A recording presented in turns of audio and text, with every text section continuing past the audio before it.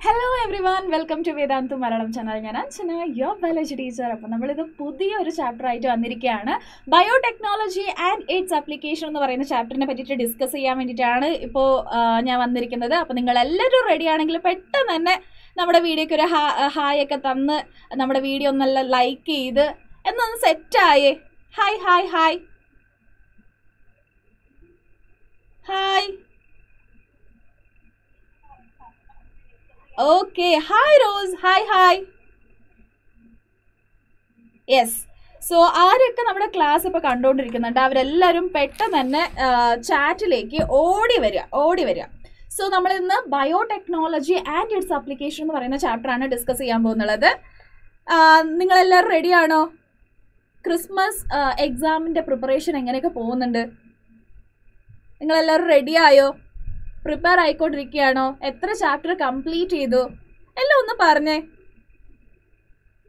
Yes okay അപ്പോൾ നമുക്ക് biotechnology and its application എന്ന് പറയുന്ന ആ ഒരു ചാപ്റ്ററാണ് ഡിസ്കസ് ചെയ്യാനുള്ളത് അല്ലേ? സോ ഈ ചാപ്റ്ററിനെ പറ്റിയിട്ട് ആർക്ക് എന്തെന്തൊക്കെയാ അറിയാമെന്നൊന്ന് പറഞ്ഞേ.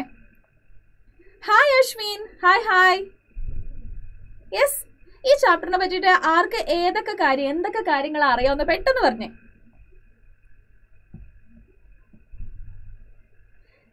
യെസ് ബയോടെക്നോളജി എന്ന് പറയുമ്പോൾ എന്തിനെ പറ്റിയിട്ടാണ് നമ്മളിവിടെ ഡിസ്കസ് ചെയ്യുന്നുള്ളത് ആൻഡ് ഇറ്റ്സ് അപ്ലിക്കേഷൻ എന്ന് പറയുമ്പോൾ ഏതൊക്കെ കാര്യങ്ങളാണ് നമ്മളിവിടെ പഠിക്കുന്നുള്ളത് പറഞ്ഞു പറഞ്ഞു പെട്ടെന്ന് പറഞ്ഞേ. ഓക്കെ അപ്പൊ നമുക്ക് എന്തായാലും തുടങ്ങാം. നിങ്ങൾ ഇങ്ങനെ ഓരോന്നോരോന്നായിട്ട് ആൻസർ പറഞ്ഞുകൊണ്ടിരിക്കുക. അതിനെ അത് കൂടാതെ നിങ്ങൾക്ക് എന്തെങ്കിലും ഡൗട്ട്സ് ഉണ്ടെങ്കിൽ അതൊക്കെ നമ്മളോട് ചോദിക്കാം. അപ്പൊ നമുക്ക് എന്തായാലും ക്ലാസ് അങ്ങ് തുടങ്ങാം അല്ലേ?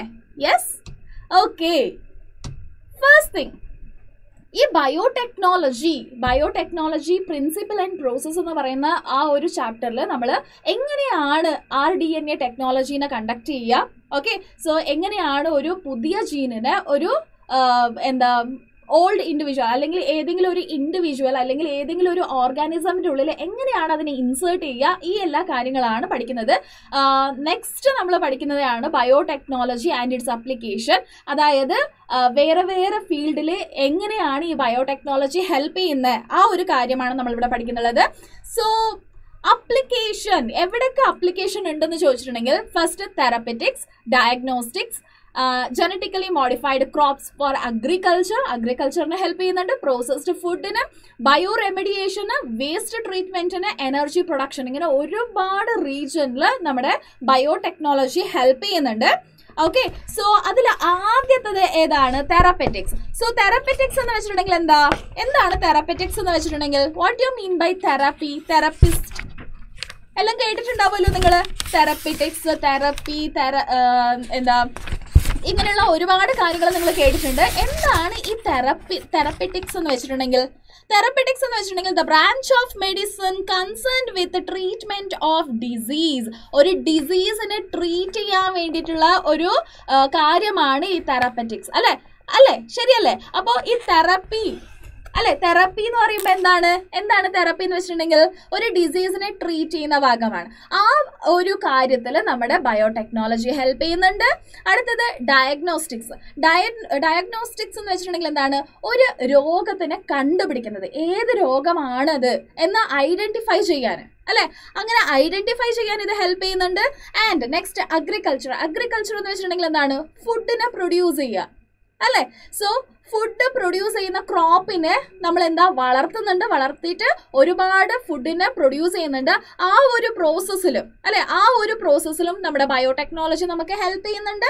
അടുത്തത് processed food hi K D vlogs hi good evening so next processed food അല്ലെ? പ്രോസസ്ഡ് ഫുഡിലും അതായത് എന്താ നമ്മൾ അഗ്രികൾച്ചറിൽ നമ്മൾ എന്ത് ചെയ്യുന്നുണ്ട്? ഫുഡിന് ഫുഡ് പ്രിപ്പയർ ചെയ്യാനുള്ള ആ എല്ലാ കാര്യങ്ങളിന് റോ മെറ്റീരിയൽസിനെല്ലാം നമ്മൾ ഗ്രോ ചെയ്യുന്നുണ്ട്. ഗ്രോ ചെയ്ത് കഴിഞ്ഞതിന് ശേഷം നമ്മൾ എന്ത് ചെയ്യണം? അതിന് ഫുഡായിട്ട് അതായത് റെഡിമെയ്ഡ് ആയിട്ട് ഫുഡായിട്ട് നമ്മുടെ വയറ്റിനകത്തേക്ക് പോകാൻ പറ്റുന്ന രീതിയിൽ അതിനെ കൺവേർട്ട് ചെയ്തെടുക്കണം. ആ ഒരു പ്രോസസ്സിലും ബയോടെക്നോളജി ഹെൽപ്പ് ചെയ്യുന്നുണ്ട്. ആൻഡ് നെക്സ്റ്റ് ബയോ റെമഡിയേഷൻ എന്താണ്? What you mean by bioremediation yes അതാണ് കെ ഡി വ്ളോഗ്സ് അത് തന്നെയാണ് എനിക്കും പറയാനുള്ളത്. ഒന്ന് പെട്ടെന്ന് ടെന്നൊക്കെ ആക്ക് പവർ കാണിക്കേ. കെ ഡി വ്ളോഗ്സ് എന്തായാലും നമ്മുടെ എന്താ സി എസ് സ്റ്റുഡന്റ് ആയതുകൊണ്ട് ബയോ ക്ലാസ്സിന് നിൽക്കില്ല പക്ഷെ അവന്റെ സ്നേഹം അവന് കാണിച്ചു. അങ്ങനെ അവൻ പോവുകയാണ്. ചുമ്മാ വന്നതാണെന്ന് എനിക്കും അറിഞ്ഞ അറിയാടാ. യെസ് സോ ബയോ റെമഡിയേഷൻ എന്താണ് ഈ ബയോ റെമഡിയേഷൻ എന്ന് വെച്ചിട്ടുണ്ടെങ്കിൽ what you mean by bioremediation microorganism അല്ലെങ്കിൽ എൻസൈംസ് എന്തെങ്കിലും വെച്ചിട്ട് എൻവയറമെന്റിലുള്ള പൊല്യൂട്ടൻസിന് റിമൂവ് ചെയ്യുന്ന പ്രോസസ്സ് അല്ലെ? സോ മൈക്രോ ഓർഗാനിസം അല്ലെങ്കിൽ ഏതെങ്കിലും പ്രോഡക്റ്റ് എൻസൈംസ് അങ്ങനെ എന്തെങ്കിലും ഒരു ബയോളജിക്കൽ പ്രോഡക്റ്റിനെ വെച്ചിട്ട് എൻവയറമെന്റിലുള്ള വേസ്റ്റ് അല്ലെങ്കിൽ പൊല്യൂട്ടൻസിന് റിമൂവ് ചെയ്യുന്ന പ്രോസസ്സിനെ നമ്മൾ എന്തെന്ന് വിളിക്കും? ബയോ റെമഡിയേഷൻ എന്ന് വിളിക്കും. അത് കഴിഞ്ഞിട്ടുണ്ടെങ്കിൽ waste treatment thank you K D vlog thank you yes see waste ട്രീറ്റ്മെന്റിൽ sewage water treatment എന്ന് കേട്ടിട്ടില്ലേടാ? യെസ് എന്താണ് സീവേജ് വാട്ടർ ട്രീറ്റ്മെന്റ് എന്ന് വെച്ചിട്ടുണ്ടെങ്കിൽ? വേസ്റ്റ് വാട്ടറിനെ നമ്മൾ എന്ത് ചെയ്യുന്നത് ഡയറക്റ്റ് ആയിട്ട് പുഴ പുഴയിലോ അല്ലെങ്കിൽ ചെറയിലോ കുളത്തിലോ ഇങ്ങനെയൊക്കെ ഡയറക്റ്റ് ആയിട്ട് നമ്മൾ ആ വേസ്റ്റ് വാട്ടറിനെ അങ്ങ് പോവട്ടെ എന്ന് വിചാരിച്ച് വിട്ടിട്ടുണ്ടെങ്കിൽ എന്താ സംഭവിക്കുക? ആ വേസ്റ്റ് എന്തുണ്ടോ? അതായത് ഭയങ്കര ഹസാഡസ് ആയിട്ടുള്ള ടോക്സിക് ആയിട്ടുള്ള ആ ഒരു സാധനം ഇൻഡയറക്ട്ലി നമ്മുടെ വയറ്റിലേക്കും എത്താനുള്ള ചാൻസസ് ഉണ്ട്. അപ്പോൾ നമ്മൾ എന്ത് ചെയ്യണം? അതിനെ ട്രീറ്റ് ചെയ്യണം. ട്രീറ്റ് ചെയ്തിട്ട് കുറച്ച് സേഫ് ആയിട്ടുള്ള വാട്ടർ ആക്കി മാറ്റിയിട്ട് അതിനെ എന്ത് ചെയ്യണം? പുറത്തേക്ക് വിടണം. സോ അങ്ങനെയുള്ള ഒരു ട്രീറ്റ്മെന്റിനെയാണ് waste treatment waste water treatment എന്ന് പറയുന്നത്. സോ ആ ഒരു പ്രോസസ്സിലും നമ്മുടെ ഈ ബയോടെക്നോളജി ഹെൽപ്പ് ചെയ്യുന്നുണ്ട്. നെക്സ്റ്റ് എനർജി പ്രൊഡക്ഷൻ സോ അതായത് ബയോളജിക്കൽ സിസ്റ്റമിലുള്ള എനർജി പ്രൊഡക്ഷൻ എന്ന് വെക്കുമ്പോൾ ഒന്നില്ല ആ ഒരു ഓർഗാനിക് മാറ്ററിനെ ബേൺ ചെയ്യണം. ഓക്കെ ഒന്നില്ല ഇതിനെ ബേൺ ചെയ്യണം. അതുമല്ല എങ്കിൽ ബാക്ടീരിയൽ ഡീക്കേ ചെയ്യണം. ഒന്നില്ല ആ ഓർഗാനിക് മാറ്ററിനെ ഓക്കെ ആ ഓർഗാനിക് മാറ്ററിനെ ബേൺ ചെയ്യണം. അതായത് കത്തിക്കണം. കത്തിക്കണം അല്ലെങ്കിൽ എന്ത് ചെയ്യണം? അല്ലെങ്കിൽ എന്ത് ചെയ്യണം? അതിനെ ബാക്ടീരിയൽ ഡീക്ക് ചെയ്യണം. ഇങ്ങനെ ആവുമ്പോഴാണ് എന്ത് സംഭവിക്കുക? എനർജി പ്രൊഡക്ഷൻ ആകുക. അങ്ങനെ എനർജി പ്രൊഡ്യൂസ് ചെയ്യുമ്പോഴും നമ്മൾ എന്ത് ചെയ്യുന്നുണ്ട്? ഈ ഒരു ബയോടെക്നോളജിനെ യൂട്ടിലൈസ് ചെയ്യുന്നുണ്ട്. ഓക്കെ ഇങ്ങനെ ഒരുപാട് ഫീൽഡിൽ നമ്മൾ ബയോടെക്നോളജിനെ യൂട്ടിലൈസ് ചെയ്യുന്നുണ്ട്. അതിൽ നമ്മൾ ഈ ഒരു പെർട്ടിക്കുലർ ചാപ്റ്ററിൽ ഓക്കെ ഈ ഒരു പെർട്ടിക്കുലർ ചാപ്റ്ററിൽ മെയിനായിട്ട് നമ്മൾ പഠിക്കാൻ പോകുന്നുള്ളത് ഫസ്റ്റ് തിങ് ഈസ് മെഡിസിൻ രണ്ടാമത്തത് അഗ്രികൾച്ചർ ഈ രണ്ട് റീജിയനിലാണ് നമ്മൾ പഠിക്കാൻ പോകുന്നത്. ഓക്കെ സോ നിങ്ങൾക്ക് എല്ലാവർക്കും ഒരു കാര്യമുണ്ട് പറയാൻ നിങ്ങൾക്ക് വേണ്ടിയിട്ട് ഒരു കാര്യമുണ്ട് പറയാൻ അതെന്താണെന്ന് ചോദിച്ചിട്ടുണ്ടെങ്കിൽ critical research area of biotechnology ഇപ്പോഴും കുറച്ചുകൂടെ ബെറ്റർ ആക്കണം എന്ന് വിചാരിച്ചുകൊണ്ടിരിക്കുന്ന ബയോടെക്നോളജിയുടെ ഏരിയാസ് ഏതൊക്കെയാന്ന് ചോദിച്ചിട്ടുണ്ടെങ്കിൽ പ്രൊവൈഡിങ് ബെസ്റ്റ് കെറ്റലിസ്റ്റ് എന്താണ്? Providing best catalyst in the form of improved organism usually a microbe or pure enzyme ഒരു മൈക്രോബ് പോലെയോ അല്ലെങ്കിൽ ഒരു പ്യുവർ എൻസൈം പോലെയോ എന്താക്കണം? ഒരു കെറ്റലിസ്റ്റിനെ നമ്മൾ പ്രൊഡ്യൂസ് ചെയ്യണം. എന്താണ് കെറ്റലിസ്റ്റ് കെറ്റലിസ്റ്റ് എന്ന് വെച്ചിട്ടുണ്ടെങ്കിൽ എന്താടാ? ഒന്ന് പെട്ടെന്ന് പറഞ്ഞേ. What you mean by catalyst എന്താണ് കെറ്റലിസ്റ്റ് കെറ്റലിസ്റ്റ് എന്ന് വെച്ചിട്ടുണ്ടെങ്കിൽ it will increase the rate of reaction അല്ലെ? സോ കുറഞ്ഞ സമയം കൊണ്ട് കൂടുതൽ പ്രോഡക്റ്റിനെ പ്രൊഡ്യൂസ് ചെയ്യണം അല്ലെ? കുറഞ്ഞ സമയം കൊണ്ട് കൂടുതൽ പ്രോഡക്റ്റിനെ പ്രൊഡ്യൂസ് ചെയ്യണം. അങ്ങനെയുള്ള ഒരു സാധനത്തിന് നമ്മൾ എന്തെന്ന് വിളിക്കും? കെറ്റാലിസ്റ്റ് എന്ന് വിളിക്കും. അങ്ങനെ ബെസ്റ്റ് കെറ്റലിസ്റ്റ് അതായത് കുറഞ്ഞ സമയത്തിൽ ഏറ്റവും കൂടുതൽ പ്രോഡക്റ്റിനെ പ്രൊഡ്യൂസ് ചെയ്യുന്നത് പോലെയുള്ള ഒരു സാധനത്തിന് നമ്മൾ പ്രൊഡ്യൂസ് ചെയ്ത് കൊടുക്കാം. ഓക്കെ രണ്ടാമത്തത് creating optimal condition through engineering for catalyst to act so ഒരു കെറ്റലിസ്റ്റ് പ്രോപ്പറായിട്ട് ആക്ട് ചെയ്തിട്ട് കുറച്ച് സമയം കൊണ്ട് ഒരുപാട് എന്താ പ്രോഡക്റ്റിനെ പ്രൊഡ്യൂസ് ചെയ്യണമെന്നുണ്ടെങ്കിൽ അതിന് പ്രോപ്പറായിട്ടുള്ള ഒരു കണ്ടീഷനൊക്കെ കൊടുക്കണം. അതായത് ഇത്ര ടെമ്പറേച്ചറേ പാടുള്ളൂ ഇത്ര പി എച്ച് എ പാടുള്ളൂ എന്ന് പറഞ്ഞിട്ട് എല്ലാത്തിനും ഒരു കൃത്യമായിട്ടുള്ള ഒരു കണക്കുണ്ട്. ആ കണക്കിലേ നമ്മൾ കൊടുക്കാൻ പാടുള്ളൂ അത് നമുക്ക് എപ്പോഴും അറിഞ്ഞിരിക്കണം. ഈ ടെമ്പറേച്ചറേ പാടുള്ളൂ. അതൊക്കെ നമ്മൾ എല്ലാ സമയവും സ്റ്റാൻഡർഡൈസേഷൻ ചെയ്തുകൊണ്ടേയിരിക്കണം. അങ്ങനെയുള്ള ഒരു കാര്യങ്ങൾക്ക് നമുക്കിപ്പോൾ സ്കോപ്പ് ഉണ്ട്. അടുത്തത് downstream processing technology to purify protein or organic compound so downstream processing എന്ന് വെച്ചിട്ടുണ്ടെങ്കിൽ സെപ്പറേഷൻ ആൻഡ് പ്യൂരിഫിക്കേഷൻ അല്ലെ? ഡൗൺ സ്ട്രീം പ്രോസസ്സിംഗ് എന്ന് വെച്ചിട്ടുണ്ടെങ്കിൽ എന്താണ്? Separation and purification hi Uthara Haridas hi hi good evening yes okay see downstream processing എന്ന് വെച്ചിട്ടുണ്ടെങ്കിൽ quality ചെക്കിങ്ങിനെക്കാളും മുന്നേ നടത്തുന്ന ഒരു പ്രോസസ്സാണ് സെപ്പറേഷൻ ആൻഡ് പ്യൂരിഫിക്കേഷൻ ഈ ഒരു പ്രോസസ്സിൽ ഓക്കെ ഈ ഒരു പ്രോസസ്സിൽ എന്താവുന്നുണ്ട്? ഒരുപാട് പ്രോഡക്റ്റ് അങ്ങ് വേസ്റ്റ് ആയി പോകുന്നുണ്ട്. ഇപ്പോൾ ഒരു ഹൺഡ്രഡ് കിലോ നമ്മൾ പ്രൊഡ്യൂസ് ചെയ്തിട്ടുണ്ടെങ്കിൽ അതിൽ ആൾമോസ്റ്റ് ഒരു എന്താ ഒരു സെവന്റി പെർസെന്റ് മാത്രമേ നമുക്ക് കിട്ടുന്നുള്ളൂ. ബാക്കിയെല്ലാം ഈ ഡൗൺ സ്ട്രീം പ്രോസസ്സിങ്ങിലൂടെ വേസ്റ്റായി പോവുകയാണ്. അങ്ങനെ വേസ്റ്റായി പോവാതിരിക്കാനും നമ്മൾ ഒരു ബെസ്റ്റ് ഡൗൺ സ്ട്രീം പ്രോസസ്സിങ്ങിന് നമ്മൾ കണ്ടുപിടിക്കേണ്ട ആവശ്യമുണ്ട്. ഓക്കെ സോ ഈ എല്ലാ കാര്യങ്ങളാണ് critical research area of biotechnology clear clear മനസ്സിലായോ എല്ലാവർക്കും? യെസ് ഓക്കെ സേ അപ്പൊ നമുക്ക് ക്രിട്ടിക്കൽ റിസർച്ച് ഏരിയ ഏതൊക്കെയാന്ന് മനസ്സിലായി. ഫസ്റ്റ് വൺ ബെസ്റ്റ് കെറ്റലിസ്റ്റിനെ നമ്മൾ എന്താ കണ്ടുപിടിക്കണം. രണ്ടാമത്തത് ഓപ്റ്റിമം കണ്ടീഷന് നമ്മൾ പ്രൊവൈഡ് ചെയ്യണം. മൂന്നാമത്തത് ഡൗൺ സ്ട്രീം പ്രോസസ്സിംഗ് ബെസ്റ്റ് ആയിട്ടുള്ള ഒരു ഡൗൺ സ്ട്രീം പ്രോസസ്സിംഗും കൂടെ വേണം. സോ ഈ മൂന്ന് കാര്യമാണ് critical research area of biotechnology yes so humans ഹ്യൂമൻസിന്റെ ഒരു ക്വാളിറ്റീന് അവരുടെ ഹെൽത്തും കാര്യങ്ങളും ഒക്കെ ബെസ്റ്റായി കിട്ടാൻ വേണ്ടിയിട്ട് ഈ ഒരു ബയോടെക്നോളജിനെ യൂട്ടിലൈസ് ചെയ്യുന്നുണ്ട്. അല്ലേ? അത് ഏത് ഏരിയയിലാണ് ഏറ്റവും കൂടുതൽ യൂസ് ചെയ്തിട്ടുള്ളത് ഏത് ഏരിയയിലാണ് see biotechnological application for humans എന്ന് പറയുമ്പോൾ എവിടെയൊക്കെയുണ്ട്? അഗ്രികൾച്ചറിലുണ്ട് മെഡിസിനിലുണ്ട് ഇൻഡസ്ട്രീസിലുണ്ട് ആൻഡ് എൻവയറമെന്റിലുണ്ട് അല്ലേ? റൈറ്റ് സോ ഈ എല്ലാ റീജിയനിലും നമുക്ക് എന്ത് കാണാൻ പറ്റും? എന്ത് കാണാൻ പറ്റും? ബയോടെക്നോളജിക്കൽ ആപ്ലിക്കേഷൻ കാണാൻ പറ്റും. അതിൽ ഇവിടെ ഈ ഒരു ചാപ്റ്ററിൽ നമ്മൾ പഠിക്കാൻ പോകുന്നത് ഏതാണ്? Medicine and agriculture okay medicine and agriculture yes clear എന്തെങ്കിലും ഡൗട്ട് ഉണ്ടെങ്കിൽ ഉടനെ അപ്പം തന്നെ ചോദിക്കാം കേട്ടോ yes okay biotechnological application in agriculture അതാണ് നമ്മൾ ആദ്യം പഠിക്കാൻ പോകുന്നുള്ളത്. First one is biotechnological biotechnological application in application in agriculture okay agriculture yes so മെയിനായിട്ട് നമ്മുടെ ഇന്ത്യ എന്ന് പറയുന്നത് അഗ്രികൾച്ചർ ബേസ്ഡ് ലാൻഡ് ആണ് അല്ലെ? അഗ്രികൾച്ചറുടെ അഗ്രികൾച്ചർ എന്ന് പറയുന്നത് അതായത് വ്യവസായം എന്ന് പറയുന്നത് വളരെ ഇമ്പോർട്ടന്റ് ആയിട്ടുള്ള ഒരു കൺട്രിയാണ് നമ്മുടെ. ആ ഈ ഇങ്ങനെയുള്ള ഒരു റീജനിൽ ഇങ്ങനെയുള്ള ഒരു റീജനിൽ എന്താണ് വളരെ എന്താ പറയുക ക്രൂഷ്യൽ ആയിട്ടുള്ള കാര്യം എന്താണെന്ന് ചോദിച്ചിട്ടുണ്ടെങ്കിൽ ഈവൻ നമ്മൾ അത്രയും അഗ്രികൾച്ചർ ക്രോപ്സിന് നമ്മൾ പ്രൊഡ്യൂസ് ചെയ്യുന്നുണ്ട് ഒരുപാട് എന്താ അഗ്രികൾച്ചർ ചെയ്യുന്നുണ്ട്. അങ്ങനെയൊക്കെ ഉണ്ടെങ്കിൽ പോലും നമുക്ക് സഫീഷ്യന്റ് ആയിട്ട് ഈച്ച് ആൻഡ് എവറി പീപ്പിളിന് ഫുഡ് കൊടുക്കാൻ കഴിയുന്നില്ല. ഓക്കെ അതായത് നമ്മൾ ഒരു പുവർ കൺട്രി ആണ്. അതുകൊണ്ട് തന്നെ ഈച്ച് ആൻഡ് എവറി പീപ്പിൾക്കും നമുക്ക് ഫുഡ് കൊടുക്കാൻ പറ്റുന്നില്ല. അങ്ങനെ ഈ കുറച്ച് പൈസയിൽ കുറഞ്ഞ പൈസയിൽ ഈച്ച് ആൻഡ് എവറി പീപ്പിളിനും ഫുഡ് കൊടുക്കണം എന്നുണ്ടെങ്കിൽ എന്തൊക്കെ മെത്തഡ് നമുക്ക് യൂട്ടിലൈസ് ചെയ്യാൻ പറ്റും? അഗ്രികൾച്ചറിന് എന്തൊക്കെ മെത്തഡ് യൂട്ടിലൈസ് ചെയ്യാൻ പറ്റും ചോദിച്ചിട്ടുണ്ടെങ്കിൽ മെയിൻലി ത്രീ ഓക്കെ മൂന്ന് കാര്യങ്ങളുണ്ട്.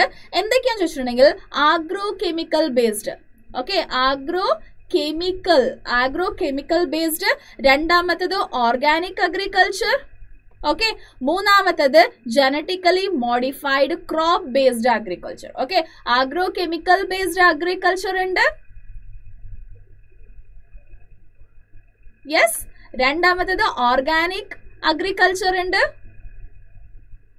ഓക്കെ മൂന്നാമത്തത് genetically modified crop based agriculture ആണ്. ഓക്കെ ഈ മൂന്ന് മെത്തഡേ ഉള്ളൂ മെയിൻ ആയിട്ട് നമുക്ക് എന്ത് ചെയ്യാന്? ഫുഡിനെ പ്രൊഡ്യൂസ് ചെയ്യാൻ ഓക്കെ നമുക്ക് എല്ലാവർക്കും ഫുഡ് വേണം എന്നുണ്ടെങ്കിൽ ഈ മൂന്ന് മെത്തഡാണ് നമ്മൾ യൂട്ടിലൈസ് ചെയ്യേണ്ടത്. ഈ മൂന്ന് മെത്തഡ് കൊണ്ട് നമ്മൾ എന്ത് ചെയ്യണം? എന്ത് ചെയ്യണം? കൃഷി ചെയ്യണം. കൃഷി ചെയ്തിട്ട് എല്ലാവർക്കും ഫുഡ് കിട്ടുന്ന പോലെ ആക്കണം. ഓക്കെ സോ അതിൽ ഫസ്റ്റ് വന്ന് നമുക്ക് നോക്കാം. എന്താണ് ഈ ആഗ്രോ കെമിക്കൽ ബേസ്ഡ് അഗ്രികൾച്ചർ എന്ന് വെച്ചിട്ടുണ്ടെങ്കിൽ എന്താ നോക്കാം? യെസ് ആർക്കറിയാം ആർക്കറിയാം ഒന്ന് പെട്ടെന്ന് പറഞ്ഞേ. ആഗ്രോ കെമിക്കൽ ബേസ്ഡ് അഗ്രികൾച്ചർ എന്ന് വെച്ചിട്ടുണ്ടെങ്കിൽ എന്താന്ന് പറഞ്ഞേ? യെസ് എന്താണ് ആഗ്രോ കെമിക്കൽ ബേസ്ഡ് അഗ്രികൾച്ചർ എന്ന് വെച്ചിട്ടുണ്ടെങ്കിൽ? See agro chemical agro chemical based agriculture എന്ന് വെച്ചിട്ടുണ്ടെങ്കിൽ അവിടെ നമ്മൾ pesticide okay fertiliser yes insecticide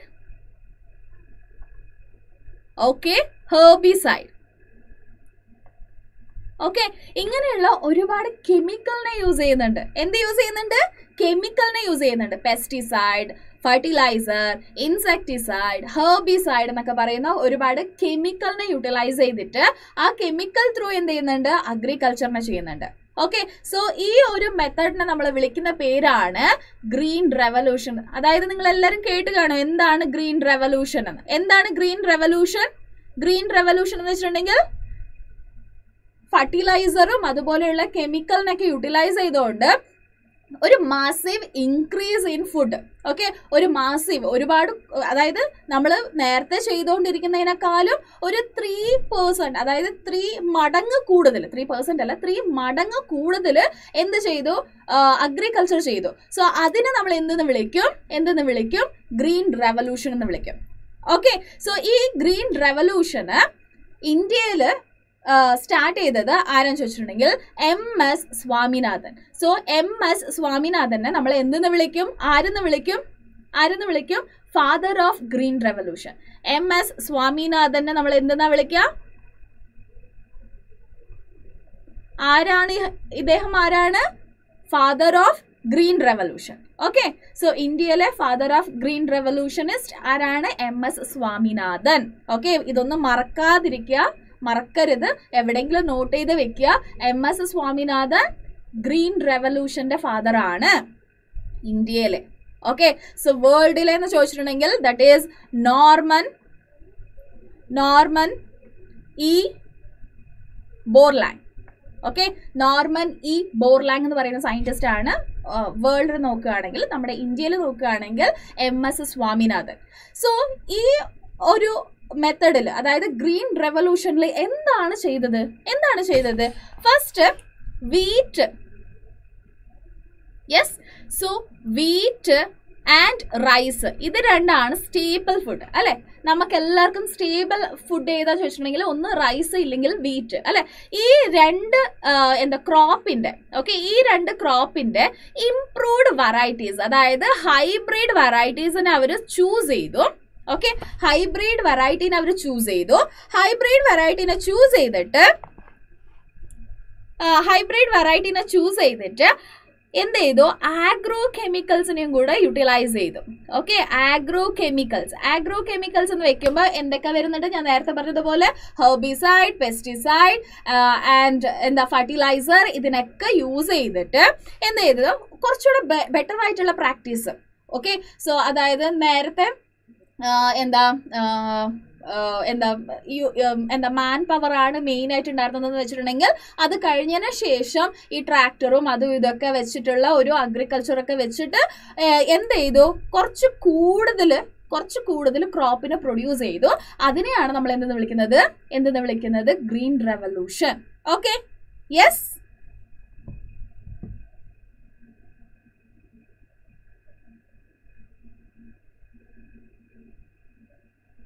okay Jinesh നമുക്ക് നോക്കാം കേട്ടോ പിന്നീട് സംസാരിക്കാം. യെസ് ഓക്കെ അപ്പൊ നമുക്ക് ഗ്രീൻ റെവല്യൂഷന്റെ പറ്റിയിട്ട് ഡിസ്കസ് ചെയ്യാം. Why green revolution was not successful എന്തുകൊണ്ടാണ് ഗ്രീൻ റെവല്യൂഷൻ സക്സസ് ആവാതിരുന്നത്? സോ ഈ ഗ്രീൻ റെവല്യൂഷൻ എന്ന് പറയുമ്പോൾ ഞാൻ നേരത്തെ പറഞ്ഞല്ലോ ത്രീ അതായത് ത്രീ മടങ്ങ് കൂടുതലായി ത്രീ ടൈംസ് കൂടുതലായി. ഫുഡ് ത്രീ ടൈംസ് കൂടുതലായി. സോ ഇവിടെ ഹൺഡ്രഡ് ആയിരുന്നെങ്കിൽ ഇവിടെ ത്രീ ഹൺഡ്രഡ് ആണ്. Okay three hundred K G rice ആണ് പ്രൊഡ്യൂസ് ചെയ്തതെങ്കിൽ ഇവിടെ three hundred K Gs produce ആയി. എങ്കിൽ പോലും ഈ ഒരു മെത്തഡിനെ നമ്മൾ ഫോളോ ചെയ്യുന്നില്ല. എന്തുകൊണ്ടാണ് ഇങ്ങനെ ചെയ്തത്? എന്തുകൊണ്ടായിരിക്കും? എന്തുകൊണ്ടായിരിക്കും? Because first thing is it is expensive ഇത് എക്സ്പെൻസീവ് ആണ്. ഈ ആഗ്രോ കെമിക്കൽ എന്ന് പറയുന്നത് കുറച്ച് എക്സ്പെൻസീവ് ആണ്. സി നമ്മുടെ ഇന്ത്യയിൽ എല്ലാവരും ടെൻ ഏക്കർ ട്വന്റി ഏക്കർ ഇങ്ങനെ വെച്ചിട്ട് അഗ്രികൾച്ചർ ചെയ്യുന്ന ആൾക്കാരല്ല. കൂടുതലും കുറച്ച് കുറച്ച് കുഞ്ഞു കുഞ്ഞു ഏരിയ വെച്ചിട്ട് അഗ്രികൾച്ചർ ചെയ്യുന്ന ആൾക്കാരാണ്. ഓക്കെ സോ അങ്ങനെയുള്ള ആൾക്കാര് ഇത്രയും വിലയുള്ള കൂടുതൽ വിലയുള്ള ഹൈബ്രിഡ് വെറൈറ്റീസോ അല്ലെങ്കിൽ അത്രയും കൂടുതൽ വിലയുള്ള ഫർട്ടിലൈസേഴ്സോ ഇതിനൊക്കെ അഫോർഡ് ചെയ്യാൻ പറ്റാത്ത ഒരാൾക്കാരാണ്. സോ അതുകൊണ്ട് തന്നെ അവർക്കത് കിട്ടുന്നില്ല. ഓക്കെ രണ്ടാമത്തത് saturation of yield saturation of yield എന്താണ് സാച്ചുറേഷൻ ഓഫ് ഈൽഡ് എന്ന് വെച്ചിട്ടുണ്ടെങ്കിൽ സി എത്ര ഇംപ്രൂവ്ഡ് വെറൈറ്റീസ് എന്ന് പറഞ്ഞിട്ടുണ്ടെങ്കിലും സി നോർമൽ നോർമൽ വെറൈറ്റി എന്ന് പറയുമ്പോൾ ഒരു ടു കെ ജി ആണ് അതിന്റെ ഒരു എന്താ ഈൽഡ് എന്ന് പറയുകയാണെങ്കിൽ ഇംപ്രൂവ്ഡ് വെറൈറ്റീസിൽ മാക്സിമം എത്ര വരാം? എത്ര വരാം? ഒരു ഫൈവ് കെ ജി അല്ലെ? അതിനേക്കാളും കൂടുതൽ ചെയ്യാൻ പറ്റുമോ ഇല്ല. അല്ലെ? അതാണ് അത് സാച്ചുറേഷൻ എന്ന് പറയുക. അതായത് ടു കെ ജി നോർമൽ ആണെങ്കിൽ കുറച്ചുകൂടെ അത് ഇംപ്രൂവ്ഡ് വെറൈറ്റീസിൽ നമുക്ക് പ്രൊഡ്യൂസ് ചെയ്യാൻ പറ്റുമായിരിക്കും. അതായത് ഒരു ഫൈവ് കെ ജി ഒക്കെ പ്രൊഡ്യൂസ് ചെയ്യാൻ പറ്റുമായിരിക്കും. അതിനേക്കാളും കൂടുതൽ പറ്റുമോ ചോദിക്കുമ്പോൾ ഇല്ല പറ്റില്ല. സോ അതിന് നമ്മൾ എന്തെന്ന് വിളിക്കും? സാച്ചുറേഷൻ ഓഫ് ഈൽഡ് എന്ന് പറയും. ഓക്കെ അടുത്തത് demand for demand for fertiliser fertiliser and pesticide was high എല്ലാവർക്കും വേണം. എല്ലാവർക്കും ഫർട്ടിലൈസറും വേണം പെസ്റ്റിസൈഡും വേണം എല്ലാം വേണം. സോ അപ്പോൾ ഓരോ ആൾക്കും വേണം എന്ന് പറയുമ്പോൾ അത്രയും എന്താ ഫർട്ടിലൈസറും പെസ്റ്റിസൈഡും ഒന്നും എല്ലാവർക്കും കിട്ടുന്നത് പോലെ ഇല്ല. സോ അത് ഈ എല്ലാ കാരണങ്ങൾ കൊണ്ട് എന്തായി? ഗ്രീൻ റെവല്യൂഷൻ അത്ര അക്സെപ്റ്റബിൾ ആയി തോന്നിയില്ല. അത് കഴിഞ്ഞിട്ടുണ്ടെങ്കിൽ നെക്സ്റ്റ് നമുക്കുള്ള ഒരു ഓപ്ഷൻ എന്ന് പറയുന്നത് ഓർഗാനിക് അഗ്രികൾച്ചർ ആണ്. ഓർഗാനിക് അഗ്രികൾച്ചർ സോ എന്താണ് ഓർഗാനിക് അഗ്രികൾച്ചർ ഒന്ന് പെട്ടെന്ന് പറഞ്ഞേ? യെസ് എന്താണ് ഓർഗാനിക് അഗ്രികൾച്ചർ ഒന്ന് പെട്ടെന്ന് പറഞ്ഞിടാ. ആർക്കറിയോ ഓർഗാനിക് അഗ്രികൾച്ചർ എന്ന് പറഞ്ഞാൽ? യൂസിങ് യൂസിങ് ബയോ പെസ്റ്റിസൈഡ് അല്ലെ? ബയോ പെസ്റ്റിസൈഡിനെ യൂട്ടിലൈസ് ചെയ്യുക റൈറ്റ് അതുപോലെ തന്നെ ബയോ ഫർട്ടിലൈസർ അല്ലെങ്കിൽ മാന്യൂറിനെ യൂട്ടിലൈസ് ചെയ്യുക സോറി ഫർട്ടിലൈസർ അല്ലെങ്കിൽ മാന്യൂറിനെ യൂസ് ചെയ്യാം. അതോ അല്ലെന്നുണ്ടെങ്കിൽ എന്താ ബയോ ഇൻസെക്ടിസൈഡിനെ യൂസ് ചെയ്യാം. ഇങ്ങനെയുള്ള കാര്യങ്ങളിനെ അതായത് കെമിക്കലി നമ്മൾ ഒന്നും യൂസ് ചെയ്യുന്നില്ല. കെമിക്കലിനെ നമ്മളൊന്നും യൂസ് ചെയ്യുന്നില്ല. പക്ഷേ എന്താ പ്രേ പ്രിഡേറ്റർ മെക്കാനിസം ഒക്കെ കേട്ടിട്ടുണ്ടല്ലോ അല്ലെ? എല്ലാവരും പ്രേ പ്രിഡേറ്റർ മെക്കാനിസം കേട്ടിട്ടുണ്ടല്ലോ. അങ്ങനെയുള്ള കാര്യങ്ങളൊക്കെ വെച്ചിട്ട് നമ്മൾ എന്ത് ചെയ്യുന്നുണ്ട്? ഒരു അഗ്രികൾച്ചറിനെ നടത്തുന്നുണ്ട്.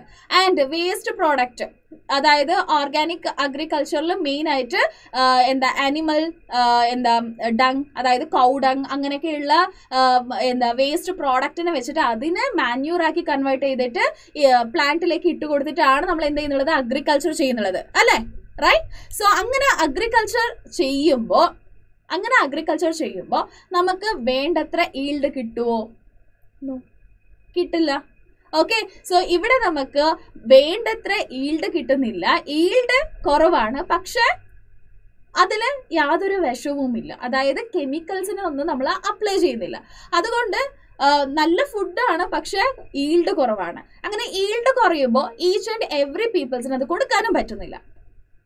Okay yes full bio using very good Jinesh എല്ലാം ബയോ യൂസ് ചെയ്തിട്ടാണ്. അതായത് ലിവിങ് ഓർഗാനിസം അല്ലെങ്കിൽ ലിവിങ് ഓർഗാനിസമിന്റെ പ്രോഡക്റ്റിനെ യൂസ് ചെയ്തുകൊണ്ട് നമ്മൾ എന്ത് ചെയ്യുന്നുണ്ട്?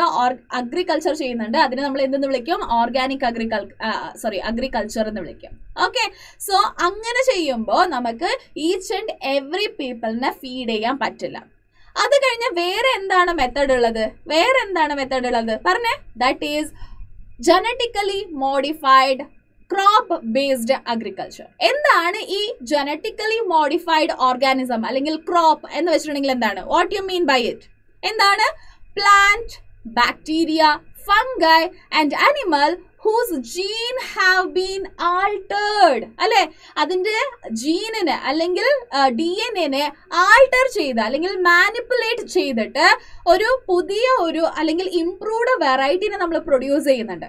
ഓക്കെ ഒരു ഓർഗാനിസം അതായത് ഒരു പ്ലാന്റ് നമുക്ക് കൺസിഡർ ചെയ്യാം. ഓക്കെ ഈ പ്ലാന്റിന്റെ ഒരു ജീനിനെ അതായത് ഈ ഒരു പെർട്ടിക്കുലർ ജീൻ അത്ര ഓക്കെ അല്ല നമുക്ക് ഇഷ്ടപ്പെടുന്ന ഒരു ജീൻ അല്ല.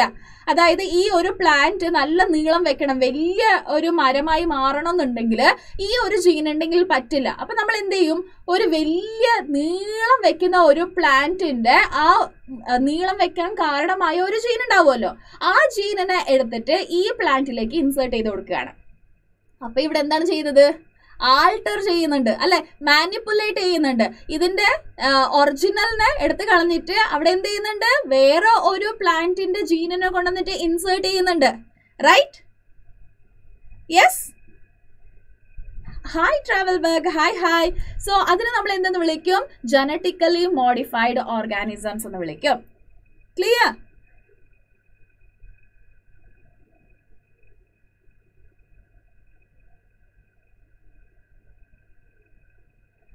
യെസ് പെസ്റ്റിസൈഡിനെ യൂസ് ചെയ്തിട്ടുണ്ടെങ്കിൽ പ്രൊഡക്ഷൻ പ്രൊഡക്ഷനെയും ബാധിക്കും ബിക്കോസ് അത് നമ്മുടെ എന്താ സോയിലിനെ പൊല്യൂട്ട് ചെയ്യുന്നുണ്ട്. അല്ലേ? സോ നമ്മുടെ എൻവയറൺമെന്റിനെ പൊല്യൂട്ട് ചെയ്യുന്നുണ്ട്. ആ ഒരു പ്രാവശ്യത്തേക്ക് നമുക്കതിൽ നിന്ന് ഈൽഡ് കിട്ടുന്നുണ്ട് എങ്കിൽ പോലും അത് എന്താ കുറച്ച് കാലം കഴിയുമ്പോൾ അതിൽ നിന്ന് ഒരുപാട് എന്താ ഹാംഫുൾ അല്ലെങ്കിൽ ഹസാർഡസ് എഫക്റ്റ് നമുക്ക് കിട്ടുന്നുണ്ട്. അതുകൊണ്ടാണ് മെയിനായിട്ട് നമ്മൾ അതിനെ വേണ്ടെന്ന് വെച്ചത്. ഓക്കെ സോ നമ്മൾ ഈ ഫർട്ടിലൈസർ ആവട്ടെ അല്ലെങ്കിൽ പെസ്റ്റിസൈഡ് ഹെർബിസൈഡ് ഇങ്ങനെ എന്ത് സാധനം നമ്മൾ എക്സ്ട്രാ നമ്മൾ ഇട്ട് കൊടുക്കുന്നുണ്ടോ അതെന്താവോ ഇപ്പം ഒരു മഴ പെയ്തു. ഓക്കെ സോ ഒരു മഴ പെയ്തു. മഴ പെയ്തപ്പോൾ എന്തായി? ഈ ഫർട്ടിലൈസർ ആവട്ടെ പെസ്റ്റിസൈഡ് ആവട്ടെ ഹെർബിസൈഡ് ആവട്ടെ ഇങ്ങനെയുള്ള എല്ലാ ടോക്സിക് എലിമെന്റ്സും എവിടെ പോകുന്നുണ്ട്? ഒരു വാട്ടർ ബോഡിയിലേക്ക് പോകുന്നുണ്ട്. ആ വാട്ടർ ബോഡിയിൽ നിന്നും ഡയറക്റ്റായിട്ട് നമ്മളിപ്പോൾ വെള്ളം കുടിക്കാതിരിക്കാം. അല്ലെ? നമ്മൾ കഴിക്കുന്നില്ല എന്ന് പറയാം. പക്ഷെ ആ വാട്ടർ ബോഡിയിലുള്ള അക്വാറ്റിക് അനിമൽസ് അക്വാറ്റിക് പ്ലാന്റ്സ് ഒക്കെ അതിനെ അബ്സോർബ് ചെയ്യുന്നുണ്ട്. അല്ലെ? അതിനെ യൂട്ടിലൈസ് ചെയ്യുന്നുണ്ട്. അപ്പോൾ അത് എവിടത്തേക്ക് പോയി? ആ അനിമലിലേക്ക് പോയി. ആ അനിമലിൽ നിന്നും നമുക്ക് എന്റർ ആവാം. അല്ലെ? നമ്മൾ ആ ഫിഷസിനൊക്കെ കഴിക്കുമല്ലോ അപ്പൊ നമുക്കും എന്റർ ആവാം. സോ ആ ടോക്സിക് ഇപ്പൊ നമ്മുടെ വയറ്റിനകത്തും ആവാം.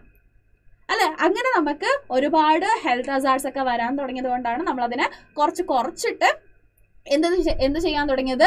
വേറെ ഏതെങ്കിലും മെത്തേഡ് ഉണ്ടോ എന്ന് ആലോചിക്കാൻ തുടങ്ങിയത്.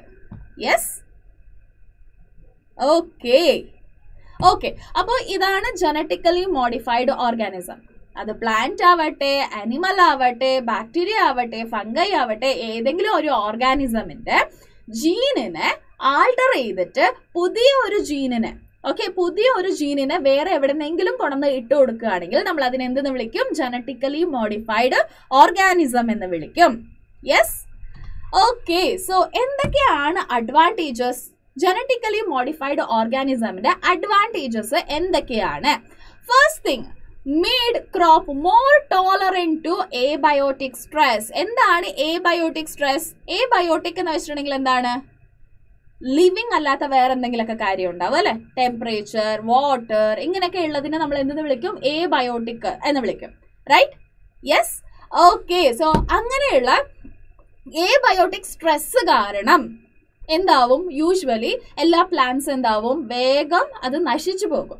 അങ്ങനെ നശിച്ചത് നശിച്ചു പോവാതിരിക്കാൻ ജനറ്റിക്കലി മോഡിഫൈഡ് ഓർഗാനിസം ഹെൽപ്ഫുൾ ആണ്. ഓക്കെ അത് കോൾഡ് ആവട്ടെ ഡ്രോട്ട് ആവട്ടെ ഓക്കെ നല്ല മഴ പെയ്ത് എന്താ ഹെവി വാട്ടർ കെട്ടി നിന്നിട്ടുണ്ടെങ്കിലും പെട്ടെന്നൊന്നും ആ പ്ലാന്റിനൊന്നും സംഭവിക്കില്ല. അല്ലെങ്കിൽ ഹെവി കോൾഡ് ആയ റീജിയനിൽ വേണമെങ്കിൽ നമുക്ക് ആ പ്ലാന്റിനെ കൊടുക്കാം അല്ലെന്നുണ്ടെങ്കിൽ വെള്ളം വളരെ കുറവ് കിട്ടുന്ന പ്ലേസിൽ വേണമെങ്കിൽ നമുക്ക് അതിനെ കൊടുക്കാം ഹീറ്റ് കൂടുതലാണെങ്കിലും. ഓക്കെ സോ ഇങ്ങനെ ഏത് ഒരു എബയോട്ടിക് സ്ട്രെസ് ഉണ്ടെങ്കിലും ആ ഒരു പ്ലാന്റ് വിത്ത്സ്റ്റാൻഡ് ചെയ്യും. യെസ് ഓക്കെ അടുത്തത് reduced reliance on chemical pesticide extra നമുക്ക് പെസ്റ്റിസൈഡ് ഇട്ട് കൊടുക്കേണ്ട ആവശ്യമില്ല. സോ പെസ്റ്റിസൈഡ് എന്ന് വെച്ചിട്ടുണ്ടെങ്കിൽ നിങ്ങൾക്ക് എല്ലാവർക്കും അറിയാം കെമിക്കൽസ് അല്ലെ? കെമിക്കൽ സൈഡ് എന്ന് വെച്ചിട്ടുണ്ടെങ്കിൽ എന്താടാ? എന്താണ് സൈഡ് സൈഡ് എന്ന് വെച്ചിട്ടുണ്ടെങ്കിൽ കിൽ അല്ലെ? അല്ലെ? സൈഡ് എന്ന് വെച്ചിട്ടുണ്ടെങ്കിൽ എന്താണ്? Kill S I D E D E അല്ല. സി ഐ ഡി ഇ എന്ന് വെച്ചിട്ടുണ്ടെങ്കിൽ എന്താണ്? കിൽ എന്നാണ് അർത്ഥം. പെസ്റ്റ് എന്ന് വെച്ചിട്ടുണ്ടെങ്കിൽ എന്താണ്? ഇൻസെക്ട്സ് അല്ലെ? ഇൻസെക്ട്സിനെ കിൽ ചെയ്യുന്ന കെമിക്കൽസ് ആണ്. ആ കെമിക്കൽസ് കെമിക്കൽ എന്ത് ചെയ്യും? ആ കെമിക്കൽ എന്ത് ചെയ്യും? നമ്മളുടെയും എന്താ അഫക്റ്റ് ചെയ്യാനുള്ള ഒരുപാട് ചാൻസസ് ഉണ്ട്. അങ്ങനെ ആവാതിരിക്കണം എങ്കിൽ അങ്ങനെ ആവാതിരിക്കണം എങ്കിൽ നമ്മൾ എന്ത് ചെയ്യണം? അതിന് നമ്മൾ ഇട്ട് കൊടുക്കൽ നിർത്തണം. അങ്ങനെ ഇട്ട് കൊടുക്കൽ നിർത്താൻ പറ്റുമോ അങ്ങനെ ഇട്ട് കൊടുക്കൽ നിർത്താൻ പറ്റുമോ കംപ്ലീറ്റ് ആയിട്ട്. യെസ് എങ്ങനെ പറ്റും? ജനറ്റിക്കലി മോഡിഫൈഡ് ഓർഗാനിസം യൂസ് ചെയ്യുമ്പോൾ. സോ അതിന് എക്സ്ട്രാ നമ്മൾ ഇത് ഇട്ട് കൊടുക്കേണ്ട ആവശ്യമില്ല ബിക്കോസ് അതിന്റെ ബോഡി തന്നെ അങ്ങനെ അതായത് അതിന്റെ ജീനോമ് തന്നെ അങ്ങനെ മോഡിഫൈ ചെയ്തിരിക്കുകയാണ്. അതിനെപ്പറ്റി നമുക്ക് ഡീറ്റെയിൽ ആയിട്ട് ഡിസ്കസ് ചെയ്യാം. അതായത് ബി ഓക്കെ എന്താണ് ബി ടി എന്താണ് ബി ടി വെറൈറ്റീസ് അതൊക്കെ നമുക്ക് നോക്കാം. യെസ് അടുത്തത് helped to reduce post harvest losses okay എന്താണ് പോസ്റ്റ് ഹാർവസ്റ്റ് ലോസസ് അതായത് ഹാർവെസ്റ്റ് എന്ന് വെച്ചിട്ടുണ്ടെങ്കിൽ എന്താണ്? കൊയ്ത്ത് അല്ലെ? സോ കൊയ്ത്തൊക്കെ കഴിഞ്ഞതിന് ശേഷം നമ്മൾ എന്ത് ചെയ്യും? അതിനൊക്കെ കൊണ്ടുപോയിട്ട് ഒരു ഗോഡൗണിൽ സൂക്ഷിച്ചു വെക്കും അല്ലെ? ഗോഡൗണിൽ സൂക്ഷിച്ചു വെക്കുമ്പോൾ ഒരുപാട് പെസ്റ്റ് വന്നിട്ട് അതിനെ ഡിസ്ട്രോയ് ചെയ്യാം. അല്ലെങ്കിൽ എലിയോ അങ്ങനെയൊക്കെയുള്ള വേറെ ഏതെങ്കിലും അനിമൽസ് വന്നിട്ട് അതിനെ ഡിസ്ട്രോയ് ചെയ്യാം. അപ്പൊ അതിനെന്ത് നമ്മൾ വിളിക്കും? പോസ്റ്റ് ഹാർവെസ്റ്റ് ലോസ് എന്ന് വിളിക്കും. അങ്ങനെ പോസ്റ്റ് ഹാർവെസ്റ്റ് ലോസ് ആവാതിരിക്കാനും ഈ ജനറ്റിക്കലി മോഡിഫൈഡ് ഓർഗാനിസം ഹെൽപ്ഫുൾ ആണ്.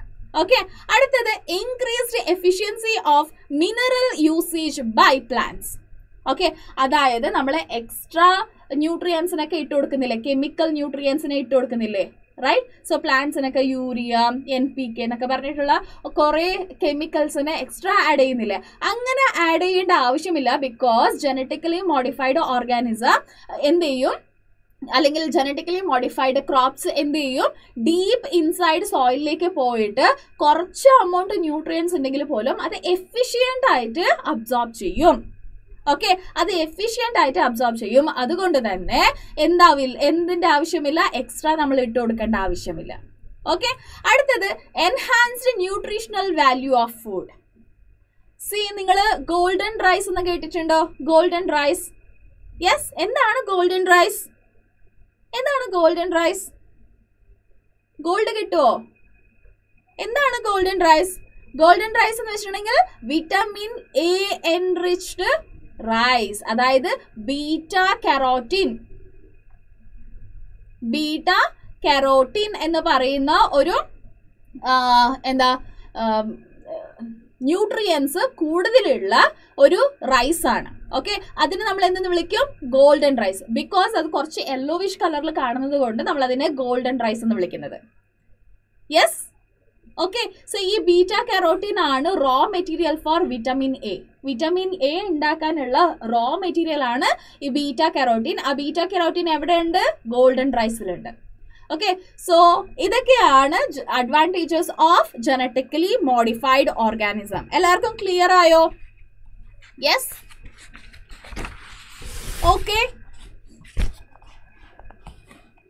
എന്തായാലും yes very good Jinesh very good very good yes അപ്പൊ നമുക്ക് നെക്സ്റ്റ് കോൺസെപ്റ്റിലേക്ക് പോകാം. അതായത് examples of genetically modified organism ഏതൊക്കെയുണ്ട്? നേരത്തെ നമ്മൾ പറഞ്ഞതുപോലെ ഗോൾഡൻ റൈസ് ഗോൾഡൻ റൈസിൽ വിറ്റമിൻ എ എൻറിച്ച്ഡ് റൈസ് ആണ് ഇത്. അതായത് ബീറ്റ കെറോട്ടീൻ ആണ് ഇതിലുള്ള കണ്ടന്റ് അല്ലെ?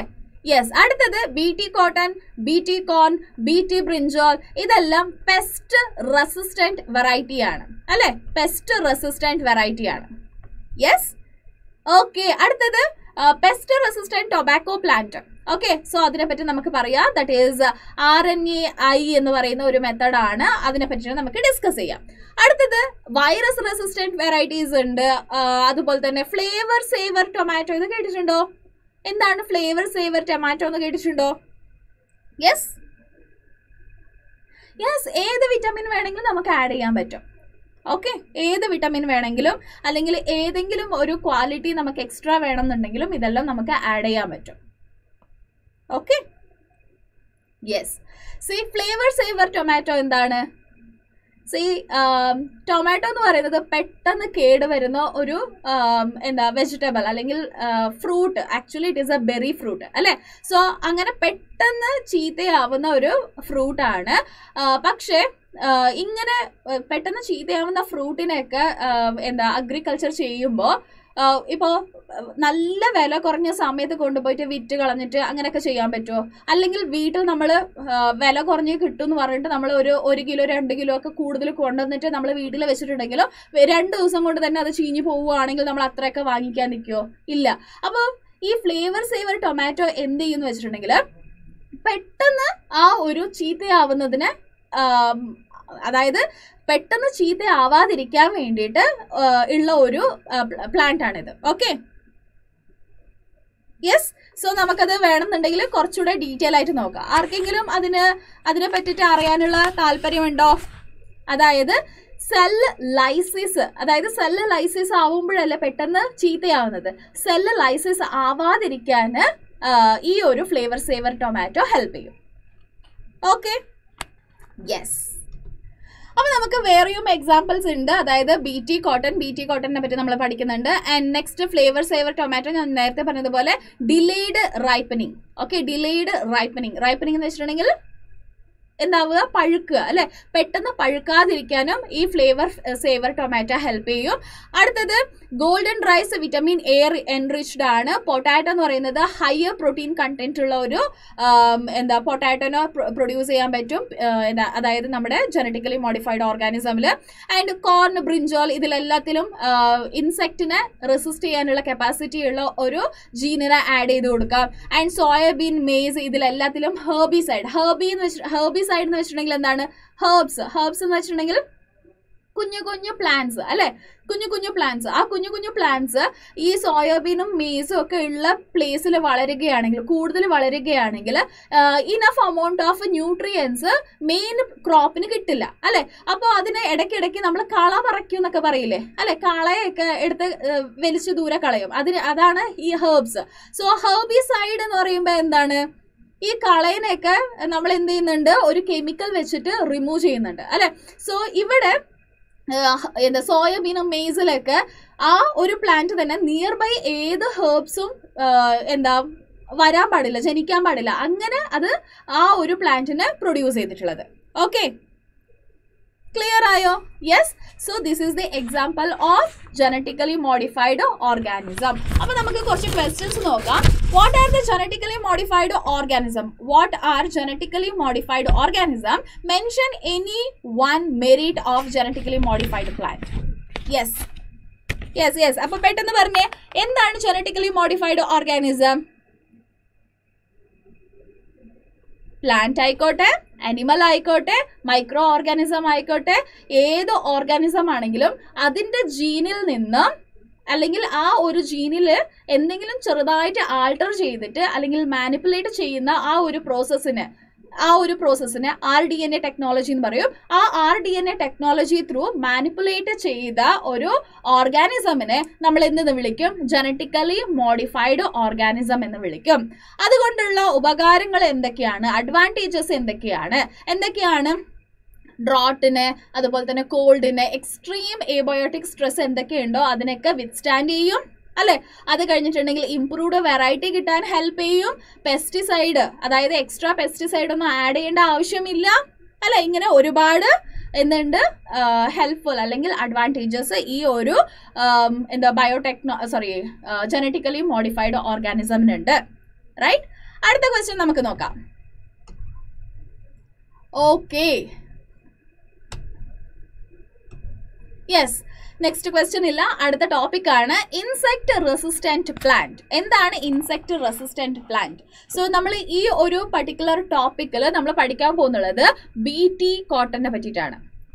യെസ് ബി ടി കോട്ടനെ പറ്റിയിട്ടാണ്. സോ നമുക്ക് ബി ടി കോട്ടനെ പറ്റി പഠിക്കാം. പക്ഷേ അതിനേക്കാളും മുന്നേ ഞാൻ ആദ്യം ബാസിലസ് തുറഞ്ചൻസസ് എന്ന് വെച്ചിട്ടുണ്ടെങ്കിൽ എന്താണെന്ന് നമുക്ക് നോക്കാം. ബാസിലസ് ബാസിലസ് തുറിൻജെൻസസ് എന്താണ് ഈ Bacillus thuringiensis? Yes very good very good Jinesh yes എന്താണ് ബാസിലസ് തുരഞ്ചൻസസ്? ബാസിലസ് തുരഞ്ചൻസസ് എന്ന് പറയുന്നത് ഒരു ബാക്ടീരിയയാണ് ഫ്രീ ലിവിങ് ബാക്ടീരിയ ആണ്. ബാസിലസ് തുരഞ്ചൻസസ് എന്ന് പറയുന്നത് ഒരു ഫ്രീ ലിവിങ് ബാക്ടീരിയ ആണ്. ഈ ബാക്ടീരിയക്ക് ഒരു വലിയ കപ്പാസിറ്റി ഉണ്ട്. എന്താണ് കപ്പാസിറ്റി എന്നല്ലേ? സോ ഈ ഒരു എന്താ ബാക്ടീരിയ ഒരു ജീന് പ്രൊഡ്യൂസ് ചെയ്യുക. അതിന്റെ ബോഡിയിൽ ഒരു ജീൻ ഉണ്ട്. ആ ജീനിന്റെ പേരാണ് ക്രൈജീൻ ഓക്കെ ഈ ജീനിന്റെ പേരെന്താണ്? ക്രൈജീൻ ബാസിലസ് തുരൻജൻസസിന് ഒരു പ്രത്യേക കഴിവുണ്ട്. ആ പ്രത്യേക കഴിവ് എന്താണെന്ന് നമുക്ക് ഡിസ്കസ് ചെയ്യാം. സോ എന്താണെന്ന് വെച്ചിട്ടുണ്ടെങ്കിൽ ഇതിന്റെ ബോഡിയിൽ ഒരു ജീൻ പ്രൊഡ്യൂസ് ചെയ്യും. ആ ജീൻ എന്താണ്? ക്രൈ ജീൻ ആണ്. ആ ക്രൈ ജീൻ എന്ത് പ്രൊഡ്യൂസ് ചെയ്യും? ക്രിസ്റ്റലിൻ ക്രിസ്റ്റലിൻ പ്രോട്ടീൻ ക്രൈ പ്രോട്ടീനിനെ പ്രൊഡ്യൂസ് ചെയ്യും. ഓക്കെ ക്രൈ പ്രോട്ടീനിനെ പ്രൊഡ്യൂസ് ചെയ്യും. ഈ ക്രൈ പ്രോട്ടീന് ബാസിലസ് തുറഞ്ചൻസസിന് ഒന്നും ഒരു ഉപകാരവും ഇല്ല. അതായത് ഉപകാരം എന്ന് പറയുമ്പോൾ വേറെ പല രീതിയിലുള്ള ഉപകാരങ്ങളുണ്ട്. അതായത് ഞാൻ പറയാൻ ഉദ്ദേശിച്ചത് ബാക്ടീരിയയിലെ എന്താ പ്രോട്ടീൻ സിന്തസിസോ അല്ലെങ്കിൽ വേറെ എന്തെങ്കിലും ലൈഫ് അതിന്റെ ലൈഫിനെ കണ്ടിന്യൂ ചെയ്യണമെന്നുണ്ടെങ്കിൽ അതായത് ഡൈജഷനോ എക്സ്ക്രീഷനോ റെസ്പിറേഷനോ ഇങ്ങനെയുള്ള കാര്യത്തിനൊന്നും ഈ ഒരു പ്രോട്ടീന് ഹെൽപ്പ് ചെയ്യുന്നില്ല. ഇത് ആക്ച്വലി എന്തിനാണ് ഹെൽപ്പ് ചെയ്യുന്നതെന്ന് ചോദിച്ചിട്ടുണ്ടെങ്കിൽ ഏതെങ്കിലും അനിമൽ ഈ ഒരു ബാസിലസ് തുരഞ്ചൻസിനെ കഴിച്ചിട്ടുണ്ടെങ്കിൽ അതിന്റെ വയറ്റിലേക്ക് ഈ ഒരു പ്രോട്ടീൻ എന്റർ ആയിട്ടുണ്ടെങ്കിൽ എന്ത് സംഭവിക്കും? എന്ത് സംഭവിക്കും? ആ ഒരു ഇൻസെക്റ്റിന്റെ വയറ്റിനകത്തുള്ള P H alkaline P H എന്താണ്? ആൽക്കലൈൻ പി എച്ചിലേക്ക് ആൽക്കലൈൻ പി ഹെച്ചിൽ ഈ ഒരു ക്രിസ്റ്റലിൻ പ്രോട്ടീൻ ഉണ്ടാവുമ്പോൾ ഇത് ആക്റ്റീവ് ആവും. ആക്ച്വലി ഇത് ഇനാക്റ്റീവ് ആണ്. ഇതെന്താണിത് ഇത്? ഇനാക്റ്റീവ് ആണ്. Okay so they are inactive in Bacillus thuringiensis പക്ഷേ ഇത് ഒരു ലാർവേന്റെ ബോഡിക്കകത്ത് എന്റർ ആകുമ്പോൾ ഇത് ആക്റ്റീവ് ആവും. ആക്റ്റീവ് ആയിട്ട് ഇത് ടോക്സിൻ ആയിട്ട് കൺവേർട്ട് ആവും. എന്തായിട്ട്? പോയിസൺ ആയിട്ട് കൺവേർട്ട് ആവും. പോയിസൺ ആയിട്ട് കൺവേർട്ട് ആയിട്ട് ഇത് എന്ത് ചെയ്യും? എന്ത് ചെയ്യുന്നുണ്ട് ഇത്? ഇത് ഇത് എന്ത് ചെയ്യുന്നുണ്ട്? പറഞ്ഞേ ഇതെന്താ ചെയ്യുന്നുള്ളത്? ലാർവേനെ കില്ല് ചെയ്യുന്നുണ്ട്. Right it will kill the larvae yes അപ്പൊ നമുക്ക് ഇതിനെ പറ്റിയിട്ട് ഡീറ്റെയിൽ ആയിട്ട് നോക്കാം. സി ഏതെങ്കിലും ഒരു ഇൻസെക്റ്റ് ഈ ഒരു പ്ലാന്റിനെ കഴിക്കുകയാണെന്ന് വിചാരിക്കും. സോ ഈ പ്ലാന്റിൽ ഈ പ്ലാന്റിൽ നമ്മൾ ഈ ബാസിലസ് തുറഞ്ചൻസസ് എന്ന് പറയുന്ന ഈ ഒരു ബാക്ടീരിയനെ അതായത് നമ്മുടെ എന്താ ആഗ്രോ സെന്റർ എന്നൊക്കെ പറയുന്ന കടകളില്ലേ? അതായത് കൃഷിക്ക് വേണ്ട സാധനങ്ങൾ കിട്ടുന്ന കട. ആ കടയിൽ നമ്മൾ ചോദിച്ചിട്ടുണ്ടെങ്കിൽ ഈ ബാസിലസ് തുറഞ്ചൻസസ് ചെറിയ ചെറിയ സീഡ് പോലെയൊക്കെ കിട്ടും. സോ ആ ഒരു അതായത് യൂറിയ ഒക്കെ കിട്ടുന്നില്ല അതുപോലെ കിട്ടും. സോ അതിനെ നമ്മൾ കൊണ്ടുവന്നിട്ട് വെള്ളത്തിൽ കലക്കിയിട്ട് ഈ പ്ലാന്റിന്റെ ലീഫിന്റെ മുകളിൽ ഇങ്ങനെ സ്പ്രേ ചെയ്ത് കൊടുക്കുക. ഓക്കെ സ്പ്രേ ചെയ്ത് കൊടുക്കുമ്പോൾ ഇപ്പൊ ഈ ബാസിലസ് തുരഞ്ചൻസസ് എവിടെ ഉണ്ടടാ എവിടെയുണ്ട്? ഇത് ഈ ഒരു ലീഫിന്റെ മുകളിലുണ്ട്. ഓക്കെ ഈ ലീഫിന്റെ മുകളിലുള്ള ഈ ബാസിലസ് തുരഞ്ചൻസസ് അങ്ങനെ ഇരിക്കുകയാണ്. അപ്പൊ നമ്മുടെ നമ്മുടെ ഗസ്റ്റ് ഉണ്ടല്ലോ. ആ ഗസ്റ്റ് ആരാണ്? ഗസ്റ്റ് ആരാണ്? ഇൻസെക്ട്സ് ആ ഇൻസെക്ട്സ് വന്നിട്ട് എന്ത് ചെയ്യുന്നുണ്ട്? ഈ ഒരു ലീഫിനെ കടിച്ചു മുറിച്ച് തിന്നുന്നുണ്ട്. ഈ ലീഫിനെ കടിച്ചു മുറിച്ച് തിന്നുമ്പോൾ ഈ ബാസിലസ് തുരഞ്ചൻസസും എന്താവുന്നുണ്ട്? ആ ഒരു എന്താ ഇൻസെക്റ്റിന്റെ വയറ്റിനകത്തേക്ക് എന്റർ ആവുന്നുണ്ട്. ഓക്കെ യെസ് ക്ലിയർ ഓക്കെ ഇപ്പൊ ഈ ബാസിലസ് തുറഞ്ചൻസസ് ആൾറെഡി നമ്മൾ ഡിസ്കസ് ചെയ്തതുപോലെ ബാസിലസ് തുറഞ്ചൻസസ് ക്രൈ ക്രൈ പ്രോട്ടീനിനെ പ്രൊഡ്യൂസ് ചെയ്യുന്നുണ്ട്. ഇത് ഇനാക്റ്റീവ് ആണ്. പക്ഷേ ഈ ഒരു എന്താ ക്രൈ പ്രോട്ടീന് ഇപ്പൊ എവിടെയാണുള്ളത്? എവിടെയാണുള്ളത്?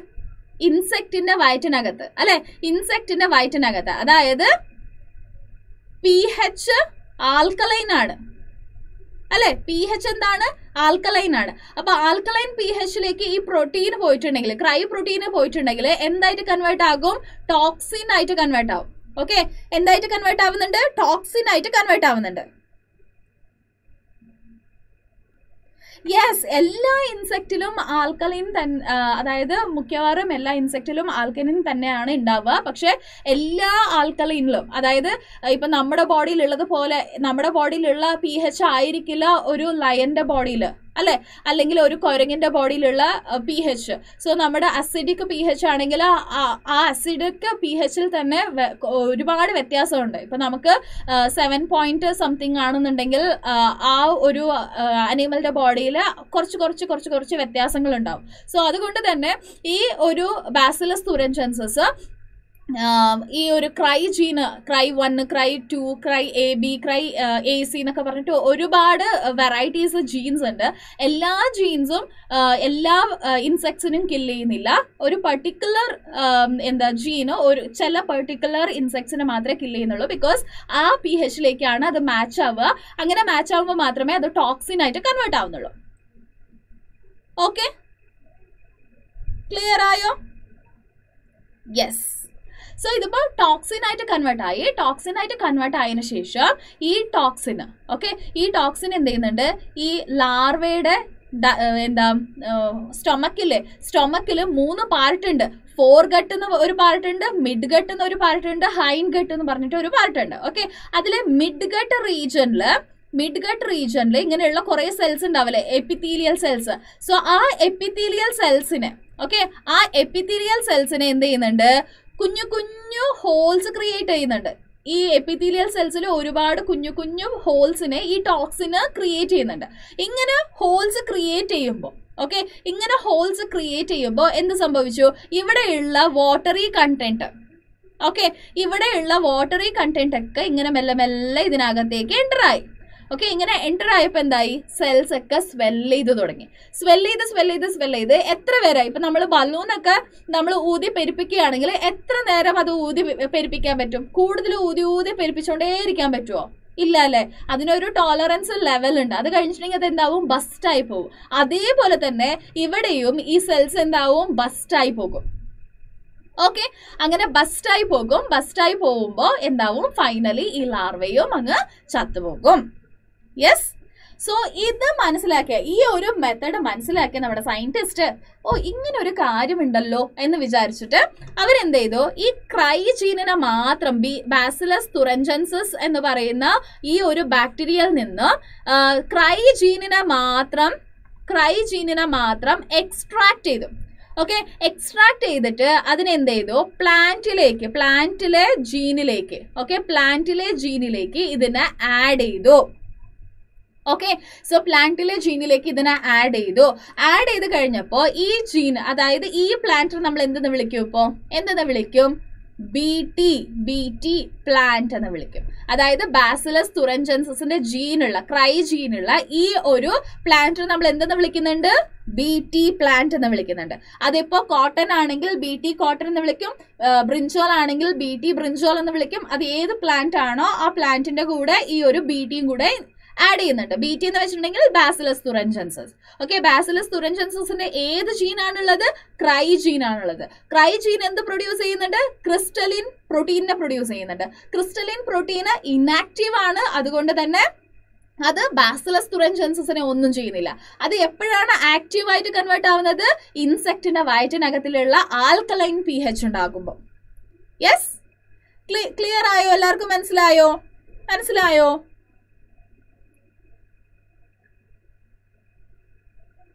എല്ലാവർക്കും മനസ്സിലായോ? ഒന്ന് പെട്ടെന്ന് പറഞ്ഞേ.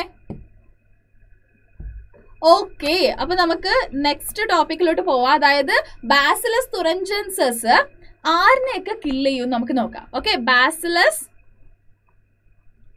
Bacillus thuringiensis can kill ആരെയൊക്കെ കില്ല് ചെയ്യാം? First one is lepidopteran lepidopteran okay lepidoptera എന്ന് പറയുമ്പോൾ C bud worm army worm okay ഇതൊക്കെ വരുന്നത് ലെപ്പിഡോപ്റ്ററനിലാണ് അടുത്തത് കോലിയോപ്റ്ററൻ ഓക്കെ കോലിയോപ്റ്ററൻസ് എന്ന് പറയുമ്പോൾ ബീറ്റിൽസ് ഒക്കെ വരും. ഓക്കെ മൂന്നാമത്തത് ഡിപ്റ്ററൻ ഇതൊക്കെ ക്ലാസ് ആട്ടോ ഇത് അതായത് ഇൻസെക്റ്റിന്റെ അണ്ടറിൽ വരുന്ന ക്ലാസ്സസ് ആണ് ഡിപ്റ്ററ ഡിപ്റ്ററൻസ് എന്ന് വെച്ചിരിക്കുമ്പോൾ ഫ്ലൈസ് മസ്കിറ്റോ ഇതൊക്കെ ഡിപ്റ്ററനിൽ വരും. ഓക്കെ ലെപ്പിഡോപ്റ്ററൻ കോളിയോപ്റ്ററൻ ആൻഡ് ഡിപ്റ്ററൻ ഈ മൂന്ന് ഗ്രൂപ്പിലുള്ള ഇൻസെക്റ്റിനെ കില്ല് ചെയ്യാനുള്ള കപ്പാസിറ്റി ആർക്കുണ്ട്? ബാസിലസ് തുറഞ്ചൻസസ് എന്ന് പറയുന്ന ബാക്ടീരിയക്ക് ഉണ്ട്. ഓക്കെ സോ ഈ ബി ടി ടോക്സിൻ എന്ന് പറയുന്നത് സ്പീഷീസ് സ്പെസിഫിക് ആണ്. എല്ലാ ഇൻസെക്റ്റിനെയും ഒന്നും കില്ല് ചെയ്യുന്നില്ല. ചില ക്രൈ പ്രോട്ടീൻ ആണ് ചില ഇൻസെക്റ്റിനെ കില്ല് ചെയ്യുന്നുള്ളത് ഓക്കെ അങ്ങനെയുള്ള കാര്യം കൂടെ നമുക്ക് നോക്കാം. C B T toxin B T toxins are insect group specific okay so ഏതൊക്കെയാണ്? എങ്ങനെയാണ് അത് കില്ല് ചെയ്യുന്നത് നമുക്ക് നോക്കാം. സി ക്രൈ വൺ എ സിയും അതുപോലെ തന്നെ ക്രൈ ടു എ ബി ഇത് രണ്ടും cotton cotton boll bollworm okay cotton ബോൾവർമിനെ kill ചെയ്യാനുള്ള കപ്പാസിറ്റി ഉണ്ട്. അതുപോലെ തന്നെ ക്രൈ വൺ എ ബി എന്ന് പറയുന്നത് കോർൺ ബോററിന് ഓക്കെ കോർൺ ബോറർ എന്ന് പറയുന്ന ആ ഒരു ഇൻസെക്റ്റിനെ കില്ല് ചെയ്യാനുള്ള കപ്പാസിറ്റി ഉണ്ട്. ഓക്കെ സോ ഇത് ഏത് പ്ലാന്റിലാണ് നമ്മൾ ഇട്ട് കൊടുക്കുക? ഏത് പ്ലാന്റിൽ കോട്ടൺ പ്ലാന്റിൽ അല്ലെ?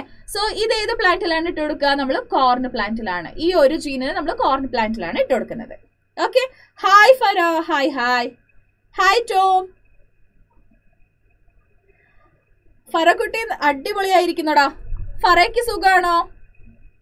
കുറച്ച് നേരായില്ല കാണാത്ത എവിടെയായിരുന്നു? നമ്മുടെ ജിനീഷ് മാത്രമേ ഇവിടെ ഉണ്ടായിരുന്നുള്ളൂ. മെയിനായിട്ട് ജിനീഷ് മാത്രമേ ഉണ്ടായിരുന്നുള്ളൂ. നമ്മുടെ ലൈവ് ചാറ്റ് ജിനീഷ് സംസാരിച്ചില്ലെങ്കിൽ ഫുൾ കംപ്ലീറ്റ്ലി നിലച്ചു പോയ ഒരവസ്ഥയായിരുന്നു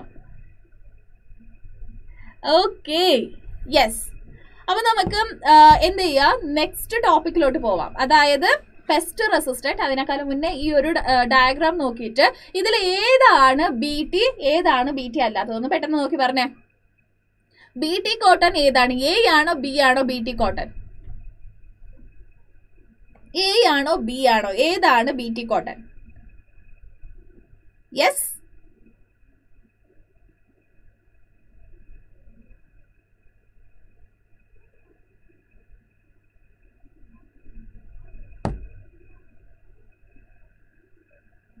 oh okay okay. ഓക്കേടാ ഫറ. അപ്പോൾ ഫുൾ കംപ്ലീറ്റ് ചെയ്യുക റെക്കോർഡൊക്കെ പെട്ടെന്ന് തന്നെ കംപ്ലീറ്റ് ചെയ്യുക കുറേ യെസ് കുറേ സമയമൊന്നും എടുക്കണ്ട കുറച്ച് നീറ്റായിട്ട് പെട്ടെന്ന് തന്നെ കംപ്ലീറ്റ് ചെയ്യുക കേട്ടോ യെസ് അതുപോലെ തന്നെ നമ്മുടെ ജിനേഷ് കറക്റ്റ് ആയിട്ടുള്ള ആൻസർ പറഞ്ഞു കഴിഞ്ഞു. B is the right answer അതായത് ബി ടി കോട്ടൺ ഏതാണ്? ബി ആണ്. സോ എങ്ങനെയാണത് പറയുന്നത് സി എയിൽ എന്താണ് സംഭവിച്ചിട്ടുണ്ട്? ഒരു ഒരു ഹോൾ ക്രിയേറ്റ് ആയിട്ടുണ്ട് അല്ലെ? ഹോൾ എങ്ങനെയാണ് അത് ക്രിയേറ്റ് ആയിട്ടുള്ളത്? Because of the cotton boll bollworm cotton boll bollworm അതിനെ എന്ത് കഴിച്ചിട്ട് ഒരു കുഞ്ഞു ഹോൾ ഉണ്ടാക്കി വെച്ചിട്ടുണ്ട് അല്ലെ? അപ്പൊ എന്തായി? ഇതിന്റെ ഈൽഡ് കുറഞ്ഞു. ഈ ഒരു കോട്ടന്റെ ഈൽഡ് കുറഞ്ഞു. പക്ഷെ ഈ ഒരു കോട്ടണിൽ അതായത് ബി എന്ന് പറഞ്ഞു കൊടുത്തിരിക്കുന്ന ഈ ഒരു കോട്ടണിൽ എന്ത് സംഭവിച്ചിട്ടില്ല? അങ്ങനെ ആരും വന്ന് അതായത് നമ്മുടെ കോട്ടൺ ബോൾ വേമോ അങ്ങനെയുള്ള ഏതെങ്കിലും വേമോ വന്നിട്ട് ഇതിനെ കടിച്ചു മുറിച്ച് തിന്നിട്ടൊന്നുമില്ല. അപ്പോൾ ഈൽഡ് കൂടുതൽ കിട്ടി. റൈറ്റ് ഓക്കെ യെസ് അപ്പൊ നമുക്ക് കുറച്ച് ക്വസ്റ്റ്യൻസ് നോക്കാം. Name the cry gene that control corn borer insect ഏത് ജീനാണ് കോർൺ ബോറർ ഇൻസെക്റ്റിനെ എന്താ കൺട്രോൾ ചെയ്യുന്നത്? Yes corn borer corn borer എന്ന് പറയുമ്പോൾ ഏതാണ്? ക്രൈ ക്രൈ ക്രൈ ഒന്ന് പെട്ടെന്ന് പറഞ്ഞേ. ആരാ പറയുന്നത് ഞാൻ നോക്കട്ടെ. യെസ് നിങ്ങൾ പറയുമ്പോഴത്തേക്ക് കുറെ സമയം എടുക്കുന്നുണ്ട് അല്ലെ? Cry one A B okay cry one A B is the right answer okay അടുത്ത ക്വസ്റ്റ്യൻ നമുക്ക് നോക്കാം. What does B T stand for in B T cotton B T എന്ന് പറയുന്നത് എന്താണ്? ബി ടി കോട്ടണിലെ ബി ടി എന്താണ്? That is Bacillus Bacillus thuringiensis yes Bacillus thuringiensis ബാക്ടീരിയയുടെ നെയിമാണ് ബാസിലസ് തുറഞ്ചൻസസ് അല്ലെ? Next explain the mechanism of insect resistant in B T cotton yes പറഞ്ഞേ. explain the mechanism of insect resistant in B T cotton B T കോട്ടണിൽ നമ്മൾ എന്താണ് ചെയ്യുന്നത് എന്താണ് ചെയ്യുന്നത് വി ആർ ഇൻട്രൊഡ്യൂസിങ് അല്ലെ we are introducing cry gene into the cotton plant so that the cotton plant is producing cry gene so the cry gene is going to produce cry protein that cry protein is inactive in cotton plant but when the insect is uh, in the eating that cotton plant the എന്താ നമ്മുടെ cry protein also get inside the body of insect അല്ലെ?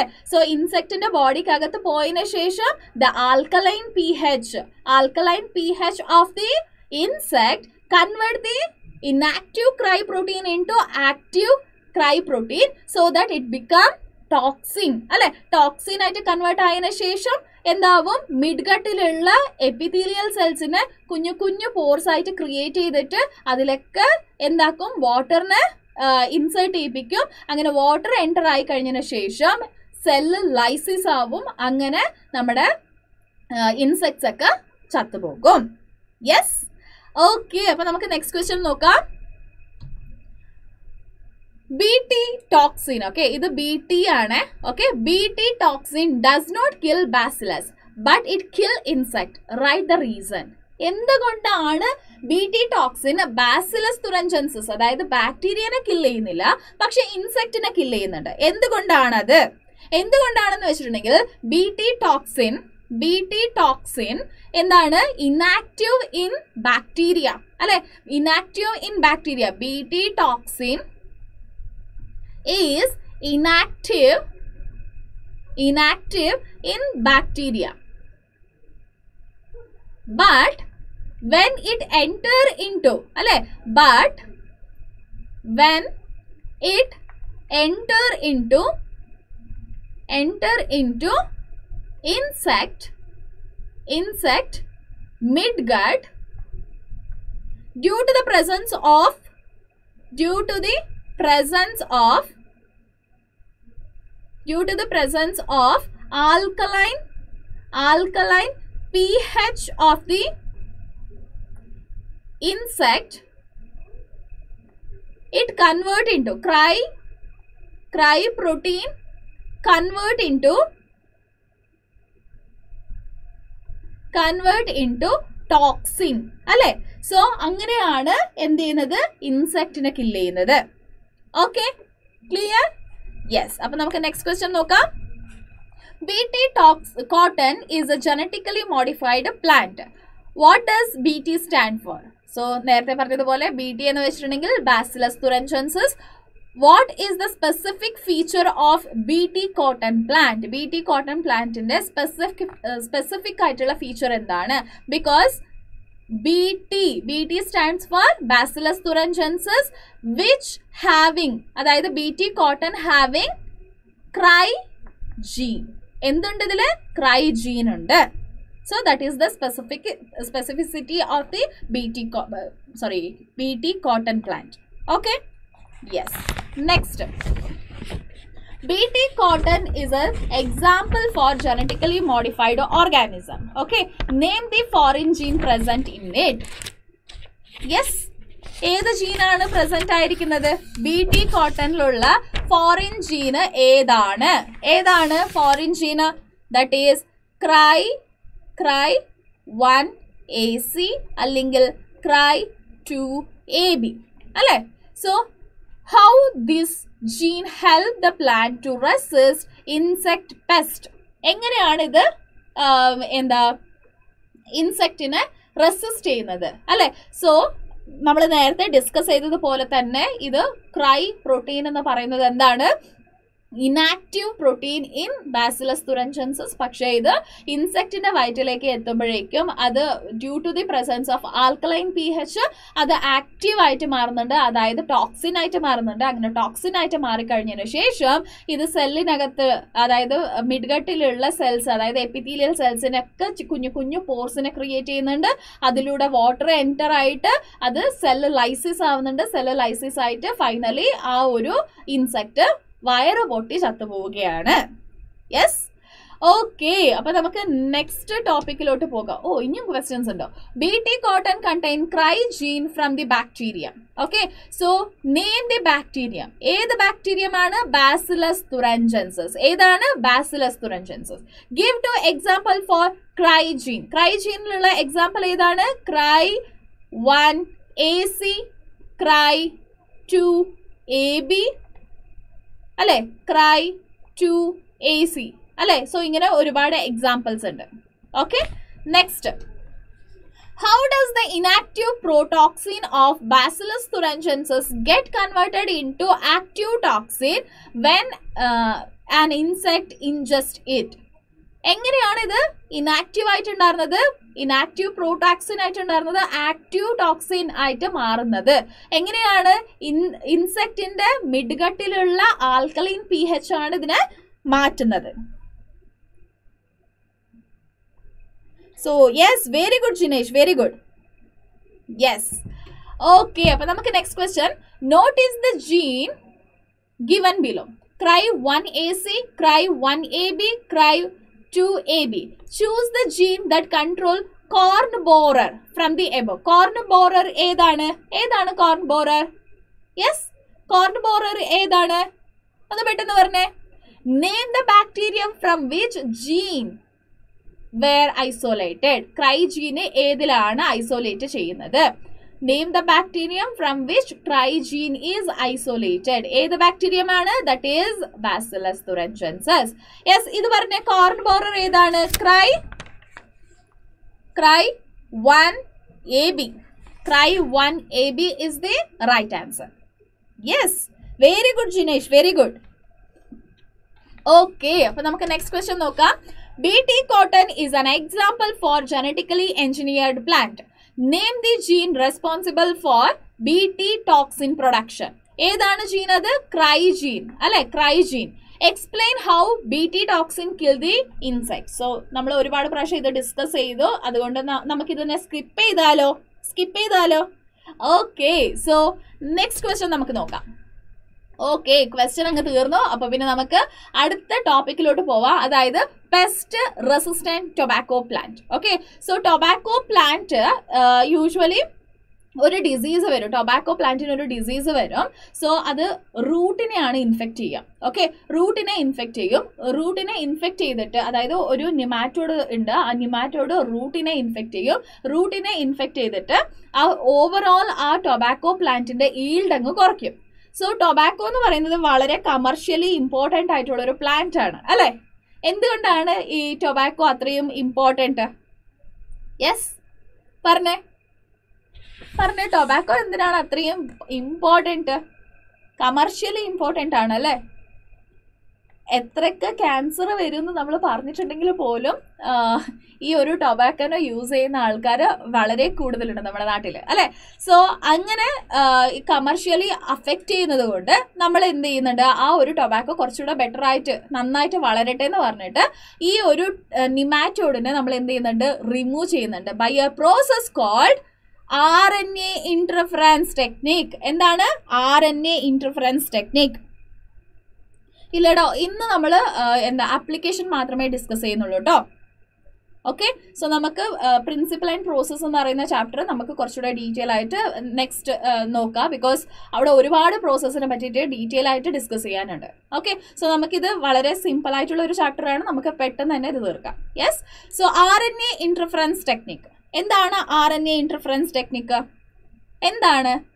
നമുക്ക് നോക്കാം. എങ്ങനെയാണ് ഈ R N A interference technique ചെയ്യാന്ന്? C nematode എന്ന് പറഞ്ഞു അല്ലേ? നിമാറ്റോഡ്. ഈ നിമാറ്റോഡ് ഏതാണ് ഈ nematode? Meloidogyne incognita. Okay? Meloidogyne incognita എന്ന് പറയുന്ന ഒരു നിമാറ്റോഡ്. ആ നിമാറ്റോഡ് എന്ത് ചെയ്യുന്നുണ്ട്? റൂട്ടിനെ കോസ് ചെയ്യുന്നുണ്ട്. അതായത് നമ്മുടെ ടൊബാക്കോ ടൊബാക്കോ പ്ലാന്റിലെ റൂട്ടിലേക്ക് ഇൻഫെക്റ്റ് ചെയ്തിട്ട് ഡിസീസിനെ കോസ് ചെയ്യുന്നുണ്ട്. ആ ഡിസീസിനെ റിമൂവ് ചെയ്യണമെന്നുണ്ടെങ്കിൽ ഈ നിമാറ്റോഡിനെ റിമൂവ് ചെയ്യണം. എങ്ങനെയാണ് ഈ നിമാറ്റോഡിനെ റിമൂവ് ചെയ്യുക? By R N A interference technique yes tobacco കഞ്ചാവല്ല പുകയില. പുകയില എന്ന് കേട്ടിട്ടുണ്ടോ? യെസ് ടൊബാക്കോ പുകയിലാണ്. ഓക്കെ സോ കഞ്ചാവ് വേറെയാണ് കേട്ടോ ഓക്കെ യെസ് ഓക്കെ സി അപ്പോൾ നമുക്ക് ഈ ഒരു ടെക്നിക്കിനെ പറ്റിയിട്ട് ഡീറ്റെയിൽ ആയിട്ട് നോക്കാം. ആർ എൻ എ ഇന്റർഫറൻസ് അല്ലെങ്കിൽ ആർ എൻ എ സൈലൻസിങ് എന്ന് പറയും. Okay R N A silencing yes so usually tobacco ടൊബാക്കോയിലെ പെസ്റ്റാണ് നമ്മുടെ നെമാറ്റോഡ് ഈ നെമാറ്റോഡ് ഏതാണ്? Meloidogyne Meloidogyne incognita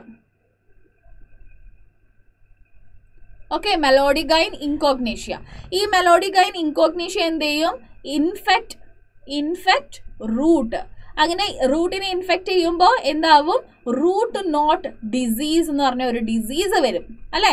അങ്ങനെ ഡിസീസ് വരുമ്പോഴാണ് എന്താവുന്നത്? ഈ ഒരു പ്ലാന്റിന്റെ ഈൽഡ് കുറയുന്നത്. അപ്പോൾ ഈ ഒരു ഡിസീസിനെ നമ്മൾ റിമൂവ് ചെയ്യണം എന്നുണ്ടെങ്കിൽ നിമാറ്റോഡിനെ റിമൂവ് ചെയ്യണം അല്ലേ? സോ അങ്ങനെ എന്താ നിമാറ്റോഡിനെ അത്ര ഈസി ആയിട്ട് റിമൂവ് ചെയ്യാൻ പറ്റില്ല. അപ്പൊ ഇങ്ങനെ സയന്റിസ്റ്റ് ഇങ്ങനെ ആലോചിച്ചുകൊണ്ടിരിക്കുമ്പോഴാണ് ഒരു കാര്യം മനസ്സിലാക്കിയത്. അതായത് നമ്മുടെ യു കാരിയോട്ടിക് ഓർഗാനിസമിൽ അതായത് എല്ലാ യു കാരിയോട്ടിക് ഓർഗാനിസമിൽ ഒരു കോമൺ ആയിട്ടുള്ള ഒരു മെത്തഡ് ഉണ്ട്. അതിനെയാണ് നമ്മൾ ആർ എൻ എ ഇന്റർഫറൻസ് എന്ന് പറയുന്നത്. അത് എന്താണ് സംഭവം എന്ന് വെച്ചിട്ടുണ്ടെങ്കിൽ M R N A silencing okay M R N A silencing അതായത് it is a defense mechanism ആണ്. Okay so M R N A silencing എന്ന് പറയുന്നത് ഡിഫെൻസ് മെക്കാനിസം ആണ്. നമ്മുടെ ബോഡിയിലൊക്കെ ഉള്ള ഒരു ഡിഫെൻസ് മെക്കാനിസം ആണ്. ഈ ഒരു മെക്കാനിസം വെച്ചിട്ടാണ് നമ്മൾ എന്ത് ചെയ്യുന്നുള്ളത്? ഈ നിമാറ്റോഡിനെ അവിടെ നിന്ന് ഒഴിവാക്കുന്നത്. എങ്ങനെയാണെന്ന് നമുക്ക് നോക്കാം. യെസ് സി ഫസ്റ്റ് നമ്മൾ ഒരു നിമാറ്റോഡ് സോറി ഒരു നിമാറ്റോഡിൽ നിന്നും ഓക്കെ ഒരു നിമാറ്റോഡിൽ നിന്നും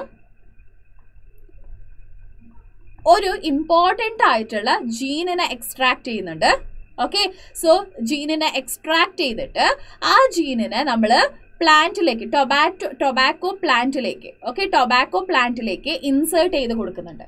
ഓക്കെ സോ ഈ ജീനിന്റെ കഴിവ് എന്താന്ന് ചോദിച്ചിട്ടുണ്ടെങ്കിൽ ഈ gene sense and antisense എന്ന് പറയുന്ന രണ്ട് സ്ട്രാൻഡിനെയും പ്രൊഡ്യൂസ് ചെയ്യും. ഓക്കെ അതായത് യൂഷ്വലി ഒരു ജീന് ഒരു സ്ട്രാൻഡ് ഒരു സ്ട്രാൻഡ് എം ആർ എന്നിന്റെ മാത്രമേ പ്രൊഡ്യൂസ് ചെയ്യുള്ളൂ. അല്ലെ?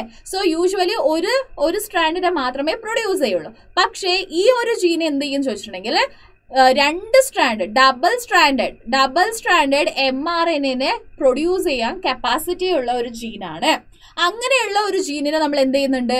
ഈ ഒരു ടൊബാക്കോ പ്ലാന്റിലേക്ക് ഇൻസേർട്ട് ചെയ്ത് കൊടുക്കുകയാണ്. ഓക്കെ സോ അങ്ങനെ ഇൻസേർട്ട് ചെയ്ത് കൊടുത്തു.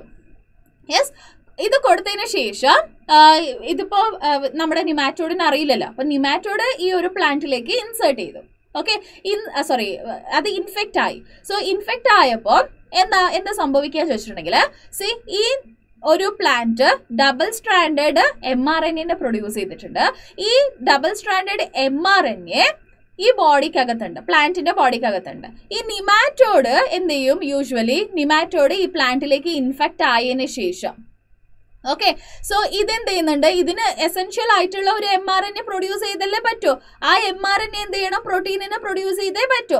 അങ്ങനെ പ്രൊഡ്യൂസ് പ്രൊഡ്യൂസ് ചെയ്താൽ മാത്രമേ ആ നിമാറ്റോഡിന് ജീവിച്ചു ജീവനോടെ ഇരിക്കാൻ പറ്റുള്ളൂ. അതായത് ഡൈജഷൻ റെസ്പിറേഷൻ എക്സ്ക്രീഷൻ എന്ന് പറഞ്ഞ ഒരുപാട് പ്രോസസ്സ് ഇല്ലേ? ആ പ്രോസസ്സൊക്കെ ചെയ്യണമെന്നുണ്ടെങ്കിൽ ഈ ഒരു എന്താ പ്രോട്ടീൻ വളരെ എസെൻഷ്യൽ ആണ്.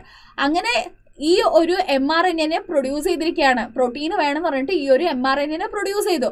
ആ പ്രൊഡ്യൂസ് ചെയ്ത single standard M R N എനെ നമ്മുടെ double standard M R N A അല്ലേ അത് അങ്ങോട്ട് കമ്പൈൻ ചെയ്തു. അതായത് ഈ വന്നിട്ടുള്ള ഈ ഒരു single standard M R N എനെ ഇത് അങ്ങോട്ട് ബൈൻഡ് ചെയ്തു. ബൈൻഡ് ചെയ്തപ്പോൾ ഇവിടെ എന്തായി?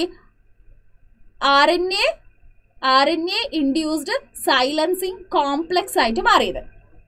Okay yes R N A double strand possible ആണോ? യെസ് പോസിബിൾ ആണ്. അതായത് യൂഷ്വലി നമ്മുടെ ബോഡിയിൽ ടെംപ്ലേറ്റ് സ്ട്രാൻഡ് മാത്രമേ template D N A strand മാത്രമേ എന്ത് ചെയ്യുന്നുള്ളൂ? എന്ത് ചെയ്യുന്നുള്ളൂ? എം ആർ എൻ എന്നെ പ്രൊഡ്യൂസ് ചെയ്യുന്നുള്ളൂ. പക്ഷേ അതായത് ടെംപ്ലേറ്റ് അല്ലാതെ ഇനിയൊരു സ്ട്രാൻഡും കൂടെ ഇല്ലേ? അല്ലേ? സോ ടെംപ്ലേറ്റ് സ്ട്രാൻഡ് അല്ലാതെ കോഡിംഗ് സ്ട്രാൻഡും കൂടെ ഇല്ലേ? ആ കോഡിംഗ് സ്ട്രാൻഡും എം ആർ എൻ എനെ പ്രൊഡ്യൂസ് ചെയ്യുകയാണെങ്കിൽ സെൻസും ആന്റി സെൻസും എന്ന് പറയുന്ന രണ്ട് M R N A strand produce ആവും. അതിനെയാണ് നമ്മൾ പറയുന്നത് double stranded M R N A പക്ഷെ നമ്മുടെ ബോഡിയിലൊക്കെ യൂഷ്വലി നടക്കുന്നത് വെറും ടെംപ്ലേറ്റ് സ്ട്രാൻഡ് മാത്രമേ ടെംപ്ലേറ്റ് സ്ട്രാൻഡ് മാത്രമേ എന്ത് ചെയ്യുന്നുള്ളൂ? എം ആർ എൻ എനെ പ്രൊഡ്യൂസ് ചെയ്യുന്നുള്ളൂ. Okay template D N A strand മാത്രമേ എന്ത് ചെയ്യുന്നുള്ളൂ? എം ആർ എൻ എനെ പ്രൊഡ്യൂസ് ചെയ്യുന്നുള്ളൂ. പക്ഷേ ഈ ഒരു ജീൻ എന്ത് ചെയ്യുന്നുണ്ട്? ടെംപ്ലേറ്റ് സ്ട്രാൻഡും കോഡിംഗ് സ്ട്രാൻഡും രണ്ട് സ്ട്രാൻഡും എന്ത് ചെയ്യുന്നുണ്ട്? എം ആർ എൻ എനെ പ്രൊഡ്യൂസ് ചെയ്യുന്നുണ്ട്. അങ്ങനെ രണ്ട് സ്ട്രാൻഡ് എം ആർ എൻ എനെ പ്രൊഡ്യൂസ് ചെയ്തപ്പോൾ ഇത് രണ്ടും കമ്പൈൻ ചെയ്തിട്ട് double stranded M R N A ആയിട്ട് കൺവേർട്ട് ആവുന്നുണ്ട്. ആ double stranded M R N A ആണ് ഈ ടൊബാക്കോ പ്ലാന്റിൽ ഇപ്പോൾ ഉള്ളത്. ആ ടൊബാക്കോ പ്ലാന്റ് എന്താ ഡബിൾ സ്റ്റാൻഡേർഡ് എം ആർ എന്നിനെ റെഡിയാക്കി വെച്ചിട്ട് കാത്തിരിക്കുകയാണ്. അപ്പോഴാണ് നമ്മുടെ നിമാറ്റോഡ് ഇൻഫെക്ട് ചെയ്തിട്ട് അത് അതിന് വേണ്ട എസെൻഷ്യൽ ആയിട്ടുള്ള എം ആർ എന്നിനെ പ്രൊഡ്യൂസ് ചെയ്തത്. അങ്ങനെ എം ആർ എന്നിനെ പ്രൊഡ്യൂസ് ചെയ്ത ഉടനെ തന്നെ നമ്മുടെ ഡബിൾ സ്റ്റാൻഡേർഡ് എം ആർ എന്നെ അതിനെ പോയിട്ട് കമ്പൈൻ ചെയ്യുന്നുണ്ട്. കമ്പൈൻ ചെയ്യുമ്പോൾ അത് എന്തായിട്ട് മാറി? എന്തായിട്ട് മാറി? R N A induced silencing complex ആയിട്ട് മാറി. ഈ R N A induced silencing കോംപ്ലക്സിന്റെ കൂടെ തന്നെ ഇനിയൊരു പ്രോട്ടീൻ വന്ന് ഇവിടെ അറ്റാച്ച് ആവുന്നുണ്ട്. അതിന്റെ പേരാണ് ഡൈസർ ഓക്കെ അതിന്റെ പേരെന്താണ്? ഡൈസർ ആ ഡൈസറും വന്നിട്ട് ഇവിടെ അറ്റാച്ച് ചെയ്തിട്ട് ഇതിനെന്താക്കും കുഞ്ഞു കുഞ്ഞു കുഞ്ഞു കുഞ്ഞു കഷ്ണങ്ങളാക്കിയിട്ട് മാറ്റും. ഓക്കെ സോ ഈ എം ആർ എൻ എനെ കുഞ്ഞു കുഞ്ഞു കുഞ്ഞു കുഞ്ഞു കഷ്ണങ്ങളാക്കി മാറ്റും. അങ്ങനെ കുഞ്ഞു കുഞ്ഞു കഷ്ണങ്ങളാക്കി മാറ്റുമ്പോൾ എം ആർ എൻ എന്തായി? എം ആർ എൻ എന്തായി? ഡിസ്ട്രോയ് ആയി പോയി അപ്പൊ നിമാറ്റോഡിന് പ്രോട്ടീൻ കിട്ടിയോ? നിമാറ്റോഡിന് പ്രോട്ടീൻ കിട്ടിയോ? നിമാറ്റോഡിന് പ്രോട്ടീൻ കിട്ടിയില്ല. അപ്പൊ എന്തായി? നിമാറ്റോഡ് ഡൈഡ് മനസ്സിലായോ? യെസ് ക്ലിയർ ആയോ? ഒന്നുകൂടെ പറയണോ? ഒന്ന് പെട്ടെന്ന് പറഞ്ഞേ. ആർക്കെങ്കിലും എന്തെങ്കിലും ഡൗട്ട് ഉണ്ടെങ്കിൽ പെട്ടെന്ന് പറഞ്ഞേ.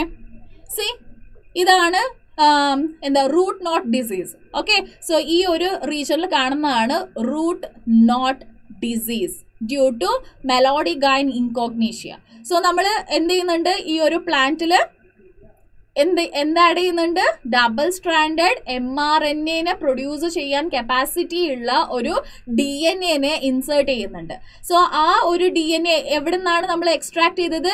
ഈ ഒരു നിമാറ്റോഡിൽ നിന്ന് തന്നെയാണ് എക്സ്ട്രാക്ട് ചെയ്തത്. ഓക്കെ സോ അത് എക്സ്ട്രാക്ട് ചെയ്തിട്ടാണ് double standard M R N A prepare ചെയ്യുന്നുണ്ട്. സോ ആ double standard M R N A എന്ത് ചെയ്യുന്നുണ്ട്? നിമാറ്റോഡിൽ നിന്ന് റിലീസ് ആവുന്ന എം ആർ എൻ എ കൂടെ ജോയിൻ ചെയ്തിട്ട് ഒരു കോംപ്ലക്സിനെ ഫോം ചെയ്യുന്നുണ്ട്. അതിന്റെ പേരാണ് R N A induced silencing complex അതിന്റെ കൂടെ ഒരു ഡൈസറും കൂടെ വന്നിട്ട് അറ്റാച്ച് ആവുന്നുണ്ട്. ആ ഡൈസർ എന്ത് ചെയ്യുന്നുണ്ട്? ഈ ഒരു എം ആർ എൻ എന്നെ അതായത് നിമാറ്റോഡ് എന്താ പ്രൊഡ്യൂസ് ചെയ്തിരിക്കുന്ന ആ ഒരു എം ആർ എൻ എന്നെ കുഞ്ഞു കുഞ്ഞു കഷ്ണങ്ങളാക്കി മാറ്റുന്നുണ്ട്. അങ്ങനെ കുഞ്ഞു കുഞ്ഞു കഷ്ണങ്ങളായി മാറിപ്പോയപ്പോൾ നിമാറ്റോഡിന് പ്രോട്ടീൻ കിട്ടിയില്ല. അപ്പോൾ അത് കരഞ്ഞുകൊണ്ട് അത് ഇല്ലാണ്ടായി.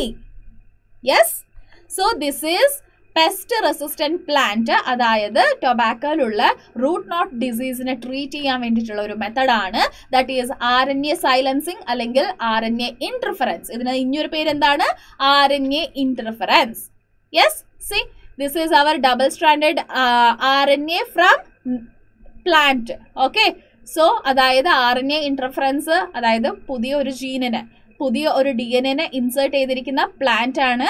ആ പ്ലാന്റിൽ നിന്നും double standard R N A produce ആയി.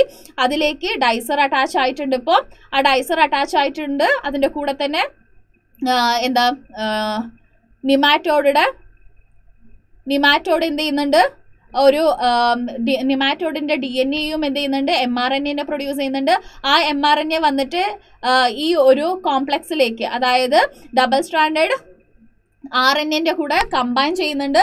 കമ്പൈൻ ചെയ്തിട്ട് എന്തായി മാറുന്നുണ്ട്? R N A induced silencing complex ആയി മാറുന്നുണ്ട്. സോ അപ്പോൾ അവിടെ അതിലുള്ള ഡൈസർ കുഞ്ഞു കുഞ്ഞു കഷ്ണങ്ങളാക്കിയിട്ട് ക്ലീവ് ചെയ്തിട്ട് പുറത്തേക്ക് തള്ളുന്നുണ്ട്.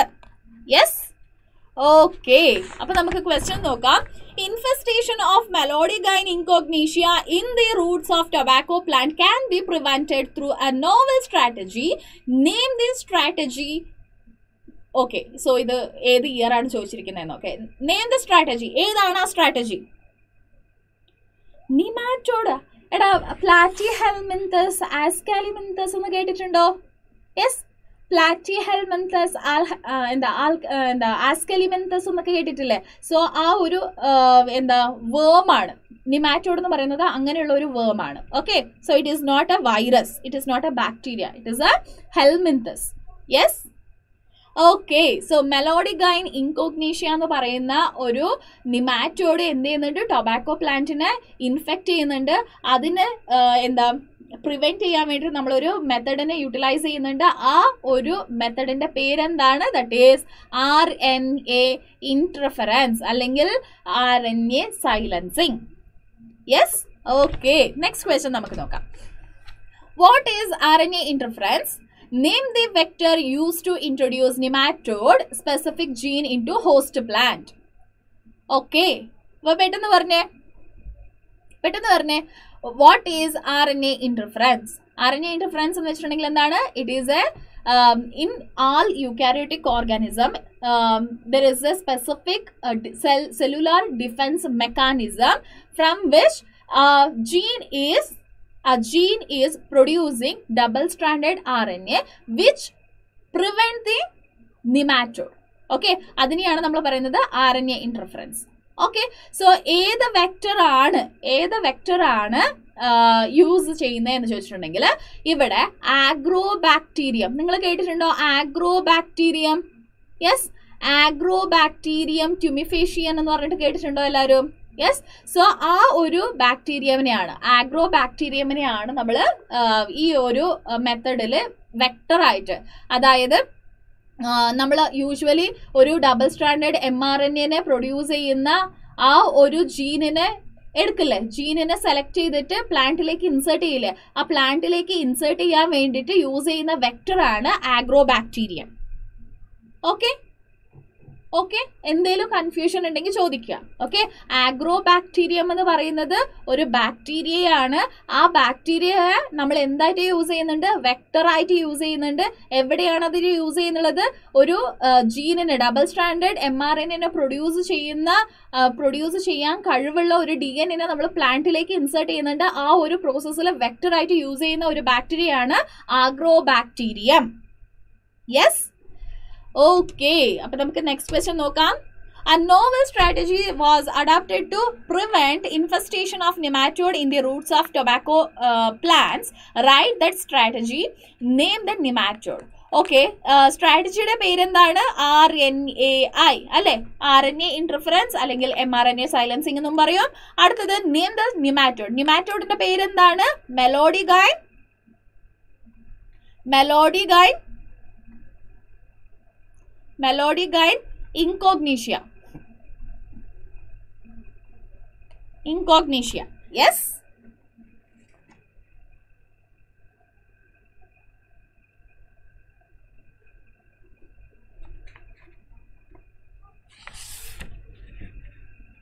എടാ ലാബിലാണ് ഇത് നടത്തുക. ഓക്കെ? ലാബിൽ നടത്തിയിട്ട് അങ്ങനെയുള്ള ഒരുപാട് പ്ലാന്റ് അതായത് ടിഷ്യൂ കൾച്ചർ ഒന്ന് കേട്ടിട്ടുണ്ടോ? മൈക്രോ പ്രൊപ്പഗേഷൻ എന്ന് കേട്ടിട്ടുണ്ടോ? യെസ് സോ അങ്ങനെയുള്ള ഒരു മെത്തഡിലാണ് ഈ ഒരു ടൊബാക്കോ പ്ലാന്റിനെ പ്രൊഡ്യൂസ് ചെയ്യുന്നത്. ഓക്കെ സോ ടിഷ്യൂ കൾച്ചർ അല്ലെങ്കിൽ മൈക്രോ പ്രൊപ്പഗേഷൻ എന്ന് പറയുന്ന ഒരു പ്രോസസ്സിലൂടെയാണ് ഇങ്ങനെയുള്ള ഒരു ടൊബാക്കോ പ്ലാന്റ്സിനെ നമ്മൾ പ്രൊഡ്യൂസ് ചെയ്യുക ഓക്കെ യെസ് ഓക്കെ അപ്പൊ നമ്മൾ നെക്സ്റ്റ് ടോപ്പിക്കിലേക്ക് എത്തിയിരിക്കുകയാണ്. അതായത് ഹ്യൂമൻ ഇൻസുലിൻ സോ ഹ്യൂമൻ ഇൻസുലിനെ പറ്റി നമുക്ക് ഡിസ്കസ് ചെയ്യാം. ബട്ട് ബിഫോർ ദാറ്റ് ഈ ഒരു ടോപ്പിക്ക് വരുന്നത് ഏത് കോൺസെപ്റ്റിന്റെ അണ്ടറിലാണ് biotechnological biotechnological application in application in medicine അല്ലെ? സോ മെഡിസിൻ നമ്മൾ എപ്പോഴാണടാ കഴിക്കുക? എപ്പോഴാണ് നമ്മൾ ഒരു മെഡിസിനെ കഴിക്കുക? യെസ് സോ നമുക്ക് എന്തെങ്കിലും ഒരു അസുഖം വരുമ്പോഴാണ് ഇങ്ങനെ ഒരു മെഡിസിൻ നമ്മൾ കഴിക്കുക അല്ലെ? എന്തെങ്കിലും ഒരു അസുഖം നമ്മുടെ ബോഡിക്ക് വരുമ്പോഴാണ് നമ്മൾ ആ ഒരു ഇൽനെസ്സിൽ നിന്ന് മാറാൻ വേണ്ടിയിട്ടാണ് നമ്മൾ ഈ ഒരു മെഡിസിന് കഴിക്കുക. സോ അങ്ങനെ ഉള്ള ഈ ഒരു മെഡിസിന് ഈച്ച് ആൻഡ് എവറി പീപ്പിളിന് കിട്ടണം എന്നുണ്ടെങ്കിൽ മാസ് പ്രൊഡക്ഷന്റെ ആവശ്യമുണ്ട് അല്ലെ? സോ എന്തിന്റെ ആവശ്യമുണ്ട്? കൂടുതൽ പ്രൊഡ്യൂസ് ആക്കണം. മാസ് പ്രൊഡക്ഷന്റെ ആവശ്യമുണ്ട്. രണ്ടാമത്തത് സേഫ് ആൻഡ് എഫക്റ്റീവ് ആയിരിക്കണം. അല്ലേ? സേഫ് ആൻഡ് എഫക്റ്റീവ് ആയിരിക്കണം. അതായത് കഴിച്ചിട്ടുണ്ടെങ്കിൽ വേറെ എന്തെങ്കിലും അസുഖം വരുന്നത് പോലെയോ അല്ലെങ്കിൽ എന്തെങ്കിലും അലർജിക് റിയാക്ഷൻ വരുന്നത് പോലെയോ അങ്ങനെയൊന്നും ഉണ്ടാവാൻ പാടില്ല. മൂന്നാമത്തത് നോ ഇമ്മ്യൂണോളജിക്കൽ റെസ്പോൺസ് എന്താണ് ഇമ്മ്യൂണോളജിക്കൽ റെസ്പോൺസ് എന്ന് വെച്ചിട്ടുണ്ടെങ്കിൽ? യെസ് എന്താണ് ഇമ്മ്യൂണോളജിക്കൽ റെസ്പോൺസ് എന്ന് വെച്ചിട്ടുണ്ടെങ്കിൽ?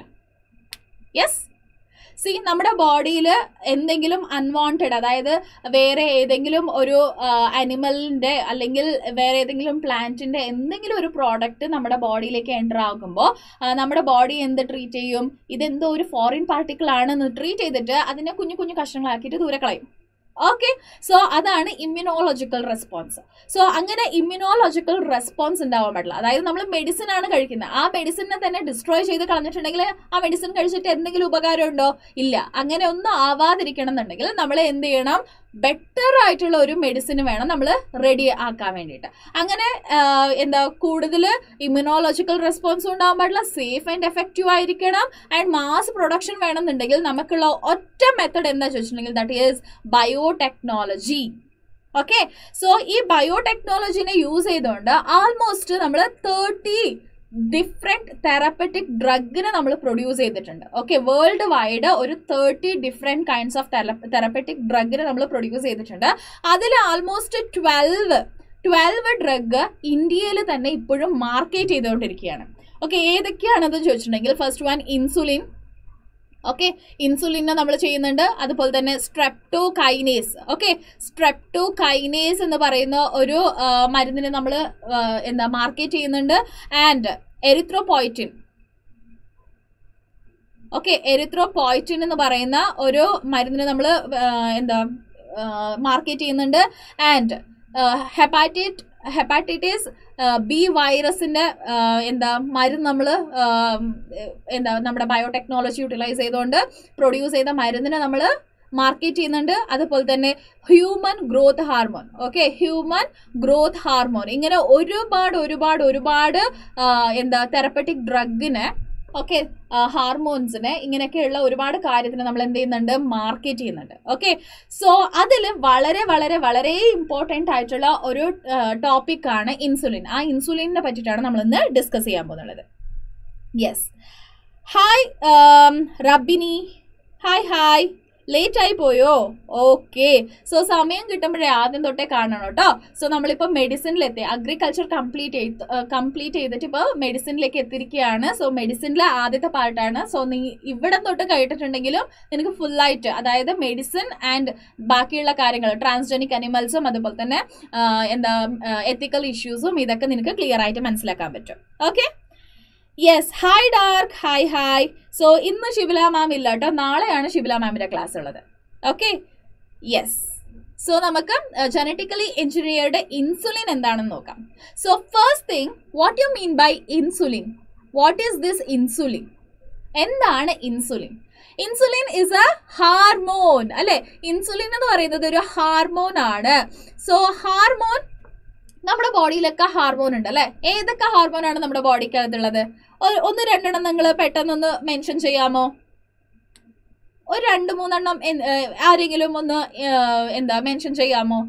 യെസ് സോ ഹാർമോൺ ഇപ്പോൾ നമ്മുടെ ബോഡിയിൽ തൈറോയിഡ് ഹാർമോൺ ഉണ്ട് പിക്യൂട്ടറി ഹാർമോൺ ഉണ്ട് അല്ലേ? സോ ഈസ്ട്രോജൻ ടെസ്റ്റോസ്റ്റിറോൻ പ്രൊജസ്ട്രോൺ ഇങ്ങനെ ഒരുപാട് ഹാർമോൺസ് ഉണ്ട് അല്ലെ? ഈ ഹാർമോൺസിന്റെ ഒക്കെ ഫംഗ്ഷൻ എന്താണ്? ഒരു പെർട്ടിക്കുലർ എല്ലാത്തിനും ഓരോ പെർട്ടിക്കുലർ എന്താ ഫംഗ്ഷൻ ഉണ്ട്.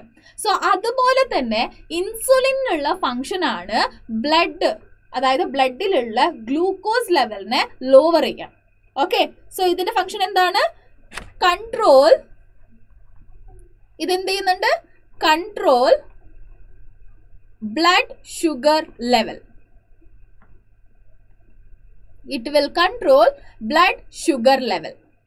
Okay so actually ഈ ഇൻസുലിന് എവിടെയാണ് പ്രൊഡ്യൂസ് ആവുക? ഇൻസുലിൻ എന്ന് പറയുന്നത് ഒരു ഹാർമോൺ ആണ്. ആ ഹാർമോൺ എന്ത് ചെയ്യുന്നുണ്ട്? നമ്മുടെ ബോഡിയിലുള്ള ഷുഗർ അല്ലെങ്കിൽ നമ്മുടെ ബോഡിക്കകത്ത് നമ്മുടെ ബ്ലഡിനകത്തുള്ള ഷുഗർ ലെവലിനെ കൺട്രോൾ ചെയ്യുന്നുണ്ട്. സോ യൂഷ്വലി നമ്മുടെ ബോഡിയിൽ എപ്പോഴും ബ്ലഡ് ബ്ലഡിൽ കൂടുതൽ ഷുഗർ ഒന്നും ഉണ്ടാവില്ല. പക്ഷെ നമ്മൾ ഫുഡ് കഴിച്ചതിന് ശേഷം ഫുഡ് കഴിച്ചതിന് ശേഷം നമ്മുടെ ബോഡിയിൽ എന്താ എന്താ സംഭവിക്കുന്നുള്ളത് ഡൈജഷൻ സംഭവിക്കുന്നുണ്ട് അല്ലെ? ഡൈജഷൻ കഴിഞ്ഞതിന് ശേഷം എന്താവുന്നുണ്ട്? ആ ഒരു ഡൈജസ്റ്റഡ് അതായത് ഫൈൻലി ഡൈജസ്റ്റ് ആയിട്ടുള്ള ആ ഒരു ഷുഗറിനൊക്കെ അല്ലെങ്കിൽ ഗ്ലൂക്കോസിനൊക്കെ നമ്മുടെ ബ്ലഡ് വലിച്ചെടുക്കുന്നുണ്ട്. ആ വലിച്ചെടുത്തതിന് ശേഷം ആ ഷുഗറൊക്കെ ഇപ്പോൾ എവിടെയാണുള്ളത്? എവിടെയാണുള്ളത്? ബ്ലഡിലാണുള്ളത്. ആ ബ്ലഡ് ഈച്ച് ആൻഡ് എവറി പാർട്ടിലും കൊണ്ടുപോയി ഈ ഒരു ഷുഗറിനെ എത്തിക്കണം. സോ ആ ഒരു വർക്കാണ് നമ്മുടെ ബ്ലഡ് ചെയ്തുകൊണ്ടിരിക്കുന്നത്. പക്ഷെ ബ്ലഡിൽ യാതൊരു കണ്ടന്റും കൂടുതലും ഉണ്ടാവാൻ പാടില്ല കുറവും ഉണ്ടാവാൻ പാടില്ല. സോ നമ്മൾ ഹെവി ആയിട്ട് ഫുഡ് കഴിച്ചതിന് ശേഷം ഹെവി ആയിട്ടുള്ള ഗ്ലൂക്കോസ് ആണ് നമ്മുടെ ബ്ലഡിൽ ഉണ്ടാവുക. അപ്പൊ എക്സ്ട്രാ ഉള്ള ആ ഒരു ഗ്ലൂക്കോസിനെയൊക്കെ നമ്മുടെ ഇൻസുലിൻ എന്ത് ചെയ്യുന്നുണ്ട്? ഗ്ലൈക്കോജൻ ഒക്കെ ആക്കി മാറ്റിയിട്ട് ഗ്ലൈക്കോജൻ ആക്കി മാറ്റിയിട്ട് അതിനെ അഡിപ്പോസ് ടിഷ്യൂസിൽ സൂക്ഷിച്ചെടുത്ത് വെക്കുകയാണ്. ഇൻ കേസ് ഏതെങ്കിലും സമയത്തിൽ ഫുഡ് കിട്ടിയില്ല ഗ്ലൂക്കോസ് കുറവാണെങ്കിൽ ഇതിനെ കൺവേർട്ട് ചെയ്തിട്ട് പിന്നെയും യൂസ് ചെയ്യാലോ അല്ലെ? സോ അങ്ങനെ അത് സൂക്ഷിച്ചെടുത്ത് വെക്കുകയാണ്. ഇൻസുലിന്റെ വർക്ക് അങ്ങനെയാണ്. അതായത് ഇൻസുലിന് എക്സ്ട്രാ ഉള്ള ഗ്ലൂക്കോസിനെ ഗ്ലൈക്കോജൻ ഒക്കെ ആക്കി മാറ്റിയിട്ട് അത് അഡിപ്പോസ് ടിഷ്യൂസിൽ സൂക്ഷിച്ചെടുത്ത് വെക്കുകയാണ്. സോ അങ്ങനെ ബ്ലഡിലുള്ള ഷുഗർ ലെവൽ കുറഞ്ഞു. Yes very good Jinesh very good very good yes so അങ്ങനെ എന്താ ബ്ലഡിലുള്ള ഷുഗർ ലെവൽ കുറഞ്ഞു. സോ അങ്ങനെയാണ് നമ്മുടെ ഇൻസുലിന്റെ ഫങ്ഷൻ. ഓക്കെ സോ ഈ ഇൻസുലിൻ ഇല്ലെങ്കിൽ എന്താ സംഭവിക്കുക? ബോഡിയിലുള്ള ഷുഗർ ലെവൽ അല്ലെങ്കിൽ ബ്ലഡിലുള്ള ഷുഗർ ലെവൽ കൂടും. കൂടുമ്പോൾ നമ്മുടെ കിഡ്നിക്ക് വർക്ക് കൂടും. കിഡ്നിക്ക് വർക്ക് കൂടുമ്പോൾ എക്സസ് ആയിട്ടുള്ള ഗ്ലൂക്കോസ് കുറച്ചൊക്കെ എന്താ കിഡ്നിയിലൂടെ അതായത് യൂറിനിലൂടെ പുറത്തേക്ക് പോകുന്നുണ്ട്. നമ്മുടെ കിഡ്നിയുടെ വർക്ക് ഹെവി ആയിട്ട് മാറി. അതുപോലെ തന്നെ ബാക്കിയുള്ള എല്ലാ റീജിയനിലും ഈ എന്താ പ്രോപ്പറായിട്ട് വർക്ക് ചെയ്യുന്നില്ല. അതായത് ഏത് കണ്ടന്റ് ആണെങ്കിലും ഏത് മിനറൽസ് ആണെങ്കിലും ഏത് ന്യൂട്രിയൻസ് ആണെങ്കിലും ബ്ലഡിൽ അല്ലെങ്കിൽ ടിഷ്യൂസിൽ എല്ലാത്തിലും അതിന്റെ കോൺസെൻട്രേഷൻ ഇത്രത്രേ ഇത്രത്രേ ഉണ്ടാവാൻ പാടുള്ളൂ. അത്ര ഉണ്ടെങ്കിൽ മാത്രമേ എല്ലാ കാര്യങ്ങളും പ്രോപ്പറായിട്ട് നടക്കുള്ളൂ. കുറച്ച് കൂടുതലായാലോ കുറച്ച് കുറഞ്ഞു പോയാലോ പ്രോപ്പറായിട്ട് വർക്ക് ചെയ്യില്ല. അങ്ങനെ വർക്ക് ചെയ്യാതിരിക്കുമ്പോൾ നമ്മുടെ ബോഡി കംപ്ലീറ്റ്ലി എന്താവും? എന്താകും? എന്തെങ്കിലും ഒരു അസുഖങ്ങൾ വന്നുകൊണ്ടിരിക്കും. സോ അങ്ങനെ ആവാതിരിക്കണം എന്നുണ്ടെങ്കിൽ ഇൻസുലിൻ പ്രൊഡക്ഷൻ വളരെ എസെൻഷ്യൽ ആണ്. ഇൻസുലിൻ പ്രൊഡ്യൂസ് ആവുന്നത് എവിടെയാണ്? പാങ്ക്രിയ അല്ലെ? പാങ്ക്രിയ എന്ന് പറയുന്ന ഒരു റീജനിലാണ് പാങ്ക്രിയ എന്ന് പറയുന്ന ഒരു ഓർഗനിലാണ് പാങ്ക്രിയ എന്ന് പറയുന്ന ഓർഗനിൽ ഐലറ്റ്സ് ഓഫ് ലാംഗർ ഹാൻഡ്സ് എന്ന് പറഞ്ഞിട്ട്. അതായത് സോ ഇങ്ങനെ ഒരു വലിയ ഒരു ഓർഗനാണ് പാങ്ക്രിയ അല്ലെ? സ്റ്റൊമക്കിന്റെ താഴെ ജെ ഷേപ്ഡ് സ്റ്റൊമക്കിന്റെ താഴെ നമുക്ക് കാണാൻ പറ്റുന്ന ഒരു ഓർഗനാണ് പാങ്ക്രിയ ആ പാങ്ക്രിയയിലെ ഒരുപാട് പ്ലേസസിൽ ഇങ്ങനെ ഒരു പാച്ചസ് ആയിട്ടുള്ള സെൽസ് നമുക്ക് കാണാൻ പറ്റും. ഈ പാച്ചസിനെ നമ്മൾ എന്തെന്ന് വിളിക്കും? ഐലെറ്റ്സ് ഓഫ് ലാംഗർ ഹാൻ എന്തെന്ന് വിളിക്കും? ഐലെറ്റ്സ് ഓഫ് ലാംഗർ ഹാൻ എന്ന് വിളിക്കും. ഈ ഐലെറ്റ്സ് ഓഫ് ലാംഗർ ഹാനിൽ ആൽഫ ബീറ്റ എന്ന് പറയുന്ന ആൽഫ ബീറ്റ ഗാമ എന്ന് പറയുന്ന സെൽസ് ഉണ്ട്. അതിൽ ബീറ്റ സെൽസ് ആണ്. ഓക്കെ ബീറ്റ സെൽസ് ആണ് എന്തിനെ പ്രൊഡ്യൂസ് ചെയ്യുന്നുള്ളത് ഇൻസുലിനെ പ്രൊഡ്യൂസ് ചെയ്യുന്നുള്ളത് ഓക്കെ ബീറ്റ സെൽസ് എന്ത് ചെയ്യുന്നുണ്ട്? ഇൻസുലിനെ പ്രൊഡ്യൂസ് ചെയ്യുന്നുണ്ട്. ഓക്കെ ആ ഇൻസുലിന് എന്ത് ചെയ്യുന്നുണ്ട്? ബ്ലഡ് ഷുഗർ ലെവലിനെ കൺട്രോൾ ചെയ്യുന്നുണ്ട്. സോ ചില ഇൻഡിവിജ്വൽസിൽ ചില ഇൻഡിവിജ്വൽസിൽ ഇങ്ങനെ എന്താ എസെൻഷ്യൽ ആയിട്ടുള്ള ഒരു ഹാർമോന് പ്രൊഡ്യൂസ് ആവില്ല. Due to some any reason എന്ത് വേറെ വേറെ റീസൺസ് ഉണ്ട്. പക്ഷേ ഈ ഒരു ഇൻസുലിൻ അവരുടെ ബോഡിയിൽ പ്രൊഡ്യൂസ് ആവുന്നില്ല.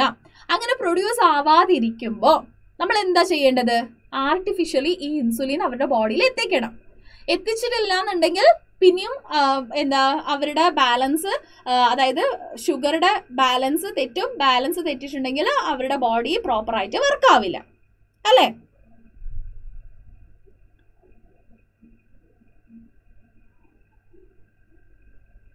സോ അതിന് വേരിയസ് ഫാക്ടർ ഉണ്ടടാ. സോ ബീറ്റ സെൽസ് ജനറ്റിക്കലി എന്തെങ്കിലും പ്രശ്നങ്ങൾ കാണാം. ഓക്കെ അല്ലെന്നുണ്ടെങ്കിൽ എന്താ ഹെവി ആയിട്ട് ഷുഗർ ഇങ്ങനെ കഴിച്ച് കഴിച്ച് കഴിച്ച് കഴിച്ച് ആവുമ്പോൾ ഇൻസുലിന് എന്താ സഫീഷ്യന്റ് ആയിട്ട് അത്രയും എന്താ കൺവേർട്ട് ചെയ്യാനുള്ള ഇൻസുലിൻ നമ്മുടെ ബോഡിയിൽ പ്രൊഡ്യൂസ് ആവാതിരിക്കുക. അങ്ങനെ ഒരുപാട് ഒരുപാട് കാരണങ്ങളുണ്ട്. ഓക്കെ വേരിയസ് റീസൺസ് ഉണ്ട് ഇതിന്. ഓക്കെ ഇതേ റീസൺ നമുക്ക് പറയാൻ പറ്റില്ല. സോ ചിലതൊക്കെ എന്താ ജനറ്റിക്കലി വരും ചിലതൊക്കെ നമ്മുടെ പ്രാക്ടീസ് കാരണം വരും. ഓക്കെ അങ്ങനെ ഒരുപാട് കാരണങ്ങളുണ്ട്. യെസ് ഓക്കെ അപ്പൊ നമ്മൾ എന്താ സംസാരിച്ചുകൊണ്ടിരുന്നത്?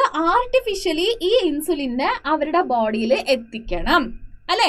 സോ അതെങ്ങനെയാണ് എത്തിക്കുക? ഏത് രീതിയിലൊക്കെ നമുക്ക് ഇതിനെ എത്തിക്കാൻ പറ്റും? ഈ ഡയാബറ്റിസ് എന്ന് പറയുന്ന ആ ഒരു രോഗത്തിനെ തടുക്കാൻ വേണ്ടിയിട്ടാണ് നമ്മൾ എന്ത് ചെയ്യുന്നുള്ളത്?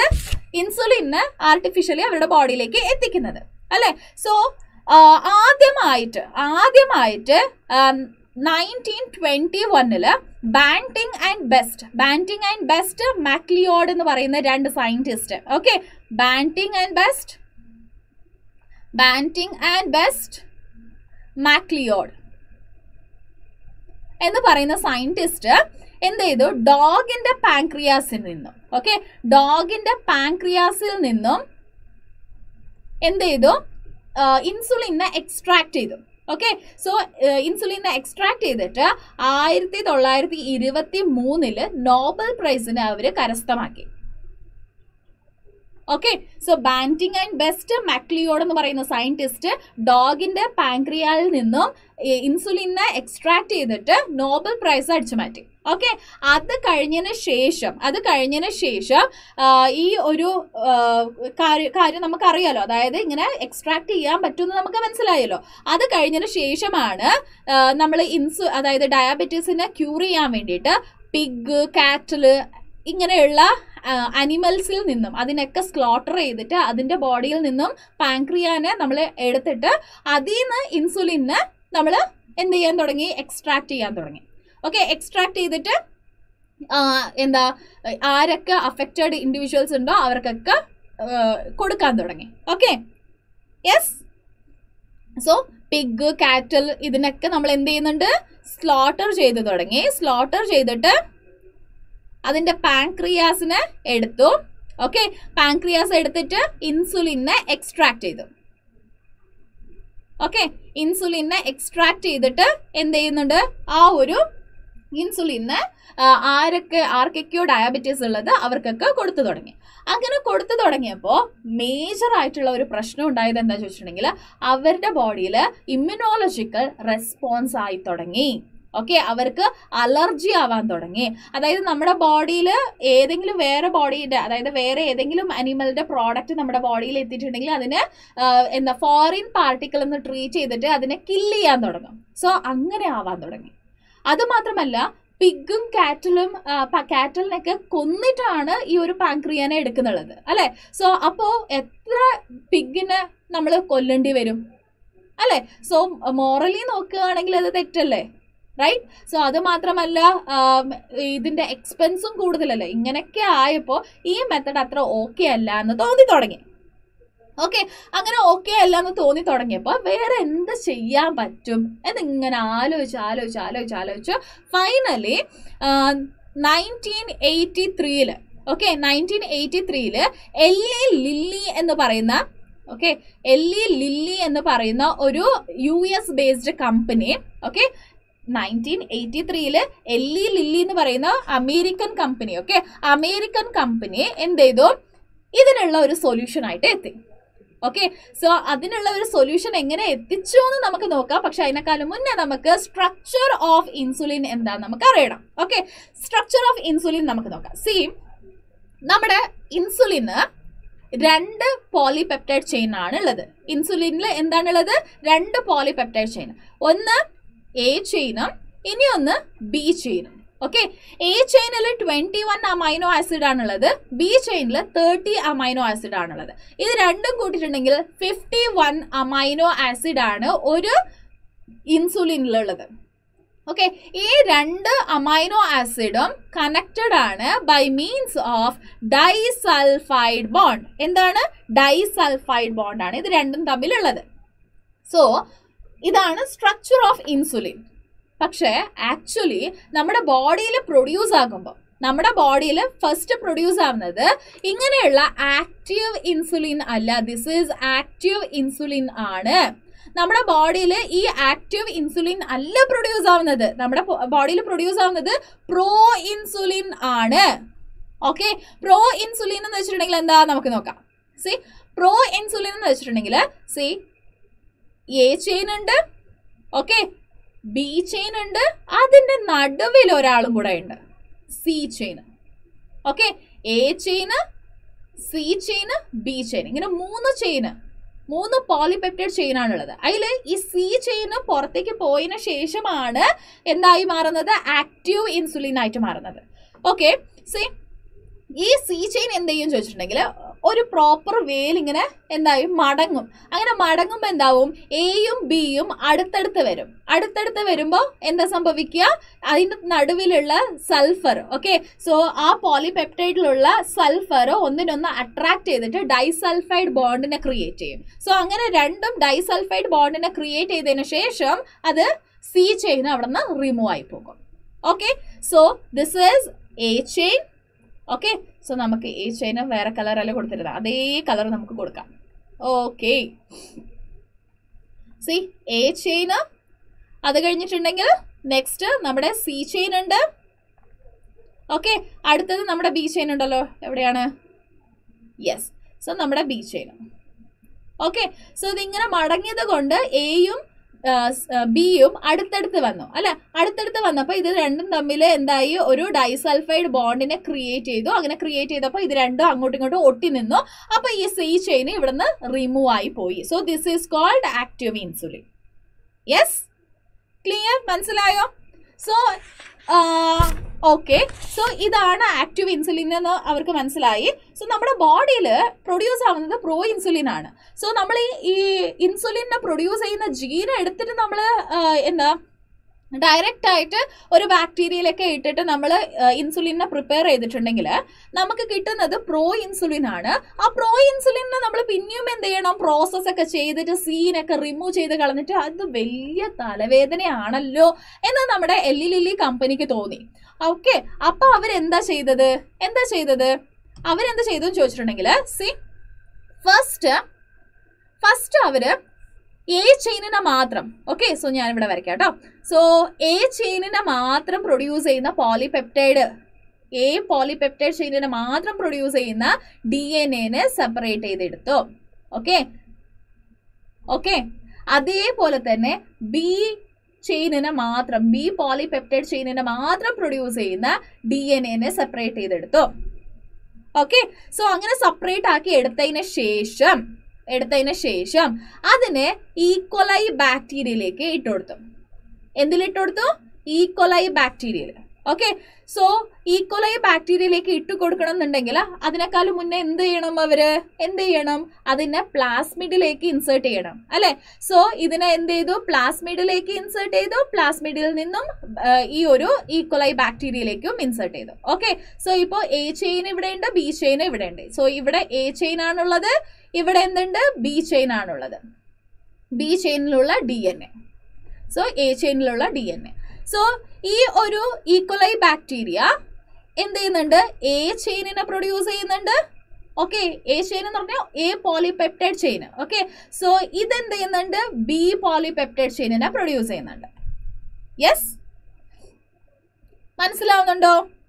യെസ് സോ അപ്പോൾ ഈ എ ചെയിന് അതുപോലെ തന്നെ ബി ചെയിന് സെപ്പറേറ്റ് ആയിട്ട് പ്രൊഡ്യൂസ് ആയി. സെപ്പറേറ്റ് കണ്ടെയ്നറിൽ പ്രൊഡ്യൂസ് ആയി. ഈ സെപ്പറേറ്റ് കണ്ടെയ്നറിൽ പ്രൊഡ്യൂസ് ആയി കഴിഞ്ഞതിന് ശേഷം. പ്രൊഡ്യൂസ് ആയി കഴിഞ്ഞതിന് ശേഷം എന്ത് ചെയ്തു? ഇത് രണ്ടിനെയും അങ്ങ് കമ്പൈൻ ചെയ്തു.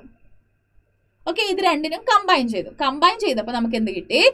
ആക്റ്റീവ് ഇൻസുലിൻ ഇതുപോലെയുള്ള ആക്റ്റീവ് ഇൻസുലിനെ കിട്ടി. യെസ് ക്ലിയർ ആയോ? ക്ലിയർ ആയോ? എന്തെങ്കിലും ഡൗട്ട് ഉണ്ടോ? സേ എൽ ലില്ലി കമ്പനി ആദ്യം എന്താണ് ചെയ്തത്? കംപ്ലീറ്റ് ജീനിന് അതായത് നമ്മുടെ ബോഡിയിൽ ഇൻസുലിനെ പ്രൊഡ്യൂസ് ചെയ്യുന്ന കംപ്ലീറ്റ് ജീൻ എടുത്തിട്ട് നമ്മൾ എന്താ ഈ ഒരു പ്രോസസ്സ് തുടങ്ങിയിട്ടുണ്ടെങ്കിൽ പിന്നെയും ഒരുപാട് പ്രോസസ്സ് ചെയ്യേണ്ടി വരും. അതായത് സി പോളിപെപ്റ്റൈഡ് ചെയിനിനെ റിമൂവ് ചെയ്ത് കളയേണ്ടി വരും. പിന്നെ എ ചെയിനും ബി ചെയിനും ഒട്ടിക്കണം. ഇങ്ങനെ ഒരുപാട് പ്രോസസ്സ് ഉണ്ടല്ലോ. അതെല്ലാം പെട്ടെന്ന് നടക്കുന്ന കാര്യമല്ല എന്ന് അവർ മനസ്സിലാക്കിയിട്ട് അവരെന്ത് ചെയ്തു? റിവേഴ്സ് ട്രാൻസ്ക്രിപ്ഷൻ എന്ന് പറയുന്ന ഒരു മെത്തഡ് ഉണ്ട്. ആ മെത്തഡിനെ യൂട്ടിലൈസ് ചെയ്തുകൊണ്ട് എ പോളിപെപ്റ്റൈഡ് എന്താ എ പോളിപെപ്റ്റൈഡ് ചെയിനിനെ മാത്രം പ്രൊഡ്യൂസ് ചെയ്യുന്ന ഡി എൻ എനെ പ്രൊഡ്യൂസ് ചെയ്തു. അതുപോലെ തന്നെ ബി പോളിപെപ്റ്റൈഡ് ചെയിനിനെ മാത്രം പ്രൊഡ്യൂസ് ചെയ്യുന്ന ഒരു ഡി എൻ എനെ പ്രൊഡ്യൂസ് ചെയ്തു. എന്നിട്ട് ആ ഡി എൻ എനെ എന്ത് ചെയ്തു? പ്ലാസ്മിഡിലേക്ക് ഇൻസേർട്ട് ചെയ്ത് കൊടുത്തു. ഓക്കെ സോ സെപ്പറേറ്റ് പ്ലാസ്മിഡിലേക്ക് ഇൻസേർട്ട് ചെയ്ത് കൊടുത്തു. എന്നിട്ട് സെപ്പറേറ്റ് ഈക്വലയിൽ അതിനെ ആ ഒരു പ്ലാസ്മിഡിനെ ഇൻസേർട്ട് ചെയ്തു. ഓക്കെ എന്നിട്ട് എന്ത് ചെയ്തു? ബയോ റിയാക്ടറിൽ ഇട്ടിട്ട് ഈ ഒരു എന്താ ഫോറിൻ ജീൻ പ്രോഡക്റ്റിനെ പ്രൊഡ്യൂസ് ചെയ്ത് തുടങ്ങി. അങ്ങനെ പ്രൊഡ്യൂസ് ചെയ്തപ്പോൾ എ പോളിപെപ്റ്റൈഡ് ചെയിൻ മാത്രം സെപ്പറേറ്റ് ആയിട്ട് കിട്ടി ബി പോളിപെപ്റ്റൈഡ് ചെയിൻ മാത്രം സെപ്പറേറ്റ് ആയിട്ട് കിട്ടി അങ്ങനെ രണ്ടും സെപ്പറേറ്റ് ആയിട്ട് കിട്ടിയപ്പോൾ അത് രണ്ടിന് ആ ഒരു പ്രോഡക്റ്റിനെ കൊണ്ടുവന്നിട്ട് രണ്ടിനും അങ്ങ് മിക്സ് ചെയ്തു. മിക്സ് ചെയ്തപ്പോൾ നമുക്ക് എന്ത് കിട്ടി? ആക്റ്റീവ് ഇൻസുലിനെ കിട്ടി. ആ ഒരു ആക്റ്റീവ് ഇൻസുലിനെ നമ്മൾ വിളിക്കുന്ന പേരാണ് ഹ്യൂമൂലിൻ ഇതിനെ നമ്മൾ എന്തെന്ന് വിളിക്കും? ഹ്യൂമൂലിൻ എന്ന് വിളിക്കും. ഹ്യൂമൻ ബേസ് ആയിട്ടുള്ള അല്ലെങ്കിൽ ഹ്യൂമന്റെ ജീന് തന്നെ യൂസ് ചെയ്തിട്ട് നമ്മൾ എന്ത് ചെയ്യുന്നുണ്ട്? ഈക്വലൈ ബാക്ടീരിയയിൽ ഇൻസുലിനെ പ്രൊഡ്യൂസ് ചെയ്യുന്നുണ്ട്. അതിനെ നമ്മൾ വിളിക്കുന്ന പേരാണ് Humulin yes okay clear yes അപ്പൊ നമുക്ക് കുറച്ച് ക്വസ്റ്റ്യൻസ് സോൾവ് ചെയ്യാം അല്ലേ? റെഡി ആണോ? ക്വസ്റ്റ്യൻസ് സോൾവ് ചെയ്യാൻ റെഡിയാണോ യെസ് ഒന്ന് പെട്ടെന്ന് പറഞ്ഞേ. ക്വസ്റ്റ്യൻസ് ഒക്കെ സോൾവ് ചെയ്യാൻ റെഡിയാണോ മക്കളെ?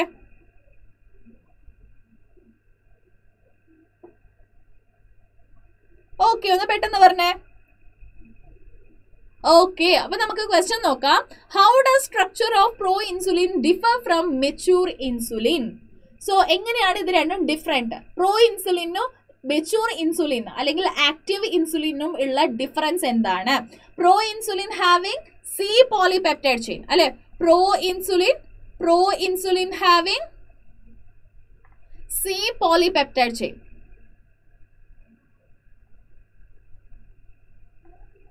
polypeptide chain പക്ഷേ mature insulin mature insulin having only A and B polypeptide chain അല്ലേ? എ ചെയിന് സെപ്പറേറ്റ് കണ്ടെയ്നറിൽ ചെയ്യുന്നുണ്ട്. ജിനേഷ് ഒന്നുകൂടെ ഞാൻ പറയണോ? അതായത് സി സൈമൾട്ടേനിയസ്ലി നടത്തുന്നുണ്ട്. പക്ഷെ വേറെ വേറെ കണ്ടെയ്നറിലാണ് അവർ ചെയ്യുന്നുള്ളത്. ഓക്കെ സോ ഒരു കണ്ടെയ്നർ എടുക്കുന്നുണ്ട് ഒരു അതായത് ബയോറിയാക്ടർ എടുക്കുന്നുണ്ട്. ഈ ബയോറിയാക്ടറിൽ വെറും E coli which containing A gene ഈ ഈക്വലൈ കണ്ടെയ്നിങ് ഏജിന് ജീന് മാത്രം. ഇനി ഒരു ബയോറിയാക്ടർ എടുക്കുന്നുണ്ട്. ഈ ബയോറിയാക്ടറിൽ ഈക്വലൈ ഇട്ട് കൊടുക്കുന്നുണ്ട്. ഈ ഈക്വലൈയിൽ ബി ജീനാണ് ഉള്ളത് ഓക്കെ സോ ഈ എ ജീൻ ഉള്ള ഈക്വലൈ എന്തിനെ പ്രൊഡ്യൂസ് ചെയ്യുന്നുണ്ട്? എ പോളിപെപ്റ്റൈഡ് ചെയിനിനെ പ്രൊഡ്യൂസ് ചെയ്യുന്നുണ്ട്.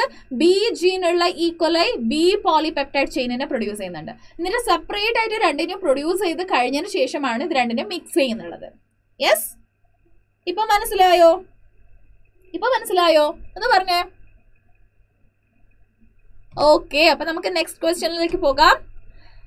Explain how Eli Lilly company produced genetically engineered insulin okay so first ഒന്നുകൂടെ ഞാൻ പറയാണ്. ജിനീഷ ഒന്നുകൂടെ കേട്ടോട്ടോ.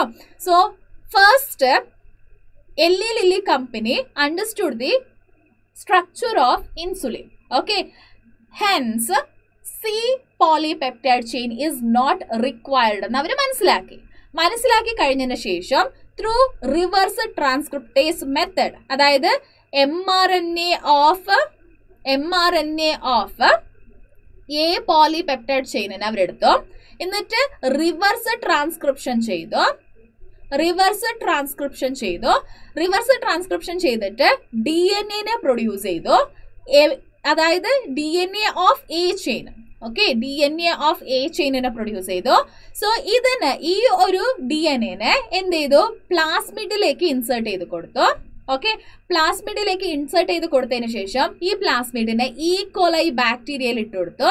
ഇട്ട് കൊടുത്തിട്ട് എന്ത് ചെയ്തു? ബയോ റിയാക്ടറിൽ ഇട്ടിട്ട് വെറും എ ചെയിനിനെ മാത്രം പ്രൊഡ്യൂസ് ചെയ്തെടുത്തു ഓക്കെ അതേപോലെ തന്നെ ഇതേ സെയിം മെത്തഡ് ബി ചെയിനിലേക്കും അതായത് m R N A of B chain ആദ്യം എടുത്ത് അതിനെ റിവേഴ്സ് ട്രാൻസ്ക്രിപ്ഷൻ ചെയ്തു. അത് കഴിഞ്ഞിട്ട് എന്താ D N A of B ചെയിനിനെ മാത്രം എടുത്ത് എന്നിട്ട് അതിനെ പ്ലാസ്മിഡിലേക്ക് ഇട്ട് കൊടുത്തു. എന്നിട്ട് ഈക്വലയിലേക്ക് ഇട്ട് കൊടുത്തു. എന്നിട്ട് ബി ചെയിനിനെ മാത്രം സെപ്പറേറ്റ് ആക്കി എടുത്തു. ഓക്കെ എന്നിട്ട് അത് രണ്ടിനും കമ്പൈൻ ചെയ്തപ്പോൾ എന്ത് കിട്ടി? ഇൻസുലിനെ കിട്ടി. Okay okay any doubt yes അപ്പൊ നമുക്ക് നെക്സ്റ്റ് ക്വസ്റ്റ്യനിലോട്ട് പോവാല്ലേ? ഓക്കെ ക്വസ്റ്റ്യൻ ഇല്ല. അപ്പൊ അടുത്ത ടോപ്പിക് ആണ് ജീൻ തെറാപ്പി സോ എന്താണ് ജീൻ തെറാപ്പി ജീൻ തെറാപ്പി എന്ന് പറയുന്നത് it is a technique of genetic engineering to replace faulty gene into normal gene so ഒരു ഫാൾട്ട് ആയിട്ടുള്ള അല്ലെങ്കിൽ ഡിഫക്റ്റ് ആയിട്ടുള്ള ഒരു ജീനിനെ എടുത്ത് മാറ്റിയിട്ട് ഒരു പുതിയ ജീനിനെ ഇൻസേർട്ട് ചെയ്യുന്ന ഒരു പ്രോസസ്സിനെ നമ്മൾ എന്തെന്ന് വിളിക്കും? ജീൻ തെറപ്പി എന്ന് വിളിക്കും. So used in correcting gene defects in an embryo or child എംബ്രിയോയിലോ അല്ലെങ്കിൽ ചൈൽഡിലോ നമ്മൾ ഡിഫക്റ്റ് ആയിട്ടുള്ള ജീനിനെ എടുത്ത് മാറ്റിയിട്ട് പുതിയ ജീനിനെ അല്ലെങ്കിൽ നോർമൽ ജീനിനെ ഇൻസേർട്ട് ചെയ്യുന്ന പ്രോസസ്സിനെ നമ്മൾ എന്തെന്ന് വിളിക്കും? ജീൻ തെറപ്പി എന്ന് വിളിക്കും. ഓക്കെ യെസ് സോ ഈ ഒരു പ്രോസസ്സ് ഈ ഒരു പ്രോസസ്സ് ഫസ്റ്റ് നടത്തിയത് നയന്റീൻ നയന്റിയിൽ ഫോർ ഇയർ ഓൾഡ് ഗേളിലാണ് ഓക്കെ ഒരു ഗേൾ ചൈൽഡ് ഡോക്ടറിന്റെ അടുത്ത് പോയി എത്തിരിക്കുകയാണ് ആ ഗേൾ ചൈൽഡിൽ ഒരുപാട് ഡിസീസ് ഉണ്ട്. ഓക്കെ കുറേ കുറേ കുറേ കുറേ ഡിസീസ് ഇങ്ങനെ വന്നുകൊണ്ടേ ഇരിക്കുകയാണ് സോ ആ ഒരു ഡിസീസിന് അവർ വിളിക്കുന്ന പേരാണ് severe combined immunodeficiency okay severe combined immunodeficiency so ഈ ഒരു ഡെഫിഷ്യൻസി ആ കുട്ടിയിലേക്ക് എങ്ങനെയാണ് വന്നത് എന്ന് ഇങ്ങനെ ഇൻവെസ്റ്റിഗേറ്റ് ചെയ്തപ്പോഴാണ് അവർക്ക് മനസ്സിലായത്. So severe combined immuno deficiency വന്നത് in the absence of lymphocytes so lymphocytes എന്ന് പറയുന്നത് ഒരു ഇമ്പോർട്ടന്റ് ആയിട്ടുള്ള ഇമ്മ്യൂൺ സിസ്റ്റമിലെ ഒരു സെല്ലാണ് അല്ലേ? സോ ലിംഫോസൈറ്റ്സ് എന്ന് പറയുന്നത് ഇമ്മ്യൂൺ സെല്ല് അതായത് ഇമ്മ്യൂണോ എന്താ സെല്ലുലാർ ഡിഫൻസ് എന്നൊക്കെ നമ്മൾ പറയില്ലേ? അതായത് നമ്മുടെ ബോഡിയിൽ എന്തെങ്കിലും ഒരു ഫാറിൻ പാർട്ടിക്കിൾ നമ്മുടെ ബോഡിയിലേക്ക് എന്റർ ആയിട്ടുണ്ടെങ്കിൽ അതിനെ കിൽ ചെയ്യാൻ കപ്പാസിറ്റി ഉള്ള ഒരു സെല്ലാണ് ലിംഫോസൈറ്റ്സ് ഡബ്ല്യു ബി സിയിലെ വളരെ ഇമ്പോർട്ടന്റ് ആയിട്ടുള്ള ഒരു സെല്ലാണ് ലിംഫോസൈറ്റ്സ് ആ ലിംഫോസൈറ്റ്സിന്റെ കുറവ് കാരണമാണ് എന്ത് സംഭവിച്ചിട്ടുള്ളത്? സിവിയർ കമ്പൈൻഡ് ഇമ്മ്യൂണോ ഡിഫിഷ്യൻസി എന്ന് അവർ മനസ്സിലാക്കി. എന്തുകൊണ്ടാണ് ഈ കുട്ടിയിൽ മാത്രം ഈ ലിംഫോസൈറ്റ്സ് വരാതിരുന്നത്? ഈ ലിംഫോസൈറ്റ്സ് പ്രൊഡ്യൂസ് ആവാതിരുന്നത് എന്നിങ്ങനെ ഇൻവെസ്റ്റിഗേറ്റ് ചെയ്തപ്പോഴാണ് അവർക്ക് മനസ്സിലായത് ഈ ലിംഫോസൈറ്റ്സ് മെച്യൂർ ആവണം ഈ ലിംഫോസൈറ്റ്സ് പ്രൊഡ്യൂസ് ആവണം എങ്കിൽ അവിടെ ഒരു എൻസൈമിന്റെ ആവശ്യമുണ്ട്. ആ എൻസൈമിന്റെ പേരാണ് അഡിനോസിൻ ഡി അമിനേസ് എന്താണ്? Adenosine deaminase okay adenosine deaminase എന്ന് പറയുന്ന ഒരു എൻസൈമിന്റെ ആവശ്യമുണ്ട്. ആ ഒരു എൻസൈം ഇല്ലാത്ത കാരണമാണ് നോ നോ അഡിനോസിൻ ഇൻ എന്താ deaminase no lymphocytes no lymphocytes severe combined immunodeficiency okay so ഒരു കുഞ്ഞ് വന്നു കുഞ്ഞ് വന്നപ്പോൾ അവർക്ക് ഒരുപാട് രോഗങ്ങളുണ്ട്. അത് എന്തുകൊണ്ടാണെന്ന് അവർ ചെക്ക് ചെയ്യുമ്പോൾ അവർ ആ ബോഡിയിൽ ആ കുഞ്ഞിന്റെ ബോഡിയിൽ ലിംഫോസൈറ്റ്സ് ഇല്ലാന്ന് മനസ്സിലാക്കി. ലിംഫോസൈറ്റ്സ് എന്തുകൊണ്ട് ഇല്ലാന്ന് ആലോചിച്ചപ്പോഴാണ് ആ ഒരു കുഞ്ഞിൽ അഡിനോസിൻ ഡി അമിനേസ് എന്ന് പറയുന്ന ഒരു എൻസൈം പ്രൊഡ്യൂസ് ആവുന്നില്ല. അതാണ് ആ ഒരു എൻസൈമാണ് ലിംഫോസൈറ്റ്സിനെ പ്രൊഡ്യൂസ് ചെയ്യുക. ആ ലിംഫോ ആ ഒരു എൻസൈം ഇല്ലാത്ത കാരണമാണ് ലിംഫോസൈറ്റ്സ് പ്രൊഡ്യൂസ് ആവാതിരുന്നത്. എന്നവർ മനസ്സിലാക്കി.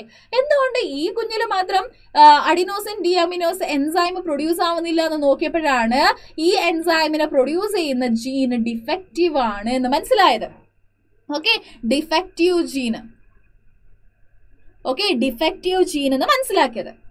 So okay. ജീനിലാണ് പ്രശ്നം. ജീനിൽ പ്രശ്നം വന്നതുകൊണ്ട് ലിംഫോസൈറ്റ്സ് പ്രൊഡ്യൂസ് ആവുന്നില്ല. ലിംഫോസൈറ്റ്സ് പ്രൊഡ്യൂസ് ആവാത്തത് കൊണ്ട് എന്തായി? ഒരുപാട് രോഗങ്ങൾ ആ കുഞ്ഞിലേക്ക് വരുന്നുണ്ട് എന്ന് അവർ മനസ്സിലാക്കി.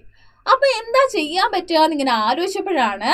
So R D N A technology ഉണ്ടല്ലോ? നമുക്കിതൊന്ന് ട്രൈ ചെയ്യാമല്ലോ എന്ന് വിചാരിച്ചിട്ട് അങ്ങനെ ഈ നാല് വയസ്സുള്ള ആ കുഞ്ഞിലേക്ക് ജീനിനെ കറക്റ്റ് ചെയ്യുന്ന ഒരു പ്രോസസ്സ് അവർ സ്റ്റാർട്ട് ചെയ്തത്. അതിന് വേണ്ടിയിട്ട് അവർ ഫസ്റ്റ് എന്താ ചെയ്തത് ചോദിച്ചിട്ടുണ്ടെങ്കിൽ ആ കുഞ്ഞിൽ നിന്നും ലിംഫോസൈറ്റ്സിനെ കളക്ട് ചെയ്തു. സോറി ആ കുഞ്ഞിൽ നിന്നും ഡിഫക്റ്റീവ് ആയിട്ടുള്ള ലിംഫോസൈറ്റ്സ് ഓക്കെ സോ ആ കുഞ്ഞിൽ നിന്നും ലിംഫോസൈറ്റ്സിനെ കളക്ട് ചെയ്തു.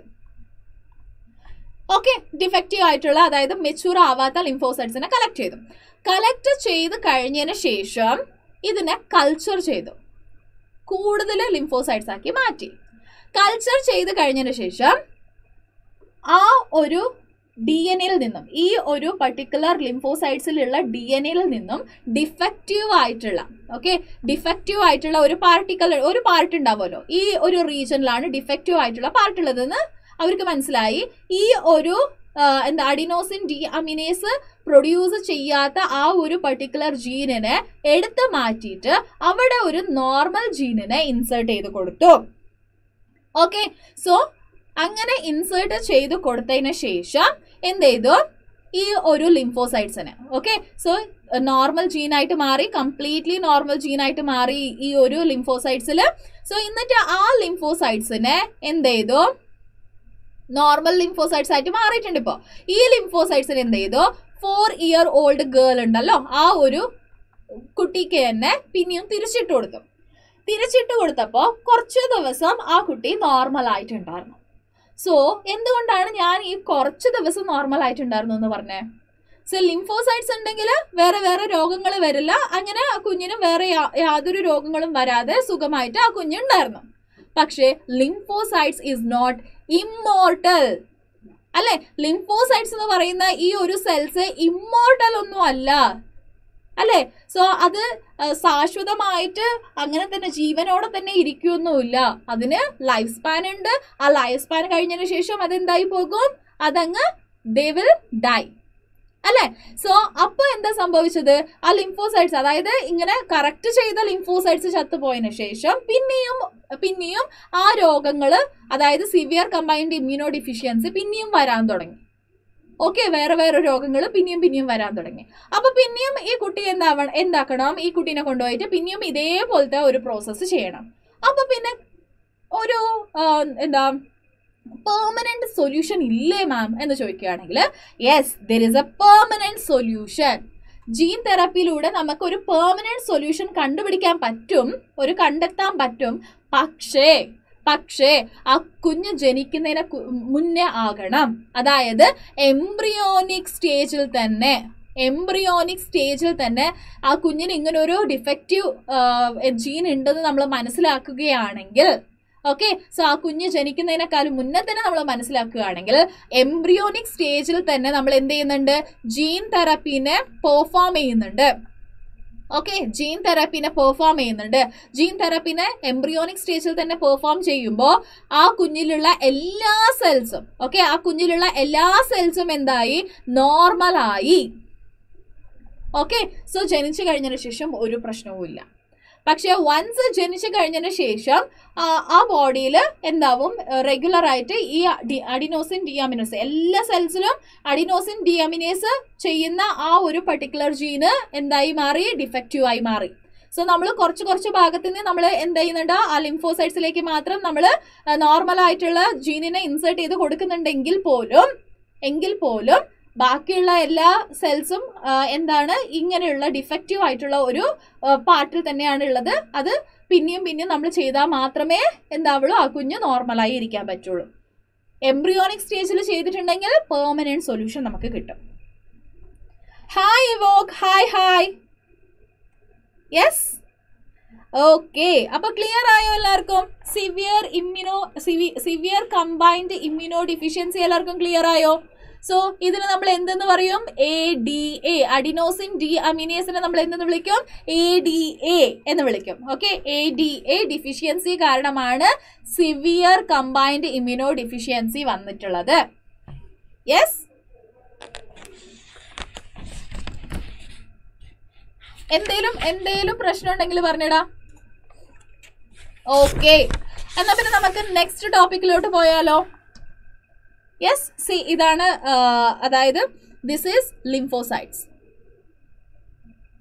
ഇതാണ് ലിംഫോസൈറ്റ്സ് സി അതായത് വൈറൽ വെക്ടർ അതായത് പാത്തോജനെയാണ് നമ്മൾ യൂഷ്വലി നോർമൽ ജീനിനെ ഇൻസേർട്ട് ചെയ്യാൻ വേണ്ടിയിട്ട് യൂസ് ചെയ്യുന്ന ഒരു vector so this is virus which act as vector okay virus which act as vector so ആ വൈറസിലുള്ള പാത്തോ പാത്തോജനിക് പാർട്ടിനെയൊക്കെ നമ്മൾ റിമൂവ് ചെയ്ത് കളഞ്ഞിട്ട് ഒരു വൈറസ് എന്ന് പറയുമ്പോൾ ഇൻഫെക്ട് ഈസി ആയിട്ട് ഇൻഫെക്റ്റ് ആവുന്ന ഒരു എന്താ സ്ട്രക്ചറാണ് അല്ലേ?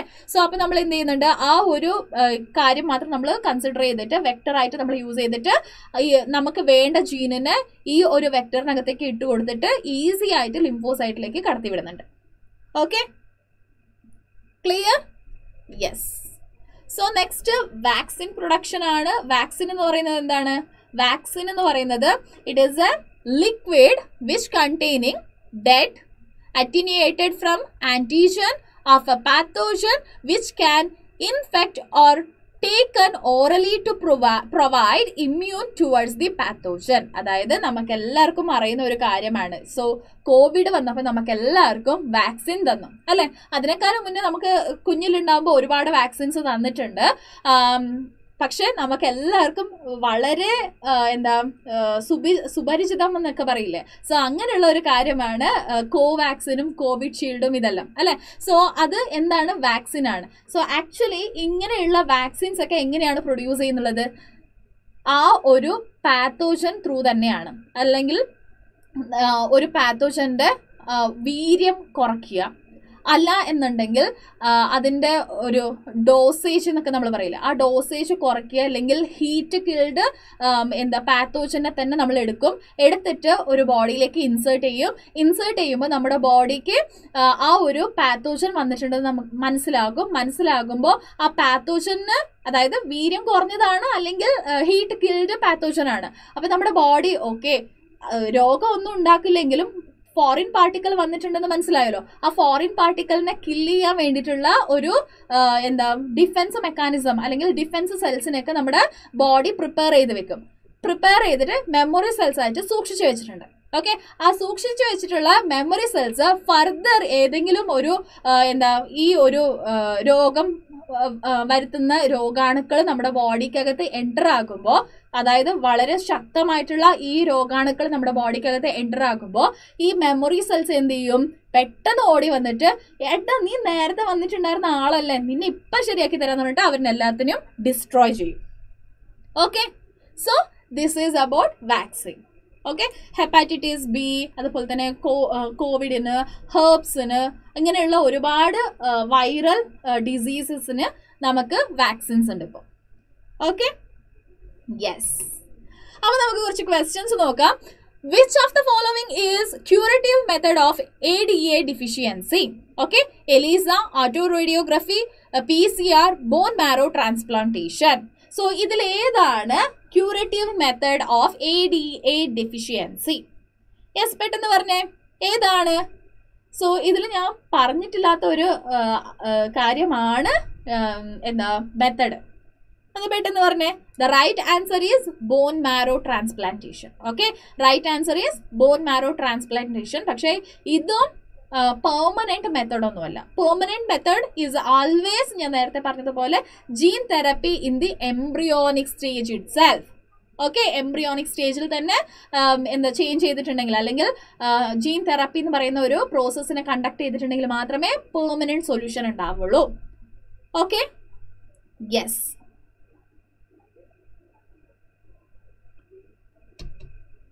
യെസ് വാക്സിന് കാലാവധി എന്ന് പറഞ്ഞിട്ടില്ല.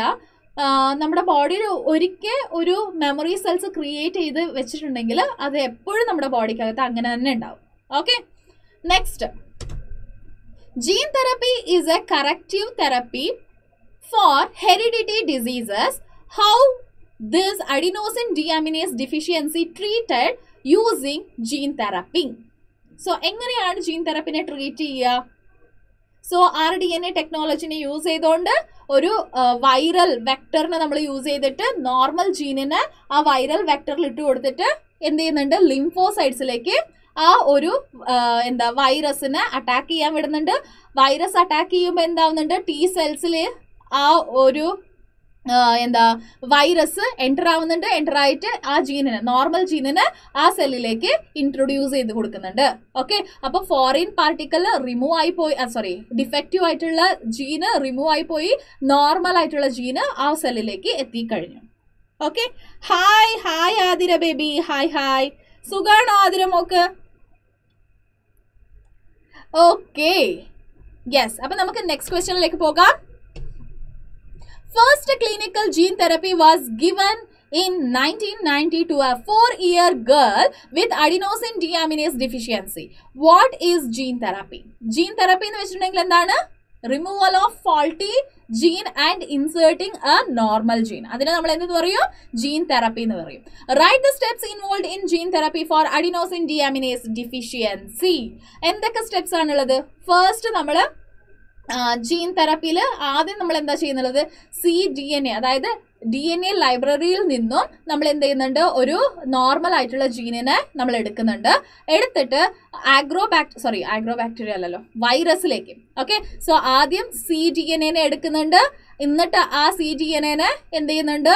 ഒരു വൈറൽ വെക്ടർ അല്ലെ? വൈറൽ വെക്ടറിലേക്ക് അതിനെ ഇൻസേർട്ട് ചെയ്ത് കൊടുക്കുന്നുണ്ട്. എന്നിട്ട് ആ വൈറൽ വെക്ടറിനെ ലിംഫോസൈഡ്സിലേക്ക് അല്ലെ? ലിംഫോസൈഡ്സിലേക്ക് അറ്റാക്ക് ചെയ്യാൻ വിടുന്നുണ്ട്. ആ ലിംഫോസൈഡ്സിൽ ഇപ്പൊ എന്തായി? ഈ വൈറൽ വെക്ടർ എന്റർ ആയി. സോ വൈറൽ വെക്ടർ എന്റർ ആയി കഴിഞ്ഞതിന് ശേഷം എന്ത് സംഭവിക്കുന്നുണ്ട്? നോർമൽ ആയിട്ട് മാറുന്നുണ്ട്. യെസ് ഓക്കെ അപ്പൊ നമുക്ക് നെക്സ്റ്റ് ക്വസ്റ്റ്യനിലോട്ട് പോകാം. ഓക്കെ നെക്സ്റ്റ് ക്വസ്റ്റ്യനിലില്ല മോളിക്കുലാർ ഡയഗ്നോസിസ് എന്താണ് molecular diagnosis so before that what you mean by diagnosis ആരെങ്കിലും പറഞ്ഞേ what you mean by diagnosis yes what is diagnosis ആരെങ്കിലും പെട്ടെന്ന് പറഞ്ഞടാ.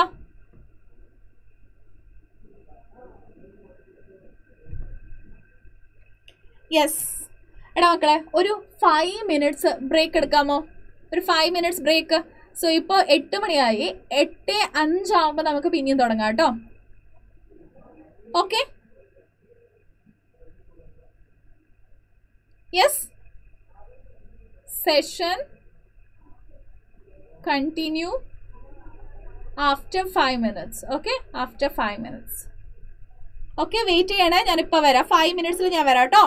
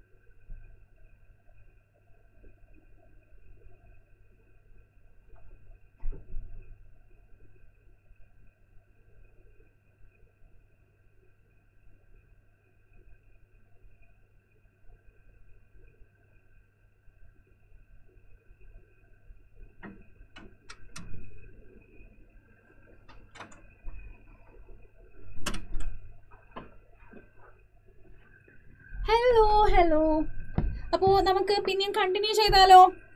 Yes okay hi hi hi അപ്പോൾ ബാക്കിയുള്ളവരൊക്കെ തിരിച്ചെത്തിയോ? ഒന്ന് പെട്ടെന്ന് തിരിച്ചു വന്നേ. സോ നമുക്ക് മോളിക്കുലർ ഡയഗ്നോസിസ് തൊട്ട് തുടങ്ങാം. സോ ഇത്രയും നേരം എല്ലാം ക്ലിയർ ആയോ? ഇത്രയും നേരം നമ്മൾ ഡിസ്കസ് ചെയ്തതെല്ലാം ക്ലിയർ ആയിട്ടുണ്ടോ? എന്നാൽ നമുക്ക് കണ്ടിന്യൂ ചെയ്താലോ? ഓക്കെ യെസ് മോളിക്കുലർ ഡയഗ്നോസിസ് ആണ് അടുത്തത് നമുക്ക് ഡിസ്കസ് ചെയ്യാനുള്ളത്. See what you mean by diagnosis diagnosis എന്ന് വെച്ചിട്ടുണ്ടെങ്കിൽ എന്താണ്? സോ ഏതെങ്കിലും ഒരു രോഗം ഉണ്ടെങ്കിൽ നമുക്ക് എന്തെങ്കിലും ഒരു അൺഈസിനെസ് ഉണ്ടെങ്കിൽ നമ്മൾ എന്ത് ചെയ്യും? നമ്മൾ ഡോക്ടറെ പോയി കാണും അല്ലേ? സോ നമുക്ക് എന്തെങ്കിലും ഒരു അൺഈസിനെസ് അതായത് ഇപ്പോൾ നമുക്ക് വയറ്റിനാണ് അൺഈസിനെസ് അല്ലെങ്കിൽ ഫുൾ ഒരു തളർച്ചയാണ് അങ്ങനെ എന്തെങ്കിലുമൊക്കെ ഉണ്ടാവുമ്പോൾ നമ്മൾ എന്ത് ചെയ്യും? പെട്ടെന്ന് പോയിട്ട് ഡോക്ടറെ കാണും. ഡോക്ടറെ കാണുമ്പോൾ അവരെന്താണ് ചെയ്യുന്നത്? ഇങ്ങനെ ഇങ്ങനെ സിംറ്റംസ് ഒക്കെ ഉണ്ട് എന്നൊക്കെ പറഞ്ഞിട്ട് അവർ അതിനെ ഡയഗ്നോസ് ചെയ്യും. അതായത് അവർ ഏത് രോഗമായിരിക്കുമെന്ന് അവർ ഡയഗ്നോസ് ചെയ്യും. സോ ഈ മോളിക്കുലർ ഡയഗ്നോസിസ് എന്ന് വെച്ചിട്ടുണ്ടെങ്കിൽ എന്താണ്? സി ഇപ്പം നമ്മൾ ഒരു ഡോക്ടറെ പോയി കാണുന്നുണ്ട് അല്ലേ? യെസ് ഓക്കേടാ ജിനേഷ്. ഓക്കെ യെസ് സോ നമ്മൾ ഒരു ഡോക്ടറെ പോയി കാണുന്നുണ്ട്. ഡോക്ടറെ പോയി കാണുമ്പോൾ ഡോക്ടർ ആദ്യം ഓക്കെ നിങ്ങളുടെ സിംറ്റംസ് ഒക്കെ എന്തൊക്കെയാണെന്നാ പറഞ്ഞത്? ചുമയുണ്ടോ? ഓക്കെ റണ്ണിങ് നോസ് ഉണ്ടോ? ഓക്കെ അതുപോലെ തന്നെ ടെമ്പറേച്ചർ ഉണ്ടല്ലേ? ഓക്കെ അപ്പൊ നിങ്ങൾക്ക് വിട്ട് വിട്ട് പനി വരുന്നുണ്ടോ? ഇല്ല കണ്ടിന്യൂസ് പനിയാണോ? ഇങ്ങനെയുള്ള ഒരുപാട് കാര്യങ്ങൾ നമ്മളോട് ചോദിക്കുന്നുണ്ട് അല്ലെ? ചോദിച്ചു കഴിഞ്ഞതിന് ശേഷം അവരൊരു തീരുമാനത്തിൽ എത്തി എത്തുകയാണ്. അതായത് ഇതൊരു നോർമൽ ഫീവർ ആണെന്ന് പറഞ്ഞിട്ട് നമുക്ക് ആദ്യം ഒരു മരുന്ന് തരും അല്ലെ? സോ ഈ എല്ലാ സിംറ്റം വെച്ചിട്ട് അവരൊരു മരുന്ന് തരികയാണ്. മരുന്ന് തന്നു കഴിഞ്ഞതിന് ശേഷം നമ്മൾ എന്ത് ചെയ്യുന്നുണ്ട്? ആ മരുന്ന് കുടിച്ചു നോക്കുന്നത് കുടിച്ചു നോക്കി കഴിഞ്ഞതിന് ശേഷം ശേഷവും നമുക്ക് ആ ഒരു ഡിസീസിൽ നിന്നും പുറത്തേക്ക് വരാൻ പറ്റുന്നില്ല. നമുക്ക് ക്യൂർ ആവുന്നില്ല എന്നുണ്ടാകുമ്പോൾ നമ്മൾ എന്ത് ചെയ്യുന്നുണ്ട്? പിന്നെയും ആ ഡോക്ടറെ പോയി കാണുന്നുണ്ട്. അല്ലെ? പിന്നെയും പോയി ഡോക്ടറെ കാണുമ്പോൾ ഡോക്ടർ എന്ത് ചെയ്യും? ഓക്കെ ഇത് മേ ബി നിങ്ങൾ ബ്ലഡ് ടെസ്റ്റ് ചെയ്യണം. ഓക്കെ സോ നിങ്ങൾ ബ്ലഡ് ടെസ്റ്റ് ചെയ്തിട്ട് വരുമോ അതിലെ റിസൾട്ട് നോക്കി ഞാൻ കുറച്ചുകൂടെ പ്രിസൈസ് ആയിട്ടുള്ള മരുന്ന് തരാമെന്ന് പറയും. അല്ലേ? സോ അങ്ങനെയാണ് നമ്മൾ എന്ത് ചെയ്യുന്നത്? ഡയഗ്നോസ്റ്റിക് മെത്തേഡ് മെത്തേഡ് പോകുന്നത്. അല്ലെ? ഡയഗ്നോസ്റ്റിക് മെത്തേഡിലേക്ക് പോകുന്നത്. അതായത് കഫം അല്ലെങ്കിൽ ബ്ലഡ് അല്ലെങ്കിൽ യൂറിന് സെമന് ഇങ്ങനെയുള്ള സാമ്പിൾ വെച്ചിട്ട് എന്ത് ചെയ്യുന്നുണ്ട്? ആ ഡിസീസ് ഏതാണെന്ന് ഐഡന്റിഫൈ ചെയ്യുന്നുണ്ട്. സോ അതിന് നമ്മൾ എന്തെന്ന് പറയും? ഡയഗ്നോസിസ് എന്ന് പറയും. റൈറ്റ് സോ ഈ ഡയഗ്നോസിസ് മോളിക്കുലർ ബേസിസ് എന്ന് പറയുമ്പോൾ എന്താണ് സംഭവം? കുറച്ചുകൂടെ ഡീപ്പ് ആയിട്ടാണ് നമ്മൾ നോക്കുന്നുള്ളത് അല്ലെ? സോ ഫസ്റ്റ് നമ്മൾ പാത്തോളജി ലാബിൽ എങ്ങനെയാണ് ഡയഗ്നോസിസ് ചെയ്യുക നമ്മൾ ഡിസ്കസ് ചെയ്തു. അല്ലെ?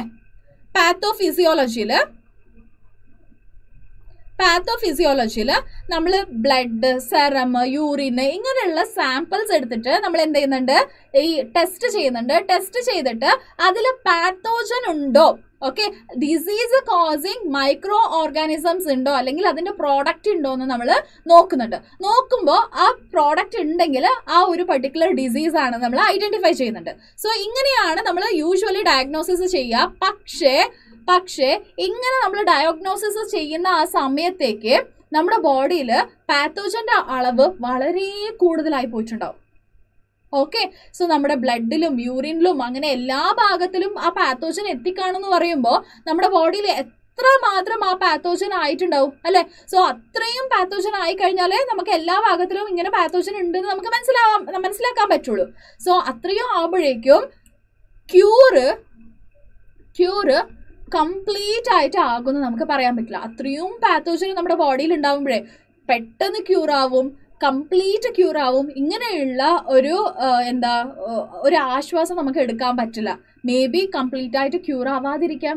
അല്ലെങ്കിൽ ക്യൂർ ആവാൻ നല്ല സമയം എടുക്കുക ഇങ്ങനെയൊക്കെയുള്ള പ്രശ്നങ്ങളുണ്ട്. സോ അങ്ങനെയുള്ള പ്രശ്നങ്ങളൊക്കെ ഒഴിവാക്കാൻ വേണ്ടിയിട്ടാണ് മോളിക്കുലർ ഡയഗ്നോസിസ് ഉള്ളത്. സോ ഈ മോളിക്കുലർ ഡയഗ്നോസിസിൽ എന്താണ് ചെയ്യുന്നുള്ളത്? മോളിക്കുലർ ഡയഗ്നോസിസിൽ ആർ ഡി എൻ എ ടെക്നോളജിയാണ് use ചെയ്യുന്നുള്ളത്. R D N A technology okay R D N A technology use ചെയ്യുന്നുണ്ട്. രണ്ടാമത് പി സി ആർ യൂസ് ചെയ്യുന്നുണ്ട്.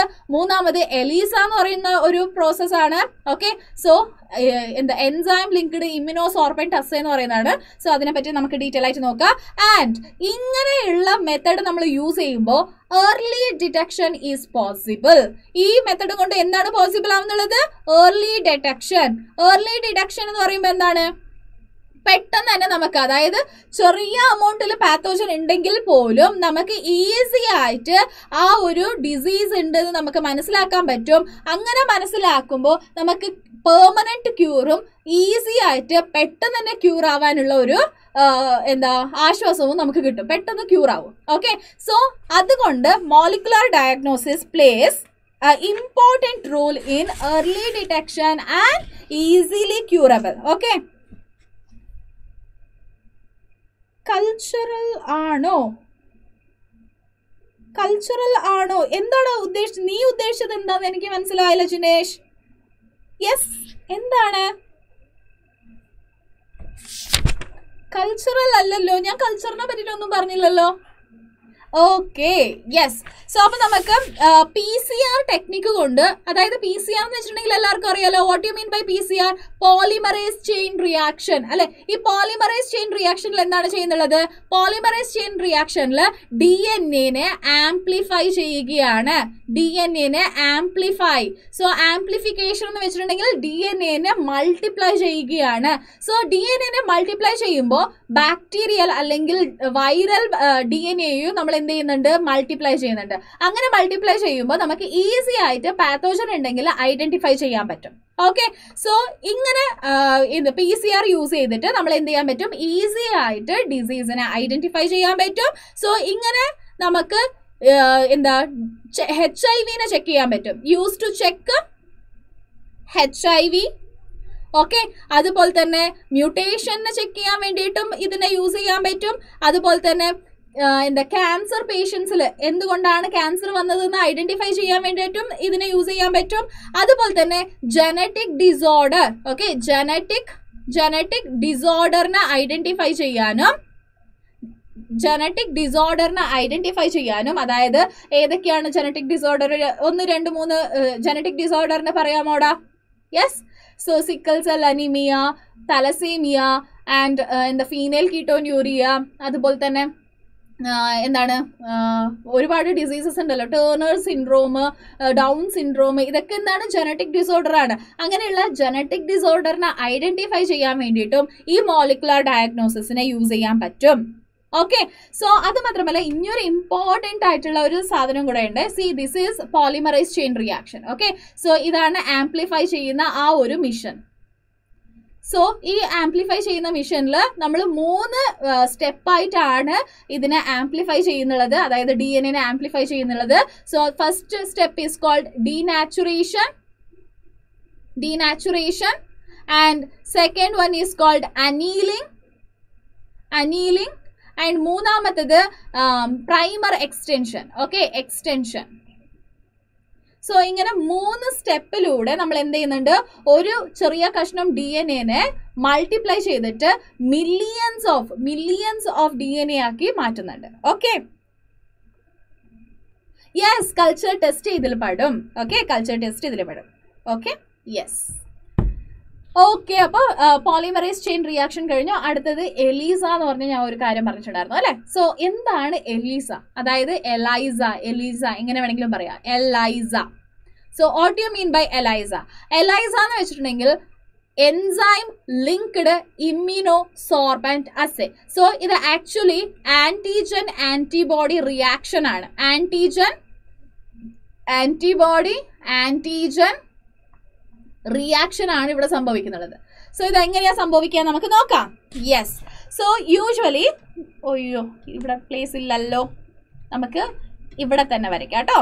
യെസ് സീ യൂഷ്വലി നമുക്കൊരു ഡിസീസ് വരുന്നുണ്ടെന്ന് പറയുമ്പോൾ അവിടെ ഒരു എന്താ പാത്തോജൻ ഉണ്ടാവും. സോ ഈ പാത്തോജന് വൈറസ് ആണെങ്കിൽ സോ സി ഇതാണ് വൈറസ് ഓക്കെ സോ വൈറസ് ആണെങ്കിൽ ഈ വൈറസിന് ചുറ്റും നമുക്ക് എന്ത് കാണാൻ പറ്റും? ഗ്ലൈക്കോ പ്രോട്ടീൻസിന് ഇങ്ങനെ കാണാൻ പറ്റും. ഓക്കെ സോ നമ്മുടെ എച്ച് ഐ വി എന്ന് പറയുന്ന ഒരു വൈറസിനെ പറ്റി കേട്ടിട്ടില്ലേ എല്ലാവരും? എച്ച് ഐ വി വൈറസ് എന്ന് കേട്ടിട്ടില്ലേ?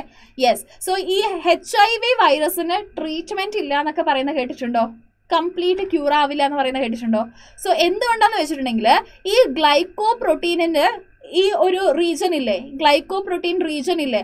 ഈ റീജനെ ഐഡന്റിഫൈ ചെയ്തിട്ടുണ്ടെങ്കിൽ നമ്മുടെ ബോഡിയിലില്ല ഉള്ള ലിംഫോസൈഡ്സ് നമ്മുടെ ബോഡിയിലുള്ള ലിംഫോസൈഡ്സ് ഈ ഒരു റീജനെ ഐഡന്റിഫൈ ചെയ്തിട്ടുണ്ടെങ്കിൽ ഇതിനുള്ള മരുന്ന് അല്ലെങ്കിൽ നമ്മുടെ ബോഡിയിൽ ഇതിന് വേണ്ടിയിട്ടുള്ള ആന്റിബോഡീസിനെ പ്രിപ്പയർ ചെയ്യാൻ പറ്റുള്ളൂ. ഓക്കെ പക്ഷേ യൂഷ്വലി ഈ ഒരു റീജനെ ഈ ഒരു വൈറസ് ഇങ്ങനെ മാസ്ക് ചെയ്ത് പിടിച്ചിരിക്കുകയാണ്. ഓക്കെ അത്ര പെട്ടെന്നൊന്നും എന്നെ കണ്ടുപിടിക്കാൻ പറ്റില്ല മക്കളെ എന്ന് പറഞ്ഞിട്ട് ഇതിനെ മാസ്ക് ചെയ്ത് പിടിച്ചിരിക്കുകയാണ്. ഓക്കെ അങ്ങനെ മാസ്ക് ചെയ്ത് പിടിക്കുമ്പോൾ ഇത് എക്സ്പോസ് ആവുന്നില്ല എക്സ്പോസ് ആവാത്തത് കൊണ്ട് തന്നെ നമ്മുടെ ബോഡി ഇതിനെ റെക്കഗ്നൈസ് ചെയ്യുന്നില്ല. സോ ഇത് റെക്കഗ്നൈസ് ചെയ്യാൻ പറ്റും. എപ്പോഴാന്ന് ചോദിച്ചിട്ടുണ്ടെങ്കിൽ ഒരു T cells okay T helper cells എന്ന് കേട്ടിട്ടുണ്ടോ?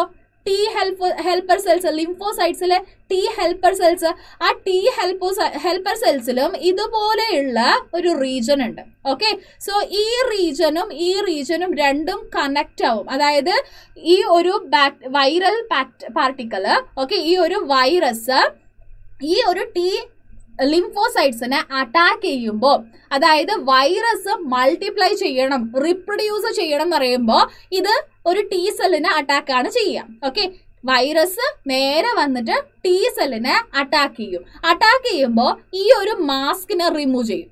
ഓക്കെ സോ ഈ ഒരു മാസ്കിനെ റിമൂവ് ചെയ്തിട്ട് ഈ ഒരു റീജനിലെ ഈ റീജനിലേക്ക് വന്നിട്ടാണ് ഇത് അറ്റാച്ച് ആവുന്നത്. ഓക്കെ ഈ റീജനിലേക്ക് വന്നിട്ട് അങ്ങനെ അറ്റാച്ച് ആവും. അറ്റാച്ച് ചെയ്തിട്ട് അത് രണ്ടും തമ്മിൽ ഒരു കമ്മ്യൂണിക്കേഷൻ ഉണ്ടാവും. ഓക്കെ സോ ഇത് രണ്ടും തമ്മിലൊരു കമ്മ്യൂണിക്കേഷൻ ഓക്കെ സോ ഈ ഇത് രണ്ടും തമ്മിലൊരു കമ്മ്യൂണിക്കേഷൻ ഉണ്ടാവും. കമ്മ്യൂണിക്കേഷൻ ഉണ്ടായിട്ട് ഈ ഒരു പാർട്ടിക്കിളില്ലേ അതായത് ജനറ്റിക് മെറ്റീരിയൽ ഇവിടെ നിന്ന് നേരെ എങ്ങോട്ടേക്ക് പാസ് ആവുന്നുണ്ട്? ടി സെല്ലിലേക്ക് പാസ് ആവുന്നുണ്ട്. സോ ആ ഒരു സമയത്താണ് ഇവിടെ അൺമാസ്കിങ് നടക്കുക. ഓക്കെ സോ അൺമാസ്കിങ് നടന്നു കഴിഞ്ഞതിന് ശേഷം ഇത് ട്രാൻസ്ഫർ ചെയ്തു ജനറ്റിക് മെറ്റീരിയലിനെ ട്രാൻസ്ഫർ ചെയ്തു. ട്രാൻസ്ഫർ ചെയ്ത് കഴിഞ്ഞതിന് ശേഷം പിന്നെയും ഇത് മാസ്ക് ചെയ്യപ്പെടുന്നു. ഓക്കെ അങ്ങനെ മാസ്ക് ചെയ്യുമ്പോൾ പിന്നെയും എന്തായി? പിന്നെയും എന്തായി? ഇങ്ങനെ മാസ്ക് ചെയ്യപ്പെടുമ്പോൾ സോ പിന്നെയും നമ്മുടെ ബോഡിക്ക് ഐഡന്റിഫൈ ചെയ്യാൻ പറ്റാതെയായി.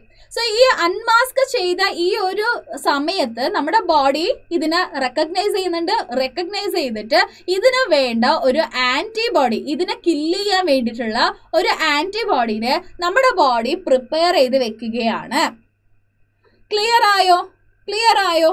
യെസ് എല്ലാവർക്കും മനസ്സിലായോ? അതായത് എച്ച് ഐ വി എന്ന് പറയുന്നത് ഒരു വൈറസ് ആണ്. ആ വൈറസിന് ചുറ്റും ഗ്ലൈക്കോ പ്രോട്ടീൻ നമുക്ക് കാണാൻ പറ്റും. ആ ഗ്ലൈക്കോ പ്രോട്ടീന് അൺമാസ്ക് ചെയ്താൽ മാത്രമേ നമ്മുടെ ബോഡിയിലുള്ള ഡിഫൻസ് സെല്ല് അതിനെ ഐഡന്റിഫൈ ചെയ്യാൻ പറ്റുള്ളൂ. പക്ഷെ നമ്മുടെ ബോഡിയിലുള്ള ടി സെൽസിന് അതിനെ ഐഡന്റിഫൈ ചെയ്യാൻ പറ്റുന്നില്ല. വൈ ബിക്കോസ് ആ ഒരു ഗ്ലൈക്കോ പ്രോട്ടീന് മാസ്ക് ചെയ്ത് പിടിച്ചിരിക്കുകയാണ്. ആ മാസ്ക് ചെയ്ത് പിടിച്ചിരിക്കുന്ന ആ ഒരു റീജിയന് അൺമാസ്ക് ചെയ്യപ്പെടും.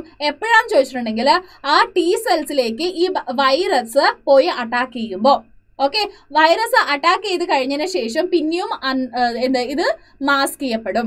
ഓക്കെ ആ ഒരു കുഞ്ഞു സമയത്തിൽ നമ്മുടെ ബോഡിയിലുള്ള ഇമ്മ്യൂൺ സിസ്റ്റം ആക്ടിവേറ്റ് ആയിട്ട് കുറച്ച് എമൗണ്ട് ആന്റിബോഡീസ് ഈ വൈറസിനെതിരെ നമ്മുടെ ബോഡി പ്രിപ്പയർ ചെയ്ത് വെച്ചിട്ടുണ്ടാവും. ഓക്കെ സോ അത് കഴിഞ്ഞതിന് ശേഷം സോ ഇത് നമ്മുടെ ബോഡിയിൽ നടന്നു വെച്ച് അതായത് നമ്മുടെ ബോഡിക്ക് ഏതെങ്കിലും ഒരു വൈറസ് അറ്റാക്ക് ചെയ്യുമ്പോൾ അതങ്ങനെ ചെയ്തു വെച്ചിട്ടുണ്ടാവും. സോ ഇപ്പോൾ എലൈസ എന്ന് പറയുന്ന ഒരു ടെസ്റ്റ് നടത്തുന്നുണ്ട് അല്ലെ? എലീസ അല്ലെങ്കിൽ എലൈസ എന്ന് പറയുന്ന ഒരു ടെസ്റ്റ് നടത്തപ്പെടുന്നുണ്ട്. എന്തിനാണ്? ബാക്ടീരിയ അല്ലെങ്കിൽ വൈറസ് അല്ലെ? ഒരു വൈറസ് നമ്മുടെ ബോഡിയിൽ എന്റർ ആയിട്ടുണ്ടോ എന്ന് അറിയാൻ വേണ്ടിയിട്ടാണ്. ഓക്കെ സോ ആ വൈറസ് എങ്ങനെയാണ് ഐഡന്റിഫൈ ചെയ്യാൻ ചോദിച്ചിട്ടുണ്ടെങ്കിൽ ഫസ്റ്റ് സോ ഫസ്റ്റ് നമ്മൾ എന്ത് ചെയ്യുന്നുണ്ട്? ഒരു ടെസ്റ്റ് ട്യൂബ് എടുക്കുകയാണ്. ഓക്കെ ഒരു ടെസ്റ്റ് ട്യൂബ് ഒരു വയൽ എടുക്കുകയാണ്. ഓക്കെ സോ ഈ ഒരു ടെസ്റ്റ് ട്യൂബ് എടുത്തിട്ട് ഇതിലേക്ക് ആന്റിജനെ കോട്ട് ചെയ്യുകയാണ്. ഓക്കെ ആന്റിജൻ കോട്ട് ചെയ്യുക എന്ന് പറയുന്ന എന്താണ്? ഇത് വൈറൽ പാർട്ടിക്കൽ സോറി കേട്ടോ സി ഈ വൈറസ് പാർട്ടിക്കിളിനെ ഇവിടെ ഇങ്ങനെ അവിടെ അവിടെ അവിടെ അവിടെ ഇതിനെ അറ്റാച്ച് ചെയ്ത് കൊടുക്കുകയാണ്. ഈ ഒരു ടെസ്റ്റ് ട്യൂബിലേക്ക് ഇതൊരു ടെസ്റ്റ് ട്യൂബ് എന്ന് കൺസിഡർ ചെയ്യുക. സോ ഈ ഒരു ഷേപ്പിലുള്ള അല്ലെങ്കിൽ നമുക്ക് ടെസ്റ്റ് ട്യൂബ് തന്നെ എടുക്കാം. അതാകുമ്പോൾ നിങ്ങൾക്ക് കാണുമ്പോൾ കുറച്ചുകൂടെ ബെറ്റർ ആയിട്ട് ഫീൽ ചെയ്യും. സോ ഒരു ടെസ്റ്റ് ട്യൂബ് എടുക്കുന്നുണ്ട്. ആ ടെസ്റ്റ് ട്യൂബിന്റെ ചുറ്റും നമ്മൾ എന്ത് ചെയ്യുന്നുണ്ട്? ഈ വൈറൽ പാർട്ടിക്കലിനെ ഇങ്ങനെ കോട്ട് ചെയ്ത് കൊടുക്കുന്നുണ്ട്. ഓക്കെ ഓക്കെ കോട്ട് ചെയ്ത് കൊടുത്തതിന് ശേഷം നമ്മൾ ഇതിലേക്ക് ഈ ഒരു ടെസ്റ്റ് ട്യൂബിലേക്ക് സെറം നമ്മുടെ ബോഡിയിലുള്ള സെറം നമുക്കാണ് ഇപ്പോൾ ഒരു അസുഖം വന്നിരിക്കുന്നത് ആ അസുഖം എന്താണെന്ന് ഐഡന്റിഫൈ ചെയ്യാൻ വേണ്ടി നമ്മൾ പോയിരിക്കുകയാണെന്നുണ്ടെങ്കിൽ ആ നമ്മുടെ ബോഡിയിൽ നിന്നും രക്തം എടുത്തിട്ട് അതിൽ നിന്ന് സെറം മാത്രം സെപ്പറേറ്റ് ചെയ്തെടുക്കും. സെപ്പറേറ്റ് ചെയ്തെടുത്ത ഈ സെറത്തിനെ എന്ത് ചെയ്യുന്നുണ്ട്? ഈ ഒരു ട്യൂബിലേക്ക് ടെസ്റ്റ് ട്യൂബിലേക്ക് ആഡ് ചെയ്യുന്നുണ്ട്. Hi Tom hi hi add ചെയ്യുന്നുണ്ട്.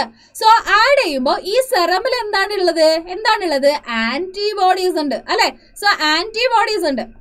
ഓക്കെ സോ അതായത് ഞാൻ നേരത്തെ പറഞ്ഞില്ലായിരുന്നോ? അതായത് വൈറസിനെ അൺമാസ്ക് ചെയ്യുമ്പോൾ വൈറസ് അൺമാസ്ക് ചെയ്യുമ്പോൾ ആ സമയത്ത് കുറച്ച് ആന്റിബോഡീസ് പ്രിപ്പയർ ചെയ്ത് വെച്ചിട്ടുണ്ടാവും. വൈറസ് ഉണ്ടെങ്കിൽ അതിന്റെ ആന്റിബോഡീസ് പ്രിപ്പയർ ചെയ്ത് വെച്ചിട്ടുണ്ടാവും. അല്ലെ? സോ അപ്പോൾ ആ ആന്റിബോഡീസ് ഈ സെറമിനകത്തുണ്ട് സോ അപ്പോ ഈ ഒരു ആന്റിജൻ എവിടെയുണ്ടോ ആ ആന്റിജനിലേക്ക് ഓടി പോയിട്ട് ഈ ആന്റിബോഡി അങ്ങ് എന്ത് ചെയ്യും? അറ്റാച്ച് ചെയ്യും. ഓക്കെ ആന്റിബോഡി വന്നിട്ട് ഇവിടെ അറ്റാച്ച് ചെയ്യുകയാണ്. ഓക്കെ സോ ഈ റീജിയനിൽ വന്നിട്ട് അറ്റാച്ച് ചെയ്യുന്നുണ്ട്. ഓക്കെ സെറം ഇവിടെ ഒഴിച്ചു കൊടുക്കുമ്പോൾ ഈ ആന്റിബോഡീസ് വന്ന് അറ്റാച്ച് ചെയ്യുന്നുണ്ട്. സോ ആന്റിബോഡീസ് അറ്റാച്ച് ചെയ്ത് കഴിഞ്ഞതിന് ശേഷം ഇത് ഈസി ആയിട്ട് നമുക്ക് മനസ്സിലാക്കാൻ പറ്റില്ലല്ലോ. സോ ആന്റിബോഡി ആന്റിജൻ ഇത് രണ്ടും എന്താ റിയാക്ട് ചെയ്തോ ഇല്ലയോ എന്ന് നമുക്ക് എങ്ങനെ അറിയാൻ പറ്റുക? നമുക്ക് അറിയണമെന്നുണ്ടെങ്കിൽ എന്തെങ്കിലും ചെറിയ കളറോ അങ്ങനെ എന്തെങ്കിലും ഒന്ന് മാറണ്ടേ. അങ്ങനെ നമുക്ക് അറിയാൻ വേണ്ടിയിട്ട് നമ്മളൊരു എൻസൈമും കൂടെ ഇവിടെ ആഡ് ചെയ്ത് കൊടുക്കുന്നുണ്ട്. ആ എൻസൈമിന്റെ പേരാണ് എന്താ alka alkaline phosphatase okay so നമ്മൾ എന്ത് ചെയ്യുന്നുണ്ട്? ആൽക്കലൈൻ ഫോസ്ഫട്ടേസ് എന്ന് പറയുന്ന ഒരു എന്താ എൻസൈമിനെ കൂടെ ഇവിടെ നമ്മൾ ആഡ് ചെയ്ത് കൊടുക്കുന്നുണ്ട്. ആ എൻസൈം വന്നിട്ട് ഓക്കെ? ആ എൻസൈം വന്നിട്ട് ഈ രണ്ട് കോംപ്ലക്സ് എവിടെയുണ്ടോ ഓക്കെ? എവിടെയാണോ ആന്റിജൻ ആന്റിബോഡി കോംപ്ലക്സ് അവിടെ വന്നിട്ട് ഇത് അറ്റാച്ച് ചെയ്യും. ഓക്കെ ഇത് എപ്പോഴാണ് ഈ ഒരു മൂന്ന് ആൾക്കാരും അതായത് ആന്റിജൻ ആന്റിബോഡി എൻസൈം ഈ മൂന്ന് ആൾക്കാരും കമ്പൈൻ ചെയ്യുമ്പോൾ മാത്രം ഈ ഒരു എന്താ സൊല്യൂഷന് കളർ കിട്ടും. ഈ ഒരു സൊല്യൂഷൻ ഒരു കളർ ഫോം ആവും. ആ കളർ വന്നിട്ടുണ്ടെങ്കിൽ ആ കളർ വന്നിട്ടുണ്ടെങ്കിൽ ആ ഒരു സെറമിൽ ആന്റിബോഡീസ് ഉണ്ട് എന്നർത്ഥം ആന്റിബോഡീസ് ഉണ്ടെന്നുണ്ടെങ്കിൽ ആ ബോഡിയിൽ ആന്റിജൻ ഉണ്ടായിരുന്നു. അല്ലെ? ആന്റിജൻ ആന്റിജൻ ഉണ്ടായിരുന്നു. ആന്റിജൻ ഉണ്ടായിരുന്നു എങ്കിൽ ആന്റിജൻ ഉണ്ടായിരുന്നു എങ്കിൽ that means they are positive for the disease അല്ലെങ്കിൽ പോസിറ്റീവ് ഫോർ ദി പാത്തോജൻ മനസ്സിലായോ? എല്ലാവർക്കും മനസ്സിലായോ? യെസ് സോ ഇനി ഒരിക്കലും കൂടെ റിപ്പീറ്റ് ചെയ്യണോ? ആരെങ്കിലും ഒന്ന് പറഞ്ഞേ. സോ ഇത് നമ്മൾ ഈ കളറിനെ നമ്മൾ എങ്ങനെയാണ് ഐഡന്റിഫൈ ചെയ്യുക ചോദിച്ചിട്ടുണ്ടെങ്കിൽ കലറിമീറ്റർ അല്ലെങ്കിൽ സ്പെക്ട്രോഫോട്ടോമീറ്റർ എന്നൊക്കെ നിങ്ങൾ കേട്ടിട്ടുണ്ടോ? ഫിസിക്സിൽ കേട്ടിട്ടുണ്ടോ? സോ ആ ഒരു ഇൻസ്ട്രുമെന്റ് വെച്ചിട്ടാണ് ഇത് നമ്മൾ ഐഡന്റിഫൈ ചെയ്യുക ഓക്കെ എന്തേലും ഇതിൽ നിങ്ങൾക്ക് അതായത് മനസ്സിലായിട്ടില്ല എന്നുണ്ടെങ്കിൽ ഒന്നുകൂടെ റിപ്പീറ്റ് ചെയ്യാം. എന്തേലും മനസ്സിലാവാതെ ഉണ്ടോ? ക്ലിയർ ആയോ? ഓക്കെ യെസ് അപ്പൊ നമുക്ക് കുറച്ച് ക്വസ്റ്റ്യൻസ് സോൾവ് ചെയ്യാം അല്ലേ?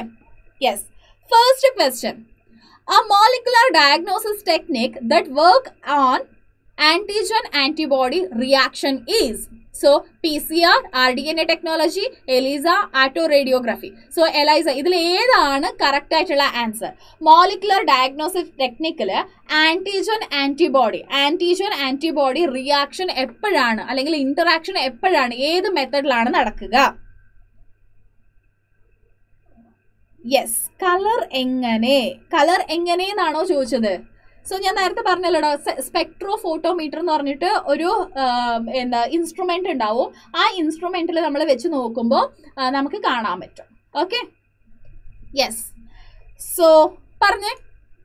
ഏതാണ് കറക്റ്റ് ആയിട്ടുള്ള answer ELISA is the right answer okay so ELISA എന്ന് പറയുന്ന ഈ ഒരു ടെസ്റ്റിലാണ് ആന്റിജൻ ആന്റിബോഡി ഇന്ററാക്ഷൻ നമുക്ക് കാണാൻ പറ്റുന്നത്. ഓക്കെ സോ ആദ്യം ആന്റിജനെ ഒരു ടെസ്റ്റ് ട്യൂബിൽ കോട്ട് ചെയ്ത് വെച്ചിട്ടുണ്ടാവും. അതിലേക്ക് നമ്മൾ സെറം ആഡ് ചെയ്യുമ്പോൾ സെറമിൽ ആന്റിബോഡി ഉണ്ടെങ്കിൽ അത് രണ്ടും കമ്പൈൻ ആവും. അതിന്റെ കൂടെ തന്നെ നമ്മൾ ഒരു എൻസൈം ആഡ് ചെയ്യുന്നുണ്ട്. അത് മൂന്നും കമ്പൈൻ ആവുമ്പോഴാണ് നമുക്ക് എന്ത് കാണാൻ പറ്റുന്നത്? ഒരു കളർ കാണാൻ പറ്റുന്നത്. ആ കളർ ഉണ്ടെങ്കിൽ മാത്രമേ നമുക്ക് എന്ത് കാണാൻ എന്ത് എന്ന് മനസ്സിലാക്കാൻ പറ്റും? ഒരു ഡിസീസ് ഉണ്ടെന്ന് മനസ്സിലാക്കാൻ പറ്റും. ഇല്ലെങ്കിൽ ഡിസീസ് ഇല്ല. ഓക്കെ സോ കളർ എങ്ങനെ വരാതിരിക്കും ചോദിക്കുകയാണെങ്കിൽ സി ആന്റിജൻ നമ്മളിവിടെ കോട്ട് ചെയ്ത് വെച്ചിട്ടുണ്ട്. ആന്റിബോഡി ഇല്ല എങ്കിൽ ഓക്കെ ആന്റിബോഡി ഇല്ല എങ്കിൽ സിറത്തിൽ സെറത്തിൽ ആന്റിബോഡി ഇല്ല. ആന്റിബോഡി ഇല്ല എന്ന് പറയുമ്പോൾ ഇത് വന്നിട്ട് ഇവിടെ കമ്പൈൻ ആവുന്നില്ല. അല്ലെ? ഇതിന്റെ കൂടെ കമ്പൈൻ ചെയ്യുന്നില്ല. കമ്പൈൻ ചെയ്യാതിരിക്കുമ്പോൾ എൻസൈമും വന്നിട്ട് ഇതിന്റെ കൂടെ കമ്പൈൻ ചെയ്യുന്നില്ല. അപ്പോൾ ഒരു കളറ് മാറുന്നില്ല. ഓക്കെ അവർ കളർ മാറുന്നില്ല. സോ സെറമിൽ ആന്റിബോഡി ഉണ്ടെങ്കിൽ മാത്രമേ ആ ഒരു എന്താ ബ്ലഡിൽ പാത്തോജൻ ഉണ്ട് എന്നർത്ഥം. ഓക്കെ സെറമിൽ ആന്റിബോഡി ഇല്ലെങ്കിൽ ആ ഒരു ബ്ലഡിൽ എന്തില്ല? പാത്തോജൻ ഇല്ല. Okay yes next question expand ELISA എലൈസാന്റെ expansion എന്താണ്? Enzyme enzyme linked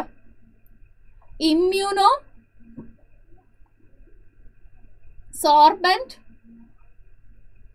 assay okay clear okay next question A method of molecular diagnosis based on antigen antibody reaction is already നമ്മൾ discuss ചെയ്തതാണ്. That is ELISA technique okay next one antigen antibody reaction is basis of technique called ഏതാണ്? ELISA P C R R N A interference gene therapy ഇതിൽ ഏതാണ് antigen antibody reaction ഉണ്ടാവുക? ELISA is the right answer okay next question expand ELISA what is the principle of this process എലൈസന്റെ expansion എന്താണ്? Enzyme linked immunosorbent assay അതുപോലെ തന്നെ principle of this process എന്ന് ചോദിച്ചിട്ടുണ്ടെങ്കിൽ antigen antibody antigen antibody antibody interaction okay so ഇതാണ് main principle yes okay next question expand ELISA and write down the principle involved in this technique. Okay, expand ELISA ഏത് principle ആണെന്ന് നമ്മൾ നേരത്തെ discuss ചെയ്ത same thing ആണ്. ഒന്നുകൂടെ പറയണമെന്ന് ആവശ്യമില്ല. എന്നാലും നിങ്ങൾ പെട്ടെന്ന് ആൻസർ പറയുക. ദറ്റ് ഈസ് എന്താ എന്താണ്? നമ്മുടെ എലൈസിന്റെ ഫുൾ ഫോം എന്താണ്? Yes enzyme linked immunosorbent assay and ഏത് ടെക്നിക്കാണെന്ന് ചോദിക്കുകയാണെങ്കിൽ ആന്റിജൻ ആന്റിബോഡി ഇന്ററാക്ഷൻ ആണ്. Yes next question Early diagnosis is essential for effective treatment of disease. Write any two molecular diagnostic method. ഏതൊക്കെയാണെന്ന് ചോദിച്ചിട്ടുണ്ടെങ്കിൽ പി സി ആർ ഉണ്ട് okay R D N A technology ഉണ്ട് okay P C R ഉണ്ട് R D N A technology ഉണ്ട് ELISA ഉണ്ട് and auto radiography ഉണ്ട്. So ഇതെല്ലാം എന്താണ്? Early ഡിഡക്ഷന് വേണ്ടിയിട്ടുള്ള മോളിക്കുലർ ഡയഗ്നോസ്റ്റിക് മെത്തഡ് ആണ് okay yes next question okay next question ഇല്ല. അത് കഴിഞ്ഞു. അടുത്ത ടോപ്പിക്കിലോട്ട് പോവാം. അതായത് transgenic animals okay transgenic animals എന്ന് വെച്ചിട്ടുണ്ടെങ്കിൽ എന്താണ്? എന്താണ് ട്രാൻസ്ജെനിക് അനിമൽസ് സി നിങ്ങൾ ജനറ്റിക്കലി മോഡിഫൈഡ് ഓർഗാനിസം എന്ന് വിളിച്ചില്ലേ? സോ അത് അനിമൽസിലാണെങ്കിൽ നമ്മൾ അതിനെ ട്രാൻസ്ജെനിക് അനിമൽസ് എന്ന് വിളിക്കും. സോ ദാറ്റ് ഈസ് ഒരു ഫോറിൻ ജീനിന് ഉൾപ്പെടുത്തിയിരിക്കുന്ന ഒരു അനിമലിന് ഓക്കെ അതായത് ഒരു ഒരു അനിമലിൽ ഒരു അനിമലിൽ ഒരു ഫോറിൻ ജീനിനെ ഇൻട്രൊഡ്യൂസ് ചെയ്തിട്ടുണ്ടെങ്കിൽ ആ അനിമലിനെ നമ്മൾ എന്തെന്ന് വിളിക്കും? ട്രാൻസ്ജെനിക് അനിമൽ എന്ന് വിളിക്കും. Okay the animals whose D N A is manipulated by the process of R D N A technology is known as transgenic animals so അങ്ങനെ നമുക്ക് ഒരുപാട് ട്രാൻസ്ജെനിക് അനിമൽസ് ഉണ്ട്. അതായത് റാറ്റ് ഉണ്ട് റാബിറ്റ് ഉണ്ട്. ഓക്കെ അതുപോലെ തന്നെ പിഗ് ഷീപ്പ് ഓക്കെ ഷീപ്പ് ഉണ്ട്. ഫിഷേഴ്സ് ഉണ്ട്. ഓക്കെ അതുപോലെ തന്നെ കവ് ഉണ്ട്. ഇതുപോലെ ഒരുപാട് ഒരുപാട് ഒരുപാട് ട്രാൻസ്ജെനിക് അനിമൽസ് നമുക്ക് കാണാൻ പറ്റും. ഈ ട്രാൻസ്ജെനിക് അനിമൽസിന്റെ ബെനിഫിറ്റ്സ് എന്തൊക്കെയാണ്? A for what A for what so എന്താണ് എ ഫോർ എടാ മനസ്സിലായില്ല? എ ഫോർ അസ്സേ അസ്സേ ഒരു മെത്തേഡ് എന്നാണ് അർത്ഥം. എ എന്ന് വെച്ചിട്ടുണ്ടെങ്കിൽ അസ്സേ ഓക്കെ എ എന്ന് വെച്ചിട്ടുണ്ടെങ്കിൽ അസ്സേ ഓക്കെ സി ട്രാൻസ്ജെനിക് അനിമൽസിന്റെ ബെനിഫിറ്റ്സ് എന്തൊക്കെയാണെന്ന് നമുക്ക് നോക്കാം. First thing normal normal physiology normal physiology and development normal ഫിസിയോളജിയും ഡെവലപ്മെന്റും നമ്മൾ നോക്കണം എന്നുണ്ടെങ്കിൽ അപ്പോൾ നമ്മൾ ട്രാൻസ്ജെനിക് അനിമൽസിനെ യൂട്ടിലൈസ് ചെയ്യും. അതായത് നമ്മുടെ ബോഡിയിൽ ഒരു ജീന് എങ്ങനെയാണ് റെഗുലേറ്റ് ചെയ്തുകൊണ്ടിരിക്കുന്നുള്ളത് അതായത് ഫോർ എക്സാമ്പിൾ ഇൻസുലിൻ എന്ന് എടുക്കാം. ഓക്കെ ഇൻസുലിൻ നമ്മുടെ ബോഡിയിൽ ഉണ്ടെങ്കിൽ എന്ത് സംഭവിക്കും? ഇല്ലെങ്കിൽ എന്ത് സംഭവിക്കും? സോ ഉണ്ടെങ്കിൽ എന്ത് സംഭവിക്കുന്നു നമുക്ക് മനസ്സിലാക്കാൻ പറ്റില്ല. നമ്മുടെ ബോഡിയിൽ എന്തെന്തൊക്കെ പ്രോസസ്സ് എവിടെ എവിടേക്കോ നടക്കുന്നുണ്ട് അല്ലെ? നമുക്ക് ഈസി ആയിട്ട് മനസ്സിലാക്കാൻ പറ്റില്ല. അപ്പൊ നമ്മൾ എന്ത് ചെയ്യുക നമ്മുടെ ബോഡിയിലുള്ള ഇൻസുലിൻ എടുത്തിട്ട് ഏതെങ്കിലും ഒരു അനിമലിലേക്ക് ഇട്ട് നോക്കുക. ഇട്ട് നോക്കുമ്പോൾ ആ ബോഡിയിൽ എന്തൊക്കെ ചേഞ്ചസ് നമുക്ക് കാണാൻ പറ്റും അല്ലെ? സോ ആ ചേഞ്ചസ് എന്തൊക്കെയാണോ ആ എല്ലാ കാര്യങ്ങളാണ് ഒരു ഇൻസുലിൻ ചെയ്യുന്നത്. നമുക്ക് മനസ്സിലായില്ലേ? So how how gene how gene are regulated എങ്ങനെയാണ് ഒരു ജീന് റെഗുലേറ്റ് ആവുന്നത്? അത് നമുക്ക് മനസ്സിലാക്കാൻ പറ്റും. ആൻഡ് എങ്ങനെയാണ് ഒരു നോർമൽ ഫിസിയോളജിനെ അത് അഫക്റ്റ് ചെയ്യുന്നുള്ളത് അത് നമുക്ക് മനസ്സിലാക്കാൻ പറ്റും അല്ലെ? How this gene affecting the normal physiology how they affect affect affect the normal physiology so ഇതൊക്കെ നമുക്ക് മനസ്സിലാക്കാൻ നമ്മൾ എന്ത് ചെയ്യും ഒരു ട്രാൻസ്ജെനിക് അനിമലിനെ യൂസ് ചെയ്യും. അതായത് ഒരു എന്താ ഹ്യൂമന്റെ ജീനിനെ ഇൻസേർട്ട് ചെയ്തിരിക്കുന്ന ഒരു അനിമൽ ആകാം റാറ്റ് ആവാം റാബിറ്റ് ആവാം ഇങ്ങനെയുള്ള ഏതെങ്കിലും ഒരു അനിമലിലേക്ക് ഹ്യൂമന്റെ ജീനിനെ ഇൻസേർട്ട് ചെയ്തതാവാം. അല്ലെങ്കിൽ വേറെ ഏതെങ്കിലും ഡിഫക്റ്റീവ് ആയിട്ടുള്ള എന്താ ജീനിനെ ഇൻസേർട്ട് ചെയ്തതാവാം. അങ്ങനെ നമുക്ക് വെച്ചിട്ട് നോക്കാൻ പറ്റും. ഓക്കെ അടുത്തത് to study to study to study disease ഡിസീസിനെ മനസ്സിലാക്കാൻ വേണ്ടിയിട്ട്. ഓക്കെ സോ ഒരു ഒരു ബോഡിയിൽ ഇപ്പം നമ്മുടെ ബോഡിയിൽ എന്തെങ്കിലും ഒരു ഡിസീസ് വന്നിട്ടുണ്ട്. ഓക്കെ ഒരു ഡിസീസ് വന്നിട്ടുണ്ട്. ആ ഡിസീസ് എങ്ങനെയാണ് വന്നിരിക്കുന്നത്? ജീന് ഡിഫക്റ്റീവ് ആയതുകൊണ്ട്. ഓക്കെ ജീന് ഡിഫക്റ്റീവ് ആയതുകൊണ്ട്. അങ്ങനെ വന്ന ഡിസീസിനെ ഐഡന്റിഫൈ ചെയ്യാനും അതെങ്ങനെയൊക്കെ നമുക്ക് ട്രീറ്റ് ചെയ്യാൻ പറ്റും അറിയാൻ വേണ്ടിയിട്ടും നമ്മൾ ഏതെങ്കിലും അനിമലിൽ വെച്ചിട്ട് നമുക്ക് ചെയ്തു നോക്കാം. അല്ല എന്നുണ്ടെങ്കിൽ നമ്മുടെ ബോഡിയിൽ ഏതോ ഒരു ഡിസീസ് വന്നിട്ടുണ്ട്. ആ ഡിസീസ് എങ്ങനെയൊക്കെ ട്രീറ്റ് ചെയ്യാൻ പറ്റും? അതായത് എങ്ങനെയൊക്കെ ഏതൊക്കെ മെത്തഡിൽ നമുക്ക് ട്രീറ്റ് ചെയ്യാൻ പറ്റും? എങ്ങനെ അതിനെ മാറ്റിയെടുക്കാൻ പറ്റും? അതൊക്കെ നമുക്ക് മനസ്സിലാക്കണം എന്നുണ്ടെങ്കിലും നമ്മൾ ഒരു ട്രാൻസ്ജെനിക് അനിമൽ വെച്ചിട്ട് ചെയ്ത് നോക്കാൻ പറ്റും. Okay so to investigate new treatment ട്രീറ്റ്മെന്റിനെ investigate ചെയ്യാനും ആ ഡിസീസ് എന്തെന്തൊക്കെ ഡിഫക്റ്റീവ് കാര്യങ്ങൾ ചെയ്യുന്നുണ്ട് അല്ലെങ്കിൽ എന്തൊക്കെ അഫക്റ്റ് ചെയ്യുന്നുണ്ട് നമ്മുടെ ബോഡീനെ അതൊക്കെ മനസ്സിലാക്കാനും നമുക്ക് ഈ ഒരു എന്താ ട്രാൻസ്ജെനിക് അനിമൽ ഹെൽപ്പ് ചെയ്യുന്നുണ്ട്. ഓക്കെ സോ നമുക്ക് ഒരുപാട് എന്താ ട്രാൻസ്ജെനിക് മോഡൽ ഉണ്ട് ടു സ്റ്റഡി ഡിസീസ് ഏതൊക്കെയാണെന്ന് ചോദിച്ചിട്ടുണ്ടെങ്കിൽ ക്യാൻസറിനുള്ള ഓക്കെ ക്യാൻസറിന് വേണ്ടിയിട്ടുള്ള ട്രാൻസ്ജനിക് മോഡൽ ഉണ്ട്. അതുപോലെ തന്നെ cystic fibrosis okay cystic cystic ഫൈബ്രോസിസിനുള്ള transgenic model ഉണ്ട്. അതുപോലെ തന്നെ rheumatoid arthritis rheumatoid rheumatoid arthritis അതിനുള്ള ആ, ഡിസീസിനുള്ള എന്താ ട്രാൻസ്ജനിക് മോഡൽ ഉണ്ട്. ആൻഡ് അൾസൈമർ അൾസൈമർ അൽസൈമറിനുള്ള ട്രാൻസ്ജനിക് മോഡൽ ഉണ്ട് ഇങ്ങനെ ഒരുപാട്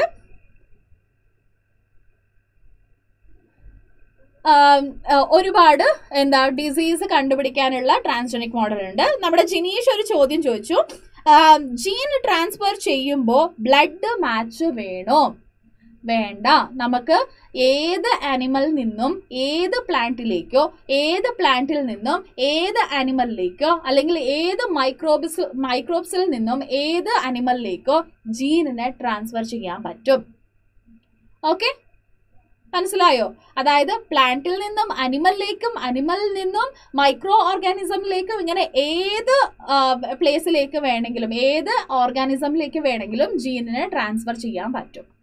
ഓക്കെ യെസ് അടുത്തത് ബയോളജിക്കൽ പ്രോഡക്റ്റ് ആണ്. മൂന്നാമത്തെ ബെനിഫിറ്റ് എന്താ ചോദിച്ചിട്ടുണ്ടെങ്കിൽ ദറ്റ് ഈസ് ബയോളജിക്കൽ പ്രോഡക്റ്റിനെ പ്രൊഡ്യൂസ് ചെയ്യാൻ വേണ്ടിയിട്ട്. സോ ഈ ബയോളജിക്കൽ പ്രോഡക്റ്റ് എന്ന് പറയുന്നത് ചിലപ്പം മെഡിസിൻസ് ആവാം ഓക്കെ ചിലപ്പോൾ ന്യൂട്രിയന്റ് റിച്ച് ആയിട്ടുള്ള എന്താ ഫുഡ് കണ്ടന്റ് ആവാം ഇങ്ങനെയുള്ള കാര്യത്തിനൊക്കെ നമ്മൾ എന്ത് പറയും? ബയോളജിക്കൽ പ്രോഡക്റ്റ് എന്ന് പറയും.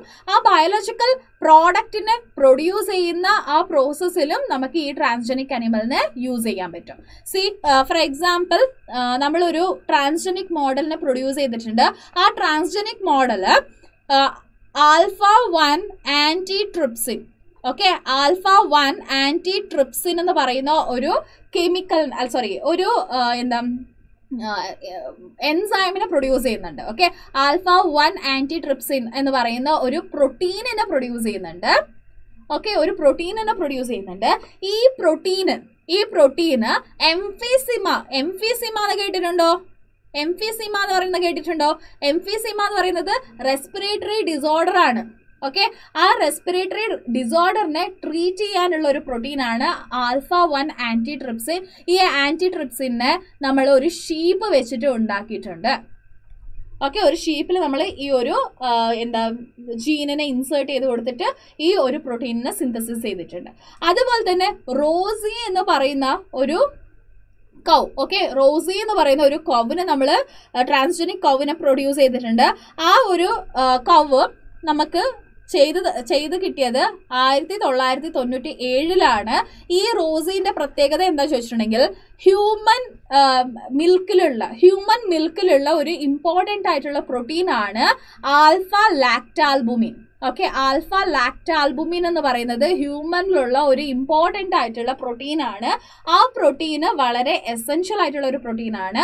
അത് ചില ബേബീസിന് അതായത് മദറിൽ എന്താ മിൽക്ക് പ്രൊഡ്യൂസ് ആവുന്നില്ല എങ്കിൽ ബേബിക്ക് ഈ ഓരോ പ്രോട്ടീൻ കിട്ടാതായി പോകും അല്ലെ? സോ അങ്ങനെ ആവാതിരിക്കാൻ വേണ്ടിയിട്ട് ഒരു എന്താ കൗവിൽ ഈ ഒരു എന്താ ജീനിനെ ഇൻസേർട്ട് ചെയ്ത് കൊടുത്തിട്ട് ഹ്യൂമൻ എന്താ ജീനിനെ ഇൻസേർട്ട് ചെയ്ത് കൊടുത്തിട്ട് അവിടെ നിന്നും ഈ ഒരു ആൽഫ ലാക്ടാൽബുമിനെ പ്രൊഡ്യൂസ് ചെയ്തെടുക്കുന്നുണ്ട്. ഓക്കെ യെസ് സോ അടുത്തത് വാക്സിൻ സേഫ്റ്റിക്കും അതായത് നാലാമത്തത് എന്താ ചോദിച്ചിട്ടുണ്ടെങ്കിൽ വാക്സിൻ സേഫ്റ്റിക്ക്. അതായത് ഏതോ ഒരു പുതിയ ഒരു വാക്സിൻ നമ്മൾ പ്രൊഡ്യൂസ് ചെയ്തു അല്ലേ? സോ ഫോർ എക്സാമ്പിൾ കോവിഡ് ഷീൽഡും കോവ്യ കോവാക്സിനും ഇതെല്ലാം നമ്മൾ പ്രൊഡ്യൂസ് ചെയ്തതാണ്. ഒരു ഡിസീസ് വന്നു കഴിഞ്ഞതിന് ശേഷം നമ്മുടെ ബോഡിക്ക് ഒരു ഡിസീസ് വന്നു കഴിഞ്ഞതിന് ശേഷം പ്രൊഡ്യൂസ് ചെയ്ത വാക്സിനാണ് ഇതൊക്കെ. സോ ഒരു പുതിയ വാക്സിൻ പ്രൊഡ്യൂസ് ചെയ്ത ഉടനെ നമുക്ക് ഡയറക്റ്റ് നമ്മുടെ ബോഡിക്ക് ഇൻസേർട്ട് ചെയ്ത് തരുമോ അത്? ഇല്ല. അതായത് ആദ്യം എന്തോ ഒരുപാട് ലോവർ ഓർഗാനിസമിലൊക്കെ അതിനെ ഇൻജക്ട് ചെയ്ത് നോക്കും. അതിലൊന്നും പ്രശ്നം വന്നില്ല എന്നുണ്ടെങ്കിൽ എന്താ ഹ്യൂമന്റെ ഹ്യൂമന്റെ ജീന് ഇട്ട് വെച്ചിരിക്കുന്ന ട്രാൻസ്ജനിക് അനിമലിൽ ഇട്ട് നോക്കും. അവർക്കും ഒരു പ്രശ്നം വരുന്നില്ല എന്ന് തോന്നുകയാണെങ്കിൽ അടുത്തത് എന്ത് ചെയ്യും? ഏതെങ്കിലും എന്താ എന്താ ക്ലിനിക്കൽ ട്രയൽസ് എന്ന് പറഞ്ഞിട്ട് ഒരുപാട് ട്രയൽസ് നടത്തി നോക്കും ഹ്യൂമൻ ബോഡിയിൽ. അതിലും പ്രശ്നം വന്നിട്ടില്ലെങ്കിൽ മാത്രമേ അതിനെ മാർക്കറ്റ് ചെയ്യുള്ളൂ. ഓക്കെ? സോ അങ്ങനെ വാക്സിൻ സേഫ്റ്റിക്കും അതുപോലെ തന്നെ കെമിക്കൽ സേഫ്റ്റിക്കും. ഓക്കെ കെമിക്കൽ സേഫ്റ്റി എത്ര ഡോസേജ് ഇട്ടിട്ടുണ്ടെങ്കിലാണ് ഒരു ഹ്യൂമൻ അത് അഫക്റ്റ് ചെയ്യുക? ഇങ്ങനെയൊക്കെ അറിയാൻ വേണ്ടിയിട്ട്. ഒരു കെമിക്കൽ ഫാക്ടറിയിൽ വർക്ക് ചെയ്യുന്ന ഒരാളാണെന്ന് നിങ്ങൾ വിചാരിച്ചോളൂ. സോ അങ്ങനെ കെമിക്കൽ ഫാക്ടറിയിൽ കണ്ടിന്യൂസ് ആയിട്ട് ഒരു കെമിക്കലിനെ ഇങ്ങനെ എക്സ്പോസ് ചെയ്തുകൊണ്ടിരിക്കുമ്പോൾ എന്തെങ്കിലും പ്രശ്നങ്ങൾ വരുമോ അല്ലെ? എത്ര കോൺസെൻട്രേഷൻ ഉണ്ടെങ്കിലാണ് അവർക്ക് അങ്ങനെയുള്ള പ്രശ്നങ്ങൾ വരിക? അതൊക്കെ മനസ്സിലാക്കണം എന്നുണ്ടെങ്കിൽ അതിനെല്ലാത്തിനും ട്രാൻസ്ജെനിക് അനിമൽ ഹെൽപ്പ് ചെയ്യുന്നുണ്ട്. Okay yes so this is major important ആയിട്ടുള്ള ബെനിഫിറ്റ്സ് ഓഫ് ട്രാൻസ്ജെനിക് അനിമൽ അഞ്ച് ബെനിഫിറ്റ്സ് ആണ് നമുക്ക് പറയാനുള്ളത്. ഏതൊക്കെയാണ്?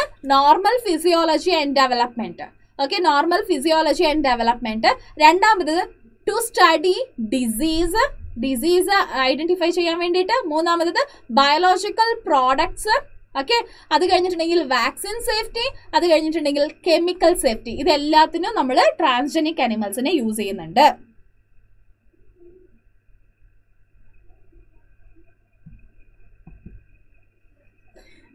ഇതെന്താന്ന് എനിക്ക് അറിയില്ലടാ സത്താ മിൽമ മിൽക്കുണ്ടോ?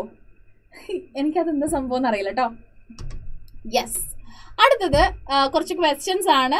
നമുക്ക് ആ ക്വസ്റ്റ്യൻസ് പെട്ടെന്ന് തന്നെ സോൾവ് ചെയ്യാം. Animal that have had their D N A manipulated to possess and express and extra gene are known as so അതിന് നമ്മൾ എന്തെന്ന് വിളിക്കും? Animal that have had their D N A manipulated to possess and expressed and extra gene are known as ഒരു ജീവിയിലേക്ക് ഒരു extra D N എനെ ഇട്ട് കൊടുത്തിട്ടുണ്ടെങ്കിൽ ആ ജീവിനെ എന്തെന്ന് വിളിക്കും? So that is called transgenic animal അതിന് നമ്മൾ എന്തെന്ന് വിളിക്കും? ട്രാൻസ്ജെനിക് അനിമൽ എന്ന് വിളിക്കും. ഓക്കെ അടുത്തത്. Name the first transgenic cow that produces human protein enriched milk alpha lactalbumin okay alpha ലാക്ടാൽബുമിനെ പ്രൊഡ്യൂസ് ചെയ്ത ആ ഒരു ട്രാൻസ്ജെനിക് കൗവിന്റെ പേരെന്താണ്? യെസ് പെട്ടെന്ന് പറഞ്ഞേ. ഏതാണ്? ദാറ്റ് ഈസ് റോസി അല്ലെ? Rosie next question animal that have their DNA altered and expressed as foreign gene are known as animal that have their DNA altered and expressed a foreign gene are known as. So ഒരു ജീവിയിലേക്ക് നേരത്തെ പറഞ്ഞതുപോലെ തന്നെ ഒരു ജീവിയിലേക്ക് foreign ജീനിനെ insert ചെയ്ത് കൊടുത്തിട്ടുണ്ടെങ്കിൽ that is called transgenic animals so ഒരേ question തന്നെ ഡിഫറെന്റ് രീതിയിൽ ചോദിച്ചിരിക്കുന്നതാണ്. ഓക്കെ അടുത്തത്. Alpha one antitrypsin is use to treat dash ഏത് ഡിസീസിനെ ട്രീറ്റ് ചെയ്യാൻ വേണ്ടിയിട്ടാണ് ആൽഫ വൺ ആന്റി ട്രിപ്സിനെ യൂസ് ചെയ്തിരിക്കുന്നത്? യെസ് ഏതാണ്? Yes very good Jinesh very good ഏതാണത്? That is that is emphysema അല്ലെ? Emphysema okay next question name the first transgenic cow ആദ്യത്തെ ട്രാൻസ്ജെനിക് കൗ ഏതാണ്? That is simple question again Rosie is the answer yes അടുത്തത്. Define transgenic animal animal ഏതാണ്?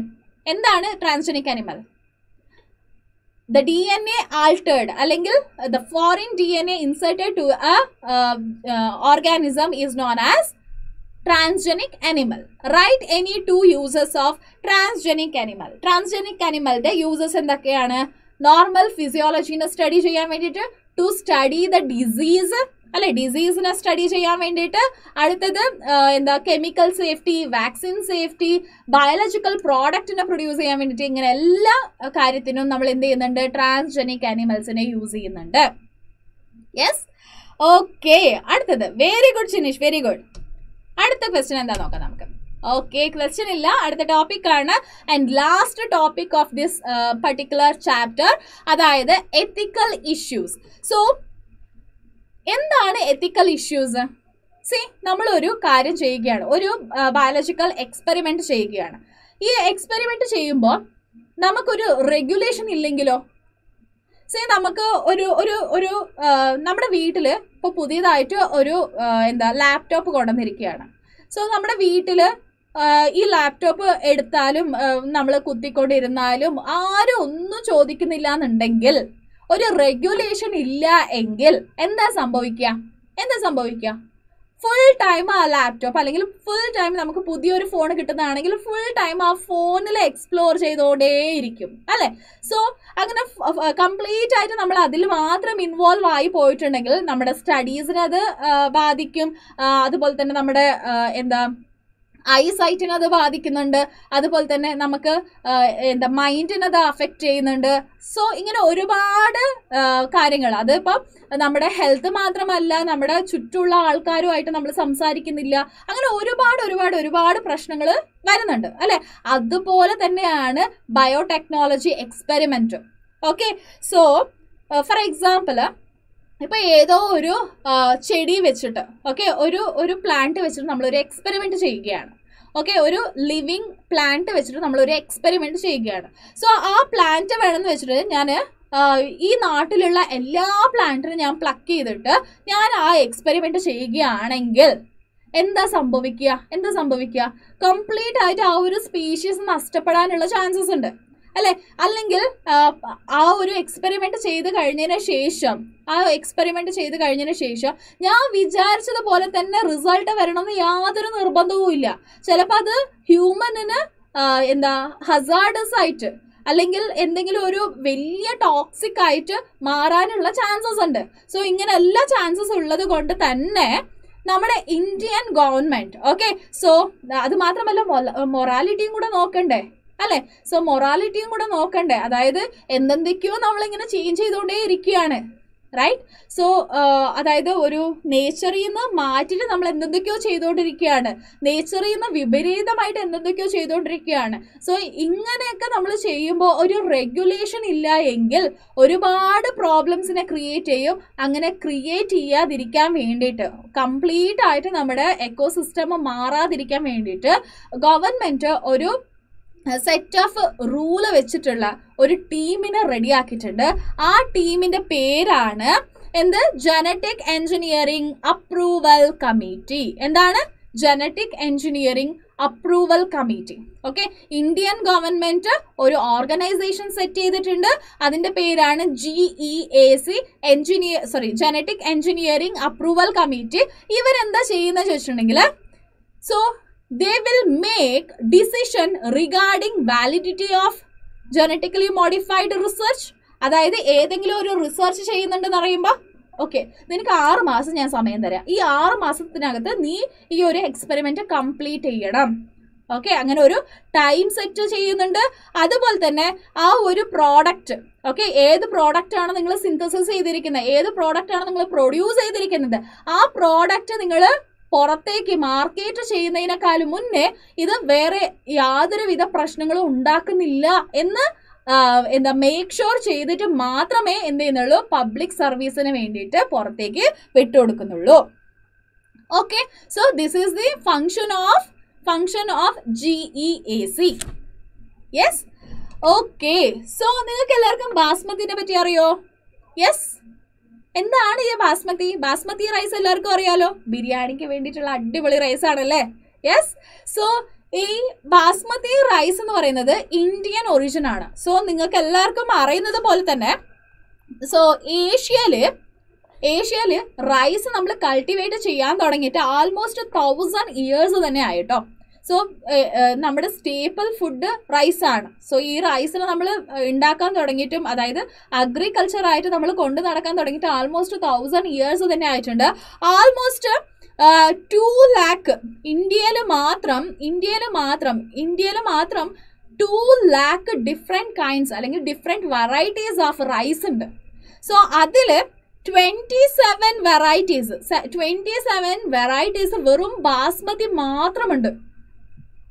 Okay yes so ഈ ഒരു ബാസ്മതിയിൽ നിന്നും ഒരു ബാസ്മതിനെ എടുത്തിട്ട് നമ്മുടെ യു എസിലുള്ള ഒരു കമ്പനി ഓക്കെ സോ യു എസിലുള്ള ഒരു കമ്പനി എന്ത് ചെയ്തു? ഇവിടെ നിന്ന് ഇന്ത്യയിൽ കിട്ടുന്ന ഒരു ബാസ്മതി റൈസ് പ്ലാന്റിനെ എടുത്തിട്ട് അവരുടെ സെമി ഡ്വാർഫ് ഓക്കെ സോ ബാസ്മതിയും അതുപോലെ തന്നെ സെമി ഡ്വാർഫ് വെറൈറ്റീനും കൂടെ ഓക്കെ ഒരു കുഞ്ഞ് പ്ലാന്റ് അതായത് കുഞ്ഞു റൈസ് പ്ലാന്റിനും കൂടെ കമ്പൈൻ ചെയ്തിട്ട് ഓക്കെ അത് രണ്ടിനെ ഹൈബ്രിഡൈസേഷൻ ചെയ്തിട്ട് ഒരു ന്യൂ വെറൈറ്റിനെ അവർ പ്രൊഡ്യൂസ് ചെയ്തു. Okay new basmati rice okay ഈ ബാസ്മതി റൈസ് ഒറിജിനൽ നിങ്ങൾ ആലോചിക്കണം. ഒറിജിൻ ഇന്ത്യൻ ആണ്. ഓക്കെ സോ പുതിയ ഒരു ബാസ്മതി റൈസിനെ അവർ പ്രൊഡ്യൂസ് ചെയ്തു.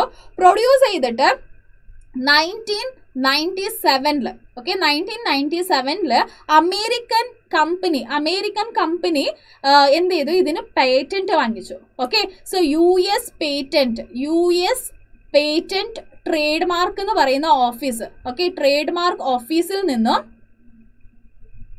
ട്രേഡ് മാർക്ക് ഓഫീസിൽ നിന്നും അവരെന്ത് ചെയ്തു? പേറ്റന്റ് വാങ്ങിച്ചു. ഓക്കെ സോ പേറ്റന്റ് എന്ന് വെച്ചിട്ടുണ്ടെങ്കിൽ എന്താടാ? എന്താണ് പേറ്റന്റ് പേറ്റന്റ് എന്ന് വെച്ചിട്ടുണ്ടെങ്കിൽ ഒരു ഗവൺമെന്റ് ഒരു പർട്ടിക്കുലർ ഓർഗനൈസേഷൻ അല്ലെങ്കിൽ ഒരു പർട്ടിക്കുലർ പേഴ്സൺ അല്ലെങ്കിൽ ഒരു പർട്ടിക്കുലർ എന്താ കമ്പനിക്ക് കൊടുക്കുന്ന ഒരു എന്താ അധികാരമാണ്. സോ നീ ഈ ഒരു പ്രോഡക്റ്റ് നീ പ്രൊഡ്യൂസ് ചെയ്തിരിക്കുന്ന ഈ ഒരു പ്രോഡക്റ്റിനെ നിനക്ക് വിൽക്കാം നിനക്ക് കഴിക്കാം അല്ലെങ്കിൽ നിനക്ക് എന്ത് വേണം നിനക്ക് ആവശ്യമുള്ള എന്താണോ അത് നിനക്ക് ചെയ്യാം എന്ന് പറഞ്ഞ് കൊടുക്കുന്ന ഒരു എന്താ അധികാരമാണ്. സോ അതിനെ നമ്മൾ എന്തെന്ന് പറയും? പേറ്റന്റ് എന്ന് പറയും. സോ ഗവൺമെന്റ് ആരാണോ പ്രൊഡ്യൂസ് ചെയ്തിരിക്കുന്നത് അല്ലെങ്കിൽ ആരാണോ അതിന്റെ യഥാർത്ഥ ഉടമസ്ഥന് അവനക്ക് കൊടുത്തിരിക്കുന്ന ഒരു അധികാരമാണ്. അതിനെ നമ്മൾ എന്തെന്ന് വിളിക്കും? പേറ്റന്റ് എന്ന് വിളിക്കും. യെസ് ക്ലിയർ ആയോ? എല്ലാവർക്കും മനസ്സിലായോ? ഓക്കെ സോ ഇത് ഈ ബാസ്മതിക്ക് വേണ്ടി മാത്രമല്ല കേട്ടോ ഇപ്പോൾ യു എസ് കമ്പനി നീം അതുപോലെ തന്നെ ടേമറിക്ക് ഇങ്ങനെയുള്ള ഒരുപാട് എന്താ ഇന്ത്യയിൽ നമ്മൾ എന്താ ആന്റിബോഡീസ് പോലെയൊക്കെ നമ്മൾ യൂസ് ചെയ്തുകൊണ്ടിരിക്കുന്ന ഒരുപാട് കാര്യത്തിന് അവർ പേറ്റന്റ് വാങ്ങിക്കാൻ വേണ്ടിയിട്ട് റെഡിയായി നിൽക്കുകയാണ്. സോ ആദ്യം ഒന്ന് നമ്മൾ പറ്റിക്കപ്പെട്ടു.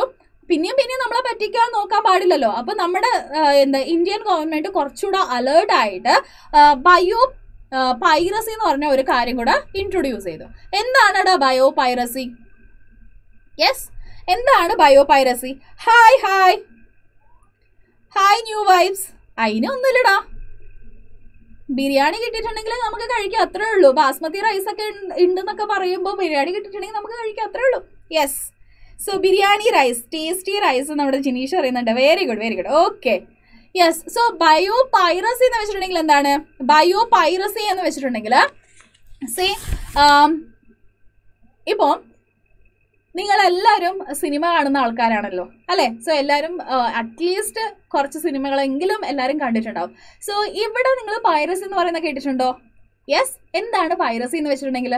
സി ഒരു ഒറിജിനൽ ഒരു മേക്ക് ചെയ്ത ഒരാളുണ്ടാവും.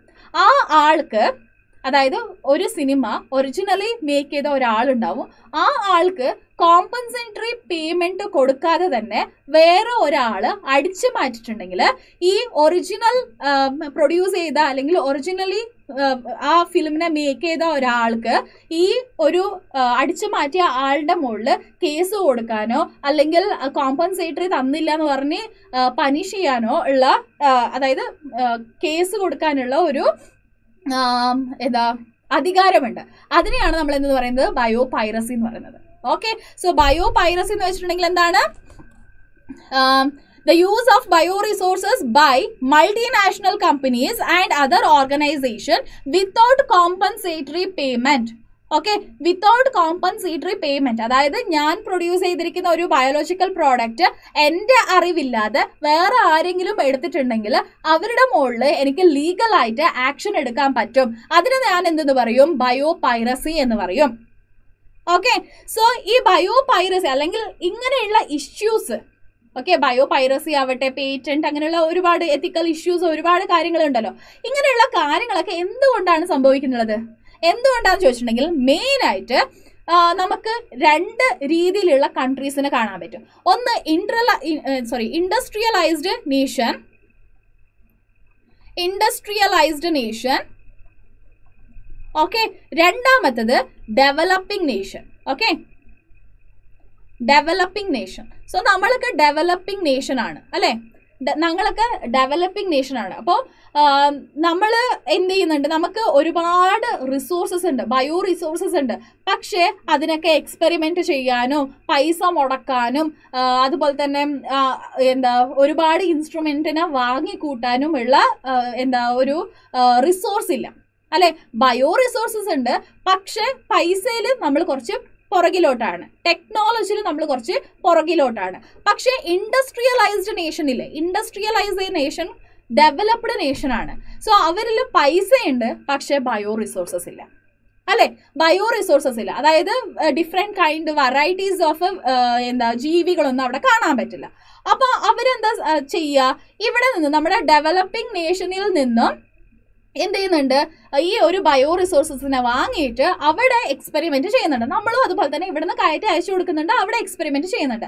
അങ്ങനെ എക്സ്പെരിമെന്റ് ഒക്കെ ചെയ്യുമ്പോൾ നമുക്ക് എന്ത് ചെയ്യണം? ഹായ് ഫര ഹായ് ഹായ് റെക്കോർഡൊക്കെ എഴുതി കഴിഞ്ഞോടാ? യെസ് അപ്പോൾ നമുക്ക് എന്ത് ചെയ്യണം അവർ കോമ്പൻസേറ്ററി പേയ്മെന്റ് തരണം. പ്രോപ്പർ ആയിട്ടുള്ള കോമ്പൻസേറ്ററി പേയ്മെന്റും അങ്ങനെയുള്ള കാര്യങ്ങളും. അതായത് ഈ- നാട്ടിൽ നിന്നാണ് നമുക്ക് ഈ ഒരു മെറ്റീരിയൽ കിട്ടിയിരിക്കുന്നത് എന്നുള്ള രീതിയിലൊക്കെയുള്ള ഒരു റെക്കഗ്നൈസേഷനും അങ്ങനെയുള്ള കാര്യങ്ങളൊക്കെ നമുക്ക് വേണം അല്ലേ? പക്ഷേ ഇവരെന്ത് ചെയ്യുന്നുണ്ട് ഇത് സാധനങ്ങളൊക്കെ വാങ്ങിച്ചിട്ട് നമുക്ക് പ്രോപ്പർ ആയിട്ടുള്ള എന്താ കോമ്പൻസേ കോമ്പൻസേഷനും ബെനിഫിറ്റ്സും അതുപോലെ തന്നെ റെക്കഗ്നൈസേഷനും ഇതൊന്നും തരുന്നില്ല. സോ അങ്ങനെ തരാതിരിക്കുമ്പോൾ നമുക്ക് വലിയ ഒരു നഷ്ടമാണ് സംഭവിക്കുന്നത്. അങ്ങനെ ആവാതിരിക്കാൻ വേണ്ടിയിട്ട് നമ്മുടെ ഇന്ത്യൻ പാർലമെന്റ് സെക്കൻഡ് അമെൻഡ്മെന്റിന് കൊണ്ടുവന്നിട്ടുണ്ട്. അതിൽ ഇങ്ങനെയുള്ള എല്ലാ പ്രോബ്ലംസിനെ സോൾവ് ചെയ്യാൻ അല്ലെങ്കിൽ ഇങ്ങനെയുള്ള ഒരു പ്രോബ്ലംസ് ഉണ്ടാവാതിരിക്കാൻ വേണ്ടിയിട്ടുള്ള ഒരു പ്രിവെന്റ് പ്രിവെന്റ് മെത്തഡിന് അവർ ഫോളോ ചെയ്യുന്നുണ്ട്. ഓക്കെ യെസ് സോ അത് മാത്രമല്ല ഇപ്പോൾ പേറ്റന്റിന്റെ ടേം ഇത്ര കൊല്ലം വരെ നിങ്ങൾക്ക് ഇതിന് പേറ്റന്റ് വാങ്ങിക്കുക എന്നൊക്കെ പറയുന്ന ഒരു ടേം ഉണ്ടാവില്ലേ? ആ ടേമിനെ എക്സ്റ്റെൻഡ് ചെയ്യാനോ അല്ലെങ്കിൽ അതവിടെ ടേമിനെ ക്ലോസ് ചെയ്യാനോ ഇതിനൊക്കെ ഉള്ള അധികാരം ആ ഒരു അമെൻമെന്റിനുണ്ട് ഓക്കെ അത് മാത്രമല്ല റിസർച്ച് ചെയ്യാനും അതായത് നമ്മുടെ നാട്ടിൽ തന്നെ റിസർച്ച് ചെയ്യാനുള്ള വഴികളൊക്കെ ഒരുക്കാൻ വേണ്ടിയിട്ടുള്ള ഒരു കാര്യം കൂടെ ഈ ഒരു സെക്കൻഡ് അമെൻമെന്റിൽ അവർ നടത്തിയിട്ടുണ്ട്. ഓക്കെ യെസ് ക്ലിയർ ആയോ? So this is about biotechnology and its application എല്ലാവർക്കും ക്ലിയർ ആയോ? എല്ലാവർക്കും മനസ്സിലായോ? ഓക്കെ സോ കുറച്ച് ക്വസ്റ്റ്യൻസ് ഉണ്ട്. ആ ക്വസ്റ്റ്യൻസും കൂടെ നമുക്ക് പെട്ടെന്ന് തന്നെ സോൾവ് ചെയ്യാം. Mention the function of G E A C function G E എസിന്റെ ഫംഗ്ഷൻ എന്തൊക്കെയാണ്? അതായത് എന്തെങ്കിലും എത്തിക്കൽ ഇഷ്യൂസോ അല്ലെങ്കിൽ കൾച്ചറൽ ഇഷ്യൂസ് റിലീജിയസ് ഇഷ്യൂസ് അങ്ങനെ എന്തെങ്കിലും ഇഷ്യൂസ് വന്നിട്ടുണ്ടെങ്കിൽ അതിനെ നേരിടും. അതുമാത്രമല്ല ഒരു എക്സ്പെരിമെന്റ് ജനറ്റിക് എക്സ്പെരിമെന്റ് അല്ലെങ്കിൽ ബയോടെക്നോളജിക്കൽ എക്സ്പെരിമെന്റ് എന്ത് നടക്കുന്നുണ്ടോ ആ നട ആ, എക്സ്പെരിമെന്റ് ആ റിസർച്ചിന്റെ ടൈമിന് അവർ എന്താ നോട്ട് ചെയ്തിട്ടുണ്ടാവും. അല്ലെങ്കിൽ അതിനൊരു ഫിക്സ്ഡ് ടൈമിന് കൊടുത്തിട്ടുണ്ടാവും. അതുപോലെ തന്നെ നെക്സ്റ്റ് വേറെ എന്തൊക്കെയാണ്? ഒരു പ്രോപ്പറായിട്ടുള്ള അതായത് ഒരു കൺട്രോൾ ആയിട്ടുള്ള ഒരു ജനറ്റിക് എക്സ്പെരിമെന്റ് മാത്രമേ അല്ലെങ്കിൽ ബയോടെക്നോളജിക്കൽ എക്സ്പെരിമെന്റ് മാത്രമേ നടത്താൻ പാടുള്ളൂ. അൺകൺട്രോൾഡ് നടത്താൻ പാടില്ല എന്ന് പറഞ്ഞിട്ട് ഒരു പ്രോപ്പറായിട്ടുള്ള ഒരു വര ഇട്ട് വെച്ചിട്ടുണ്ട്. ഇങ്ങനെയുള്ള ഒരുപാട് കാര്യങ്ങൾ ജി ഇ എ സി ചെയ്യുന്നുണ്ട്. യെസ് ഓക്കെ അടുത്തത് why write any two critical research area of biotechnology? So ഏതെങ്കിലും രണ്ട് ക്രിട്ടിക്കൽ റിസർച്ച് ഏരിയ എന്ന് പറഞ്ഞേ എന്ന് പറഞ്ഞേ പെട്ടെന്ന് പറഞ്ഞേ. യെസ് ആൻസർ പറഞ്ഞിടാ പെട്ടെന്ന്. Critical research area of biotechnology ഏതൊക്കെയാണ്? First thing okay so proper ആയിട്ടുള്ള ഒരു ബെസ്റ്റ് കെറ്റലിസ്റ്റ് അതായത് ഈസി ആയിട്ട് മോർ നമ്പർ ഓഫ് പ്രോഡക്റ്റിനെ പ്രൊഡ്യൂസ് ചെയ്യണമെന്നുണ്ടെങ്കിൽ നമുക്ക് ബെസ്റ്റ് കെറ്റലിസ്റ്റ് വേണം. ആ best catalyst is the first critical research area അല്ലെ? ബെസ്റ്റ് കെറ്റലിസ്റ്റ് രണ്ടാമത്തത് എന്താണ്? ബെസ്റ്റ് ആയിട്ടുള്ള ഒരു ഡൗൺ സ്ട്രീം പ്രോസസ്സിംഗ് അല്ലെ? ഡൗൺ സ്ട്രീം പ്രോസസ്സിംഗ് സോ അത് കഴിഞ്ഞിട്ടുണ്ടെങ്കിൽ മൂന്നാമത്തത് എന്താടാ? മൂന്നാമത്തത് എന്താണ്? അതായത് standardisation better standardization. Better standardization. Yes? So these are the critical research area of biotechnology. Yes? Okay. Upon next question. List any two users of genetically modified organism in agriculture so ഈ അഗ്രികൾച്ചറിനെ പറ്റി നമ്മൾ നേരത്തെ discuss ചെയ്തിട്ടുണ്ടായിരുന്നു എന്നാണ് എനിക്കൊരു തോന്നുന്നത്. എന്തായാലും നമുക്ക് ഒന്നുകൂടെ പറയാം. സോ എന്തൊക്കെയാണ് യൂസേഴ്സ് ഫസ്റ്റ് തിങ് ഈ ഡ്രോട്ട് ഉള്ള അതുപോലെ തന്നെ ഫ്ലഡ് ആയിട്ടുള്ള ഫ്ലഡ് ആയിട്ട് അഫക്റ്റ് ഒക്കെ ആയിട്ടുള്ള ആ ഒരു റീജിയനിലും ഈ ഒരു ജനറ്റിക്കലി മോഡിഫൈഡ് ഓർഗാനിസം വളരും. ന്യൂട്രിയൻസ് കൂടുതലുള്ള പ്രോഡക്റ്റിനെ പ്രൊഡ്യൂസ് ചെയ്യും. ഓക്കെ? അത് കഴിഞ്ഞിട്ടുണ്ടെങ്കിൽ എക്സ്ട്രാ ഫർട്ടിലൈസറോ എക്സ്ട്രാ എന്താ ഹെർബിസൈഡോ ഇങ്ങനെ ഒന്നും ഇട്ട് കൊടുക്കേണ്ട ആവശ്യമില്ല. അത് പെസ്റ്റിസൈഡും എക്സ്ട്രാ ഇട്ട് കൊടുക്കേണ്ട ആവശ്യമൊന്നുമില്ല. ഇങ്ങനെയുള്ള ഒരുപാട് uses genetically modified ഓർഗാനിസമിനുണ്ട് yes okay next expand G E A C and A D A G E A C G E A C എന്താണ്? എന്താണ് G E A C genetically mo sorry genetical sorry genetic engineering approval committee അല്ലെ? Genetic engineering engineering approval approval committee yes അടുത്തത് A D A എന്താണ് A D A A D A എന്ന് വെച്ചിട്ടുണ്ടെങ്കിൽ adenosine adenosine adenosine deaminase aminase okay adenosine de okay next question നമുക്ക് നോക്കാം. Okay complete ആയി. അപ്പൊ നിങ്ങൾക്ക് എന്തെങ്കിലും ഡൗട്ട് ഉണ്ടെങ്കിൽ പെട്ടെന്ന് പറഞ്ഞോളൂ ഞാൻ വെയിറ്റ് ചെയ്ത് നിൽക്കാം. പെട്ടെന്ന് പറഞ്ഞേ. യെസ് സോ ഞാൻ ഒരു കാര്യം കൂടെ പറയാൻ ഇവിടെ മറന്നുപോയി. അതായത് എം വി സാറ്റിനെ പറ്റി പറയാൻ മറന്നുപോയി അല്ലേ? സോ എം വി സാറ്റിനെ ജോയിൻ ചെയ്യാൻ ആഗ്രഹമുള്ളവരൊക്കെ പെട്ടെന്ന് തന്നെ ജോയിൻ ചെയ്യുക. അതിന് വേണ്ടിയിട്ടുള്ള രജിസ്റ്റർ ചെയ്യാനുള്ള ഫോം ഈ ഒരു വീഡിയോയുടെ കമന്റ് ബോക്സിൽ കാണും. അപ്പോൾ പെട്ടെന്ന് പോയിട്ട് അത് ക്ലിക്ക് ചെയ്തിട്ട് രജിസ്റ്റർ ചെയ്യുക. രജിസ്റ്റർ ചെയ്തിട്ട് ശേഷം ഡിസംബർ രണ്ടാം തീയതി തൊട്ട് പത്താം തീയതി വരെ നിങ്ങൾക്ക് എക്സാം എഴുതാനുള്ള ഒരു അവസരമുണ്ട്. കേരളത്തിലെ പിള്ളേർക്ക് വേണ്ടിയിട്ട് ഓഫ്ലൈൻ ആയിട്ടാണ് സോറി ഓൺലൈൻ ആയിട്ടാണ് എക്സാം നടക്കുന്നത് ബാക്കിയുള്ള എല്ലാ എന്താ സ്റ്റേറ്റിലും ഒരു ഓഫ്ലൈൻ സെന്റർ ഉള്ളത് കൊണ്ട് ആ ഓഫ്ലൈൻ സെന്ററിലാണ് വന്നിട്ട് എക്സാം എഴുതുക. പക്ഷെ നമുക്ക് ഓഫ്ലൈൻ സെന്റർ ഇല്ലാത്തത് കൊണ്ട് ഒരു അഡ്വാന്റേജ് ആണ്. വീട്ടിൽ തന്നെ ഇരുന്നിട്ട് നിങ്ങൾക്ക് കംഫർട്ടബിൾ ആയിട്ടുള്ള ഒരു ടൈമിൽ പ്രോപ്പറായിട്ട് പഠിച്ച് ഇരുന്നിട്ട് എക്സാം എഴുതിയാൽ മാത്രം മതി. എക്സാം എഴുതിട്ട് നല്ല സ്കോർ ഉണ്ടെങ്കിൽ ഹൺഡ്രഡ് പെർസെന്റ് വരെ സ്കോളർഷിപ്പ് നേടാനുള്ള ഒരു അവസരം കൂടെ ഉണ്ട്. അത് മാത്രമല്ല ഒരുപാട് റിവാർഡ്സ് കിട്ടാനുള്ള ചാൻസസും ഉണ്ട്. സോ അപ്പോൾ വെയിറ്റ് ചെയ്ത് വെറുതെ സമയം കളയേണ്ട. പെട്ടെന്ന് തന്നെ രജിസ്റ്റർ ചെയ്യുക. രജിസ്ട്രേഷൻ ഫീസ് ഒന്നും തന്നെ ഇല്ല. സോ നിങ്ങൾ ഈ വീക്ക് ക്വിസ് ഒക്കെ അറ്റൻഡ് ചെയ്യുന്നത് പോലെ വളരെ ഫണ്ണായിട്ട് നമുക്ക് എന്താ ഒന്ന് ട്രൈ ചെയ്ത് നോക്കാമെന്ന് വിചാരിച്ചിട്ട് ജസ്റ്റ് ട്രൈ ചെയ്താൽ മാത്രം മതി കേട്ടോ. യെസ് ഓക്കേടാ ഓക്കെ ഓക്കെ അപ്പോൾ ഡൗട്ട്സ് ഒന്നും ഇല്ല അല്ലേ? എന്നാൽ പിന്നെ നമുക്ക് ഇന്നത്തെ ക്ലാസ് അങ്ങ് വൈൻഡപ്പ് ചെയ്താലോ. ഓക്കെ സോ ഈ എല്ലാ എന്താ ചാപ്റ്ററിന്റെ നോട്ട്സ് നിങ്ങൾക്ക് വേണമെന്നുണ്ടെങ്കിൽ നമ്മുടെ ടെലഗ്രാം ഗ്രൂപ്പും കൂടെ ജോയിൻ ചെയ്യുക. ജോയിൻ ചെയ്യേണ്ട ലിങ്ക് നമ്മുടെ ഡിസ്ക്രിപ്ഷൻ ബോക്സിലും അതുപോലെ തന്നെ കമന്റ് ബോക്സിലും കാണും. അപ്പോൾ പെട്ടെന്ന് പോകുക വേദാന്ത മലയാളം എന്ന് പറയുന്ന ടെലഗ്രാം ഗ്രൂപ്പിലേക്ക് ജോയിൻ ചെയ്യുക. സോ അത് മാത്രമല്ല ഈ വീഡിയോ നിങ്ങൾക്ക് ഇഷ്ടപ്പെടുകയാണെങ്കിൽ തീർച്ചയായിട്ടും ലൈക്ക് ചെയ്യുക ഫ്രണ്ട്സിനൊക്കെ ഒന്ന് ഷെയർ ചെയ്ത് കൊടുക്കുക. ആൻഡ് ഇതുവരെ സബ്സ്ക്രൈബ് ചെയ്യാത്ത ആരെങ്കിലും ഉണ്ടെങ്കിൽ പെട്ടെന്ന് തന്നെ സബ്സ്ക്രൈബ് ചെയ്യുക. അപ്പൊ പിന്നെ നമുക്ക് വീണ്ടും അടുത്ത വീഡിയോയിൽ